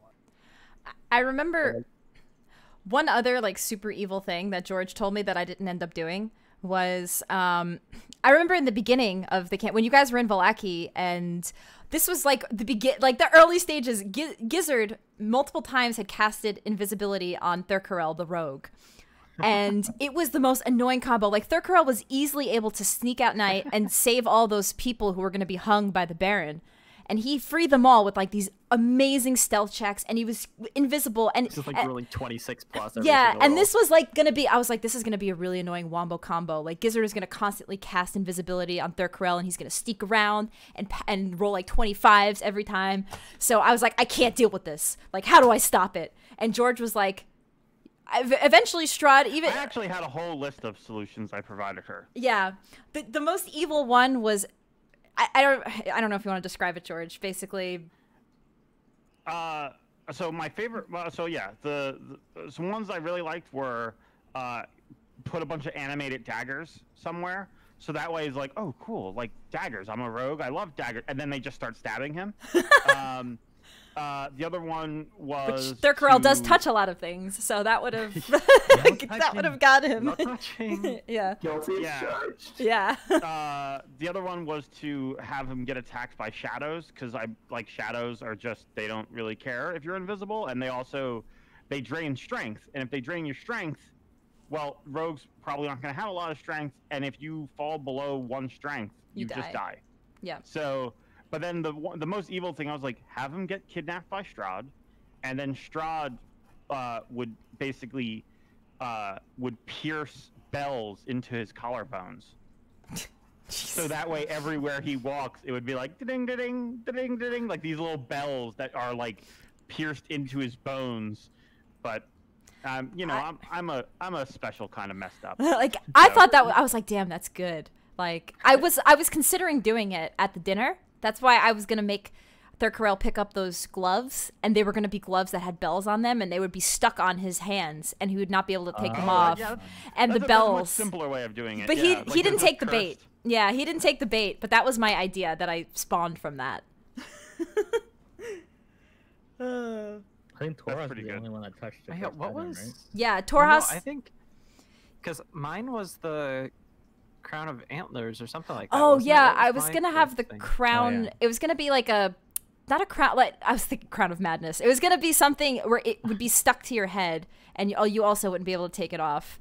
Um, and it was gonna be like a cursed item. Basically, Strahd gave you all cursed items, but none of you took the bait, um, Except Torah. except What Torhas. I'm trying to remember what yours was. Uh, I think I wrote it down. Let me see if I, can was find it. I was having none of Ravenloft. I Yeah. like, no, I'm not. That- You weren't having anything. Gizzard wasn't having anything. You didn't want to touch anything. I'm like, I'm, I'm here. I wanted to get out of there. here. Yeah, you didn't did not want to be there. But I was just like, Strahda's gonna fuck us up if we try to leave. We could have gotten out, I think.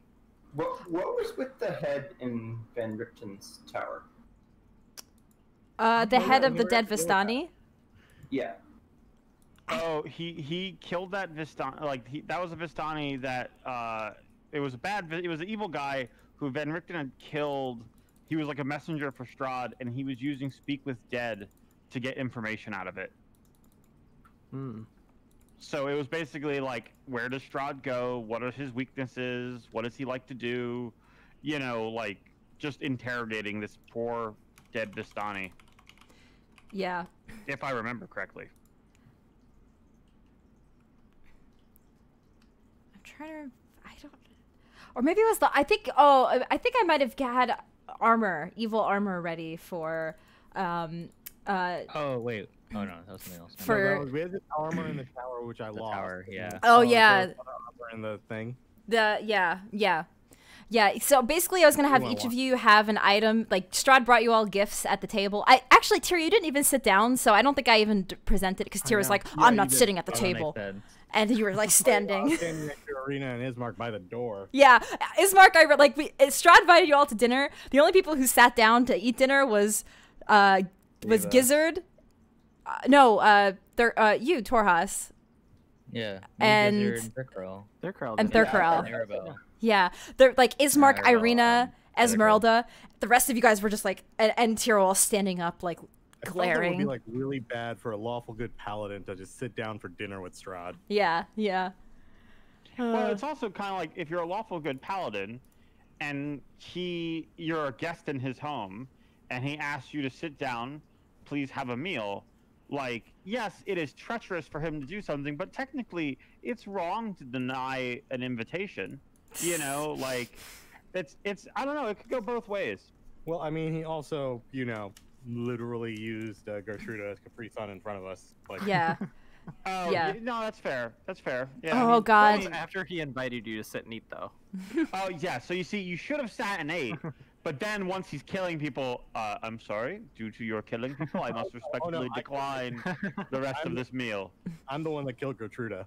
Yeah, he had to do, do the blow. Well, I mean, I killed a lot of people. though. Van didn't wanna kill. Richten, I know. dang, so sad. So I, see, I said that if, uh, if, if you guys like, I, I, I wanted it. I, I, I like the idea of it being a social check. That if you can't convince Ezmerelda to kill Van Richten, but instead you offer to do it yourself, I my thought is that at that moment Van Richten attacks you. Like he like he would tolerate Ezmerelda doing it, but someone else doing it, he's gonna defend himself. Well, no, like- was, um, as, like Van Richten was already dead, and he knew he was going to turn. So like we were all there, and like we asked him what he wanted, and he's he. No, no, much- I, I know what happened. I was just saying this is how like this is the Oh, messed yeah. up kind of DM I am that I would I would make it like the very specific condition is if Ezmerelda does it, he can't hurt her. So he would let her do it. And he wants someone to do it, and his natural instinct to defend himself would be negated because it's her. But if someone else does it, he would fight them or something. You know what I mean? Like because like, you know, uh he doesn't want to die at the same time, right? Like not in the way that no living thing actually wants to die, you know. But that that's just that's the kind of messed up DM I am. I like to torture my players. Yeah, It's so fun. it was. Yeah, it, it was. I still. It was. Tira had to be the one to deliver the blows on all the vampire spawn, which was a pretty pretty rough, pretty rough thing to do. Poor yeah, Gertruda. it was touching though. I, I I can't. I by the way, like yeah, the way you died still is just like damn. That was great. Yeah. I It channeled. was. Uh, I, I definitely was just like thinking about. I'm like, I know I have to die. What are like? I figured what ways could I do it, and I definitely channeled a lot of the tenth doctor for that one. Like it's time to go. Oh yeah. Ah. I don't want to go. Now didn't I feel Like, I sad. wanted us all to survive that, and I was. I literally at the end of that when Doom said, "Oh, we're all gonna make it out," I was just like, Oh, Oh, that was like no. That was so I literally actually heartbreaking. Just like look down, and I'm just like, most of them don't know yet. I think Oh, I, I forgot about the bite. I think Avex remembered. and Yeah. I remembered. I remembered once he said it. It wasn't like up front in my mind, and then Gizzard was like, "Bring get out." I'm like, "Wait a minute, no." And that Oh. was why I was really desperate to not die because I figured I knew what would happen. Oh man. Can I just get a give a shout out to Hungry Jaws this campaign? Hungry My Jaws. bonus, my bonus action Oh bite yeah. ability that I used it like five times and it crit like four out of those five Oh times. Oh my god, I know. That did come in clutch. That and what was the other thing that kept coming in clutch? Um Invisibility. oh god, freaking attack. I definitely had a couple of channel I divinity hit- insane moments. Torhas Yeah. had Torhas had a lot of really strong hits, Yeah. multiple points in the Oh, campaign. Another part that I, bombed Baba Lysaga with Torhas. Oh yeah, yeah, yeah, yeah. Still the coolest. George, I dropped. I, I used my uh, Radiant Aasimar form to like ca- like Torhas as a character hates heights. I pretty much he just looked at me. He's like, "It's time," and I just grabbed him and yeeted him up into the Flew him air up like 50, 60 feet. and dropped him onto Baba Lysaga's skull. Yeah, because she was Nice. flying I around on started- the I started skull. wailing on her. Yeah. Great. I also And I think one of died. he's like, "Oh God." I think one of my works really well there, but I didn't have that ability for the last five sessions because we did not get a long rest. Oh my from Baba god. Lysaga at the end of Yeah. Yeah, we didn't have a long rest from the Baba We- Saga fight Baba until Saga the end. And ended up in Ravenloft. We gained two levels, but didn't get a long rest at all. We fought Escher and all of them. We fought at a couple of other vampire spawns. We ended up doing the hardest stone. By the time we even got to Strahd, initially, we I were three spell already like running ragged and like out of almost everything. I had like some lay on. I had I had ah. 28 HP and one rage left for Strahd. I had a lot of HP, but Strahd literally deleted me in the first round. I, I was actually worried that Tracy that you'd be applying points of exhaustion tests in Castle Yeah. Ravenloft. I was worried too. We had Man, that one like short rest where you where Torhas like I sh- I could have. The witch. Yeah, because like if I'm saying you guys were in Ravenloft for days and you didn't get to rest, Yeah. like you would have been. being At, very I was be- uh, yeah, I was being very generous. Holy crap! I totally forgot about exhaustion. Damn, that's in- oof, that's insane. Exhaustion and Death House is awful. This is a question for God. you. Under what conditions would you let players get a long rest in Ravenloft, if ever? Oh, In, in my opinion, if I was DMing it, I wouldn't let you get a long rest at all. Yeah, There's no from way. what I know of Strahd, I'd say no. like unless you barricaded yourself in some like Like, closet waiting- somewhere. waiting for to let you rest.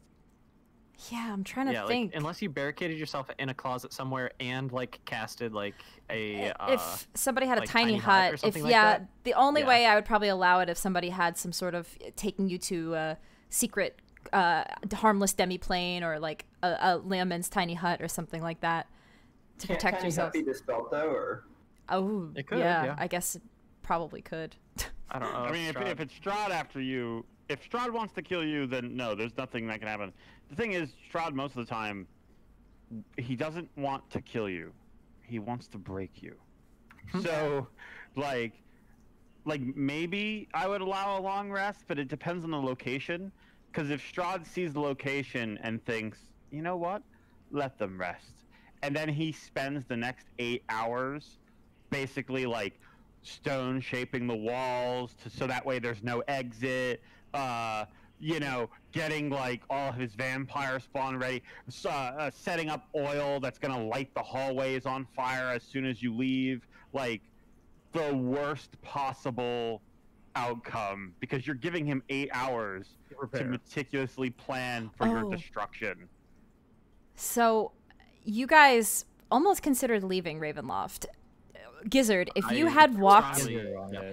if you I had was considering jumping out one of the windows and levitating out of the castle.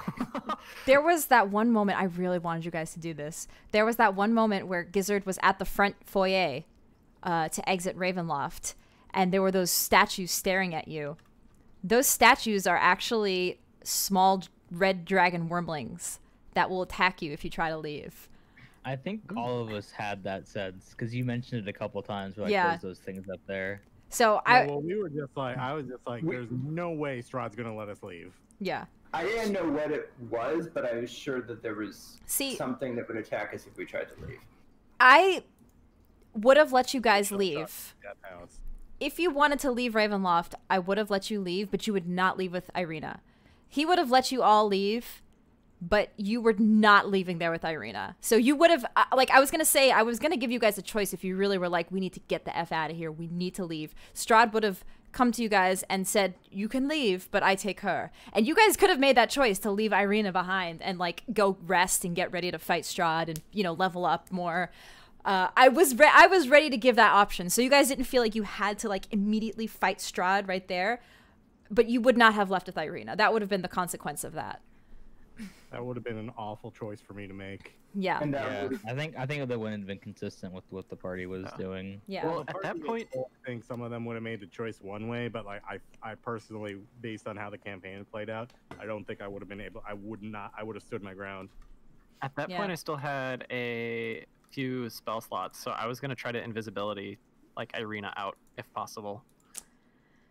yeah. That that maybe would have been an option, but I feel like he still would like have some sort of. He has a lot of like bats and stuff that have blind sight, so they would have been able to to see her escape. There's a, basically there was like no way that he was not I mean, gonna like let Ireena leave. I was gonna try. So guys, Yeah. I'm gonna uh, post this in Discord now since the character is dead. Um, Is she though? I'm just kidding. guys, so you guys can finally see. There was some backstory stuff that was uh fun for Tira. Oh yeah, she had a. Yeah. Where is this? Oh yeah, Tracy, do you remember uh, how Gizzard got his magical powers? How they? Do you remember what I sent you? Um, I'm It's trying such- to. Re- It's so dumb. what was it? It's so dumb. I, I, the backstory on how his magical powers came to be was he had a run-in with some angry wasps. oh yeah, yeah, yeah. So he was probably messing around with a wasp nest, thinking it was like a bee's nest or something. and the wasp got upset, and you know, just some magic happened. Protect himself. Yeah, and that was basically how he got. Yeah. Yeah. Yeah. just like the stupidest way. So if you're ever wondering why Tira was really pissed off with some of her decision making and the choices she had to make, those should explain why. I don't run from evil. Evil runs from me. I try to help those in need no matter what the personal cost. Yeah, this this is so paladin, but also like it makes sense. You would never leave Ireena behind if this was And your. That's also why, like, when Gertruda was getting fed on, and like I was getting really angry, or there was like a variety of times where we screwed up or we lost, and Yeah, I was just really angry during the, like, Yeah. the fights that came right after it. I really should have had that way on your conscience more, on Tira's conscience more. That you know she let like that happen. Yeah. Yeah, which is why like when um when um Rahadin was attacking you, Wash things off or whatever. yeah, I had him feel Rahadin, you know, the the, the screams of the people you failed basically be in your head. Yeah,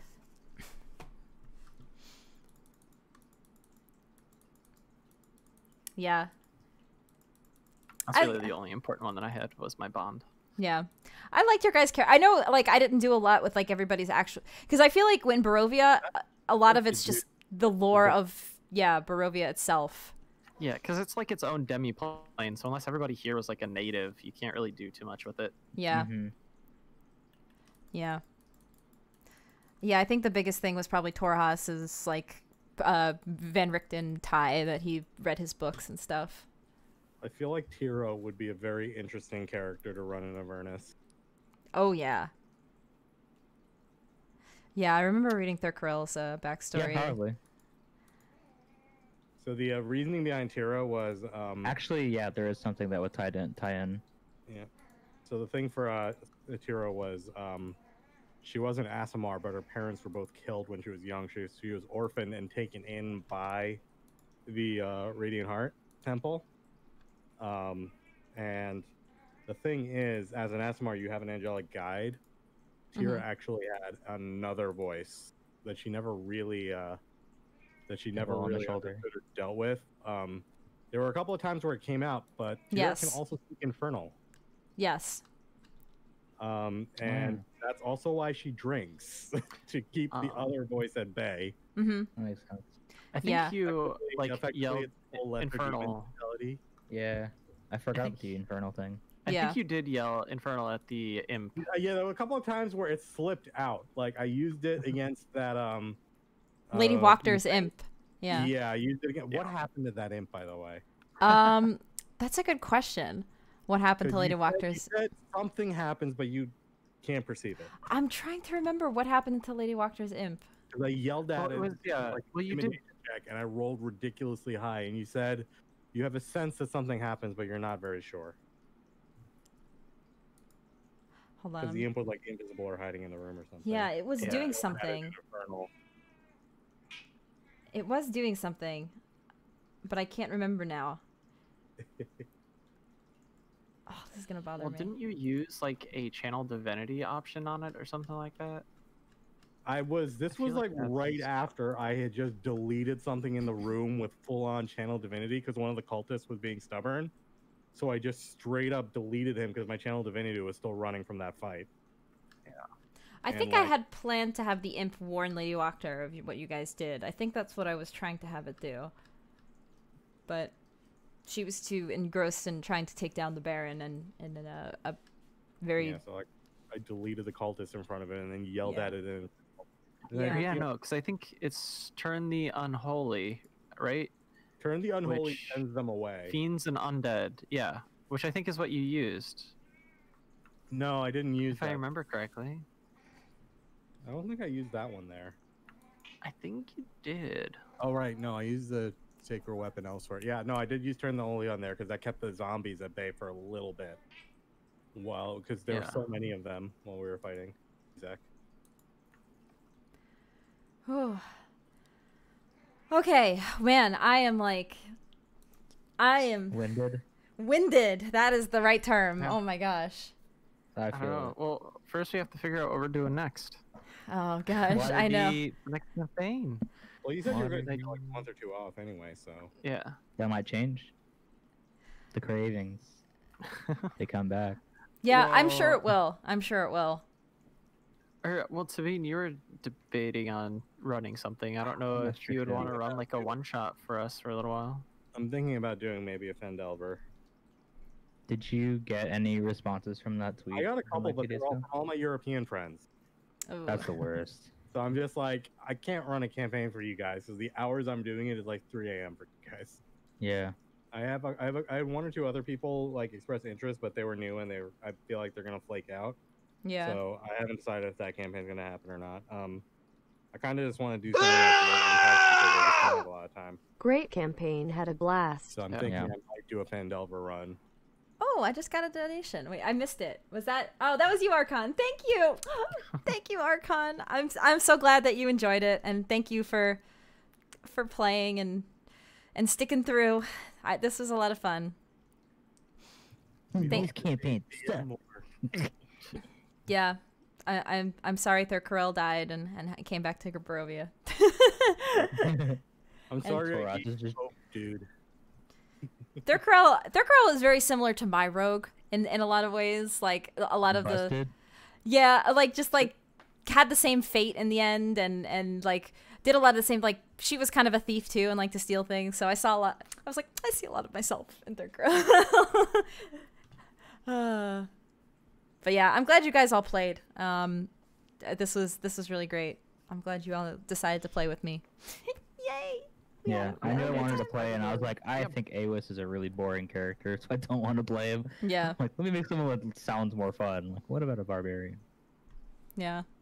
Also, because we didn't really have much of a tank. Like, I mean, granted, we had Tira, but My stats were trash. No, I think Yeah. yeah, you guys had a good array, honestly. That's why that's another reason why I think you guys did so well is because you really had a good balance of of classes and and races and stuff. So mm, it worked out really well for you guys. Yeah. Um, I think Thurkarel had the best stat block out of all of us. Oh my god, I I have for know. So OP. the the 20 decks, like what the f- Oh my god. Well, with uh, us killing Strahd and me leveling up to eight, then my charisma goes up to twenty. Dang, you guys both at charisma 20 now. That's crazy. Wow. That's pretty OP. All right, gang. I'm I'm going to actually end the stream now. Um so thank you everybody in the stream who hung out. Um who th- those of you who watched a lot of the campaign, you guys are awesome. Um Yep. really appreciate Shout all of to you. James Cider Yeah. on YouTube again. yeah. James YouTube thing. Sider, thanks for We're watching. you. I know. Thanks We'll for see you in watching. Next campaign. Yeah. And yeah, all the people like on the YouTube comments, some people I saw somebody who said like, "Oh, I really am enjoying your DM style," and I was like, "Wow, thank you!" Like, it's just it's nice sometimes to hear this. It's like, "Wow, thanks." So all of you people are awesome. Uh, everybody watching and and and yeah, enjoying the the campaign. I, I appreciate all of you. So thanks again, everybody. Special shout out Congrats, to the people from the first two episodes who were super critical in chat. Oh and my God. Never came back. Duh, yeah. shout out to them. Yeah, yeah. The uh, the rules lawyers or whomever. Uh, This good stuff. Yeah. So thanks everybody. Um, see you on the next stream, and I'm sure we'll DM or I'll stream another campaign one day. We'll we'll see what happens. Um, but yeah. Bye If not, guys. tune into the six other campaigns Tracy's currently in. Yeah. Basically. Bye.